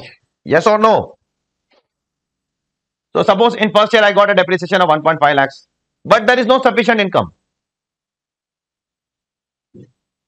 No sufficient income. Okay. So this will remain unabsorbed, right? Similarly, second year also, there is 1.2 lakh depreciation, no sufficient income. So this will remain unabsorbed. And third year also, there is 1 lakh rupees loss because of depreciation, unabsorbed depreciation, no sufficient income. And in the fourth year, I gave up. I gave up. Now I cannot survive without money. Now I cannot survive just incurring the expenditure and bearing the losses. So I gave up. But at least you tried. At least you tried. So government is giving you a benefit to try this investment. This investment was a trial and error by you, right? Please tell me. And this loss is coming because of the capital investment, right? Government tells you, don't worry, start the business. If there is a loss because of capital investment, we will secure that loss for you forever. Don't worry about it. At least start. Don't fear about the loss. If there is a loss, we will allow to carry forward and set off against other incomes. But up to up to when? Up to infinity. Till the time you die. If you are a 20 or old 20 year old businessman and if you live till 80 years, we will we will carry forward that for 60 years. Don't worry. Don't worry. So this benefit is given to those people who take the risk of making investments. Are you able to understand? And the risk of investment comes out of fixed assets. And UAD also comes out of fixed assets, right? Now I am asking you an academic question. This was just a general knowledge question. Academic question. Please tell me. You have a PGBP of 10 lakhs. Okay? You have a PGBP of 10 lakhs. And you have three things in front of you.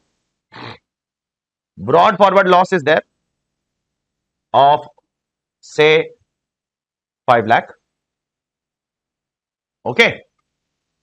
Unabsorbed depreciation is there of 6 lakhs and current year depreciation is there of 4 lakhs.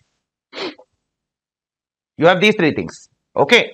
Now, what will be the priority of set off? What will you set off first and what will you set off later? The first of all, current year depreciation, Kajal. Why so, beta? Why? At every question, there will be a why. You are absolutely correct. First current year depreciation because it is mandatory to claim depreciation. Yes or no? It is mandatory to claim depreciation. You cannot ignore depreciation. You have to claim current year depreciation as a mandate. Then, then losses. Why loss? Because it will expire in 8 years. Yes or no? So something which will expire in 8 years, you have to take that first. UAD is there with you till your death. Don't worry about UAD and then UAD. Is it clear? So please mark this particular priority as very important for exam. They will ask you this in exam, please. Page number 2.10, all of you.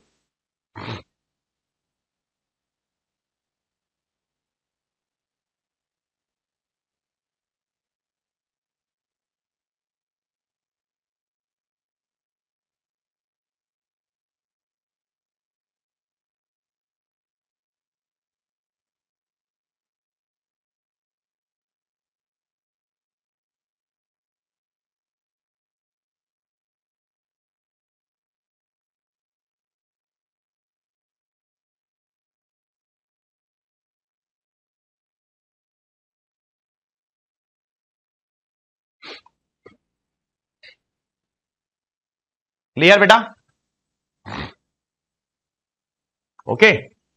So now what we'll do, we'll do one thing which is very important and that is we'll just try to see where we stand as of now as far as depreciation is considered. Come to the first page of this chapter. When you revise, you revise directly from summary book. It's okay. Color book. Okay.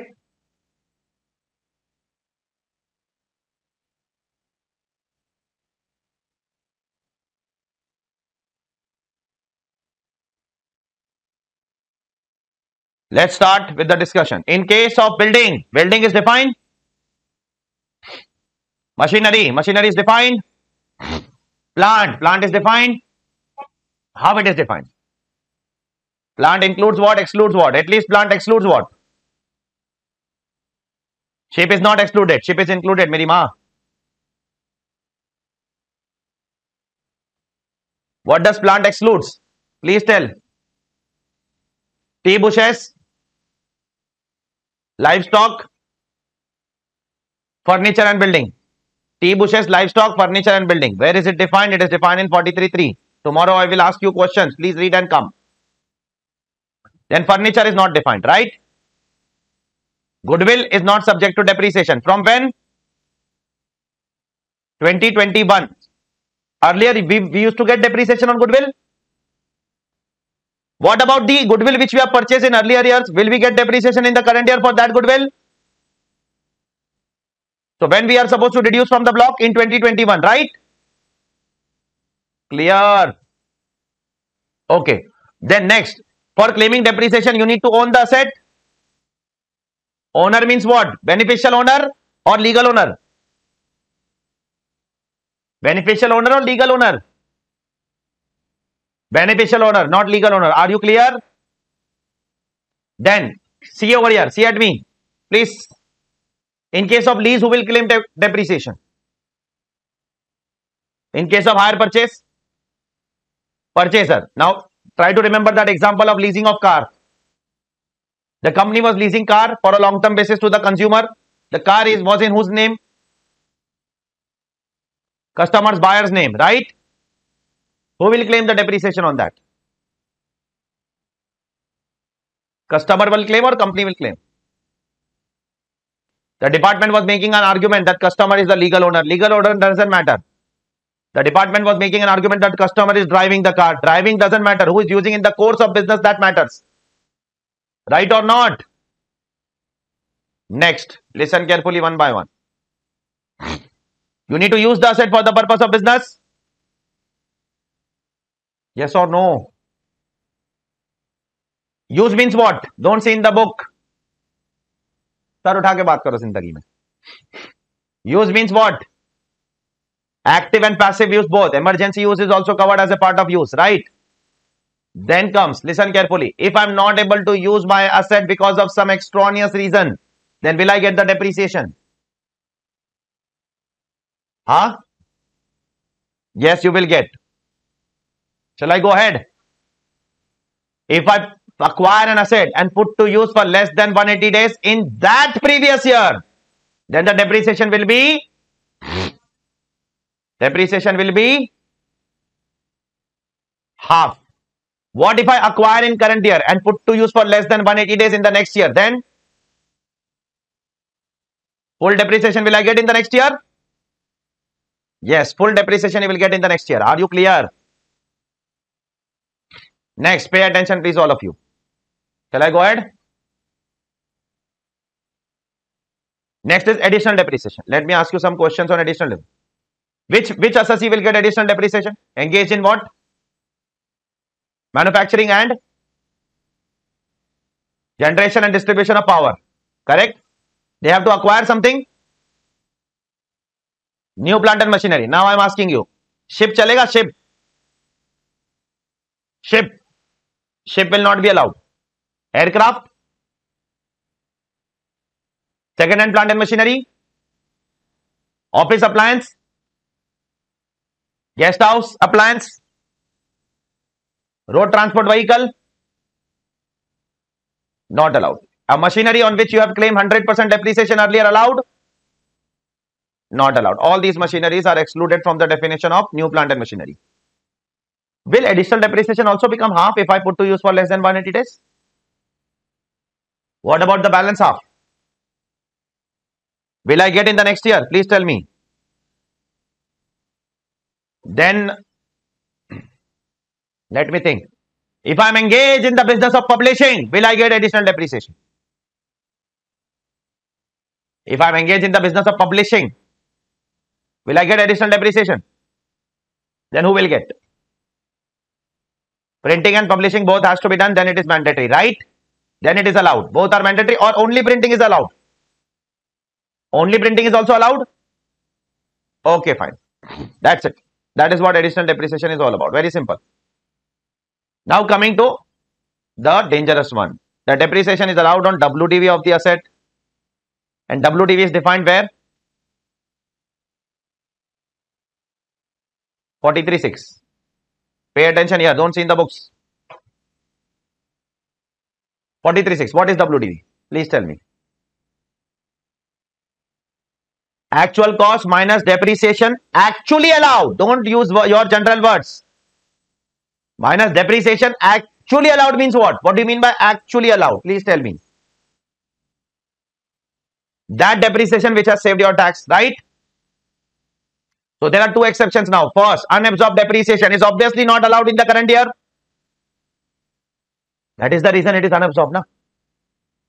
It is obviously not allowed in the current year. That is the reason the government has said that it is deemed to be allowed in the current year and reduced from the block, right? And second exception, I am saying it from this time. Next time onwards, I will not say. You have to answer. Second exception, your business is partially taxable and partially exempt, right?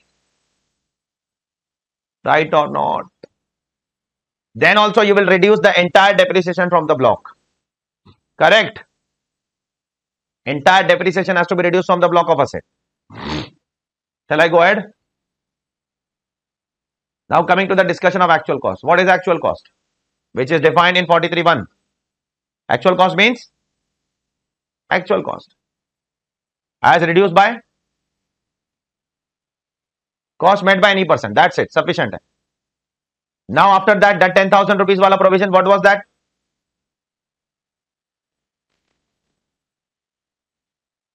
What all modes are allowed? Tell me the allowed modes.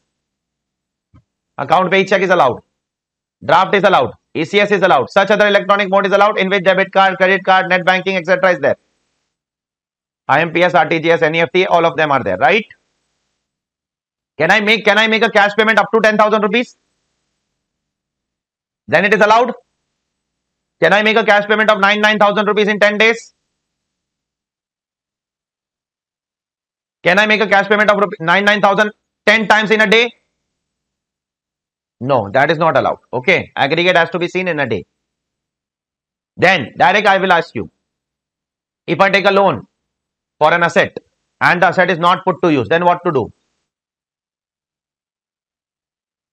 Once the asset is put to use, then what to do? Revenue expenditure 3613, right? And then comes the explanation. Start fast. Suppose Kajal has given me some gift. Then what will be the actual cost in my hands? Cost to the previous owner minus depreciation actually allowed to previous owner. Suppose you have sold me something at a higher price, more than what is the market value. 1 lakh rupees asset you are selling me for 7 lakh rupees. What will be actual cost in my hands?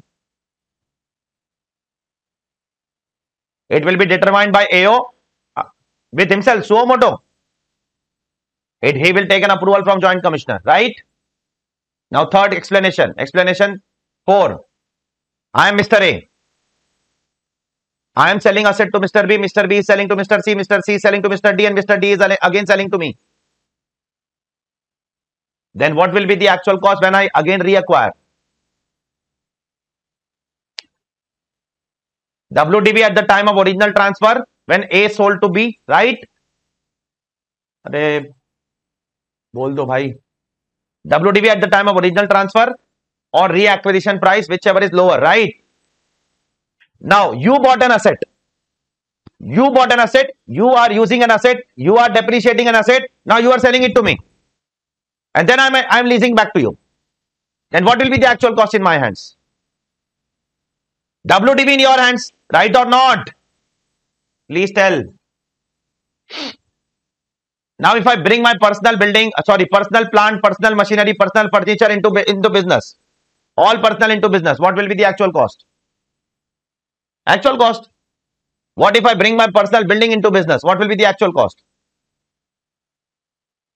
Actual cost as reduced by notional depreciation, right?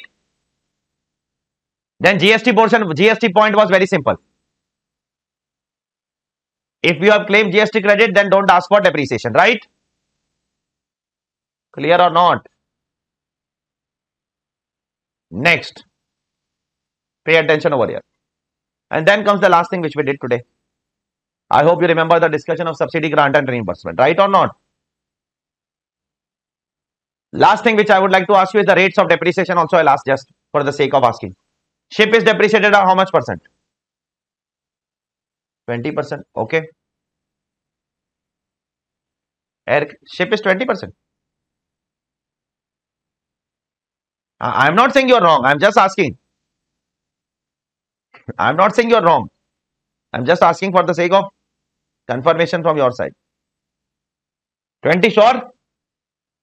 Aircraft. Motor vehicle purchased on twenty fifth of November 2019 motor vehicle purchase on twenty fifth of November 2019 sure? Kajal का रट्टा perfect है एकदम। हा? 30 percent sure कैसे? How 30 percent how When? For whom? 21st September, 23rd August 2019 to 31st March 2020. Right or not? 15% extra, you'll get 30%. Perfect, beta, perfect, excellent. Windmill? 40%. Professional books? 40%. Residential building? 5%. Temporary structure of building, 40%. Computer, 40. Then goodwill, zero, nothing.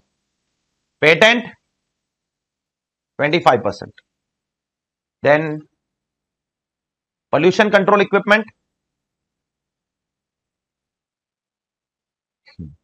40%. Pollution control equipment is also 40%. Okay. So these are the rates which you have to remember. They will not give you an exam. Let me tell you very clearly. They will not give you the rates. You have to remember. And if nothing is mentioned, then plant and machinery would be 15%. Furniture 10%, building 10%. Okay. Okay. So this is where we stand as far as our depreciation is considered. So let's stop the lecture here today. I cannot start with a new concept now. And tomorrow we'll continue depreciation. Tomorrow we'll complete depreciation and then we'll move on to the next topic. That is other specific deductions. Okay. Is it clear? At the same time, I request you all to just revise. Even if you sit for half an hour, 45 minutes, most of the things will be revised. Do it from the color book. In case you are not able to understand from the color book because it is early, too early. You can open the textbook and understand in detail. Textbook is for that purpose only. Okay. To understand something in detail. Chalo, bye all of you. Take care. See you tomorrow. And come on time, please.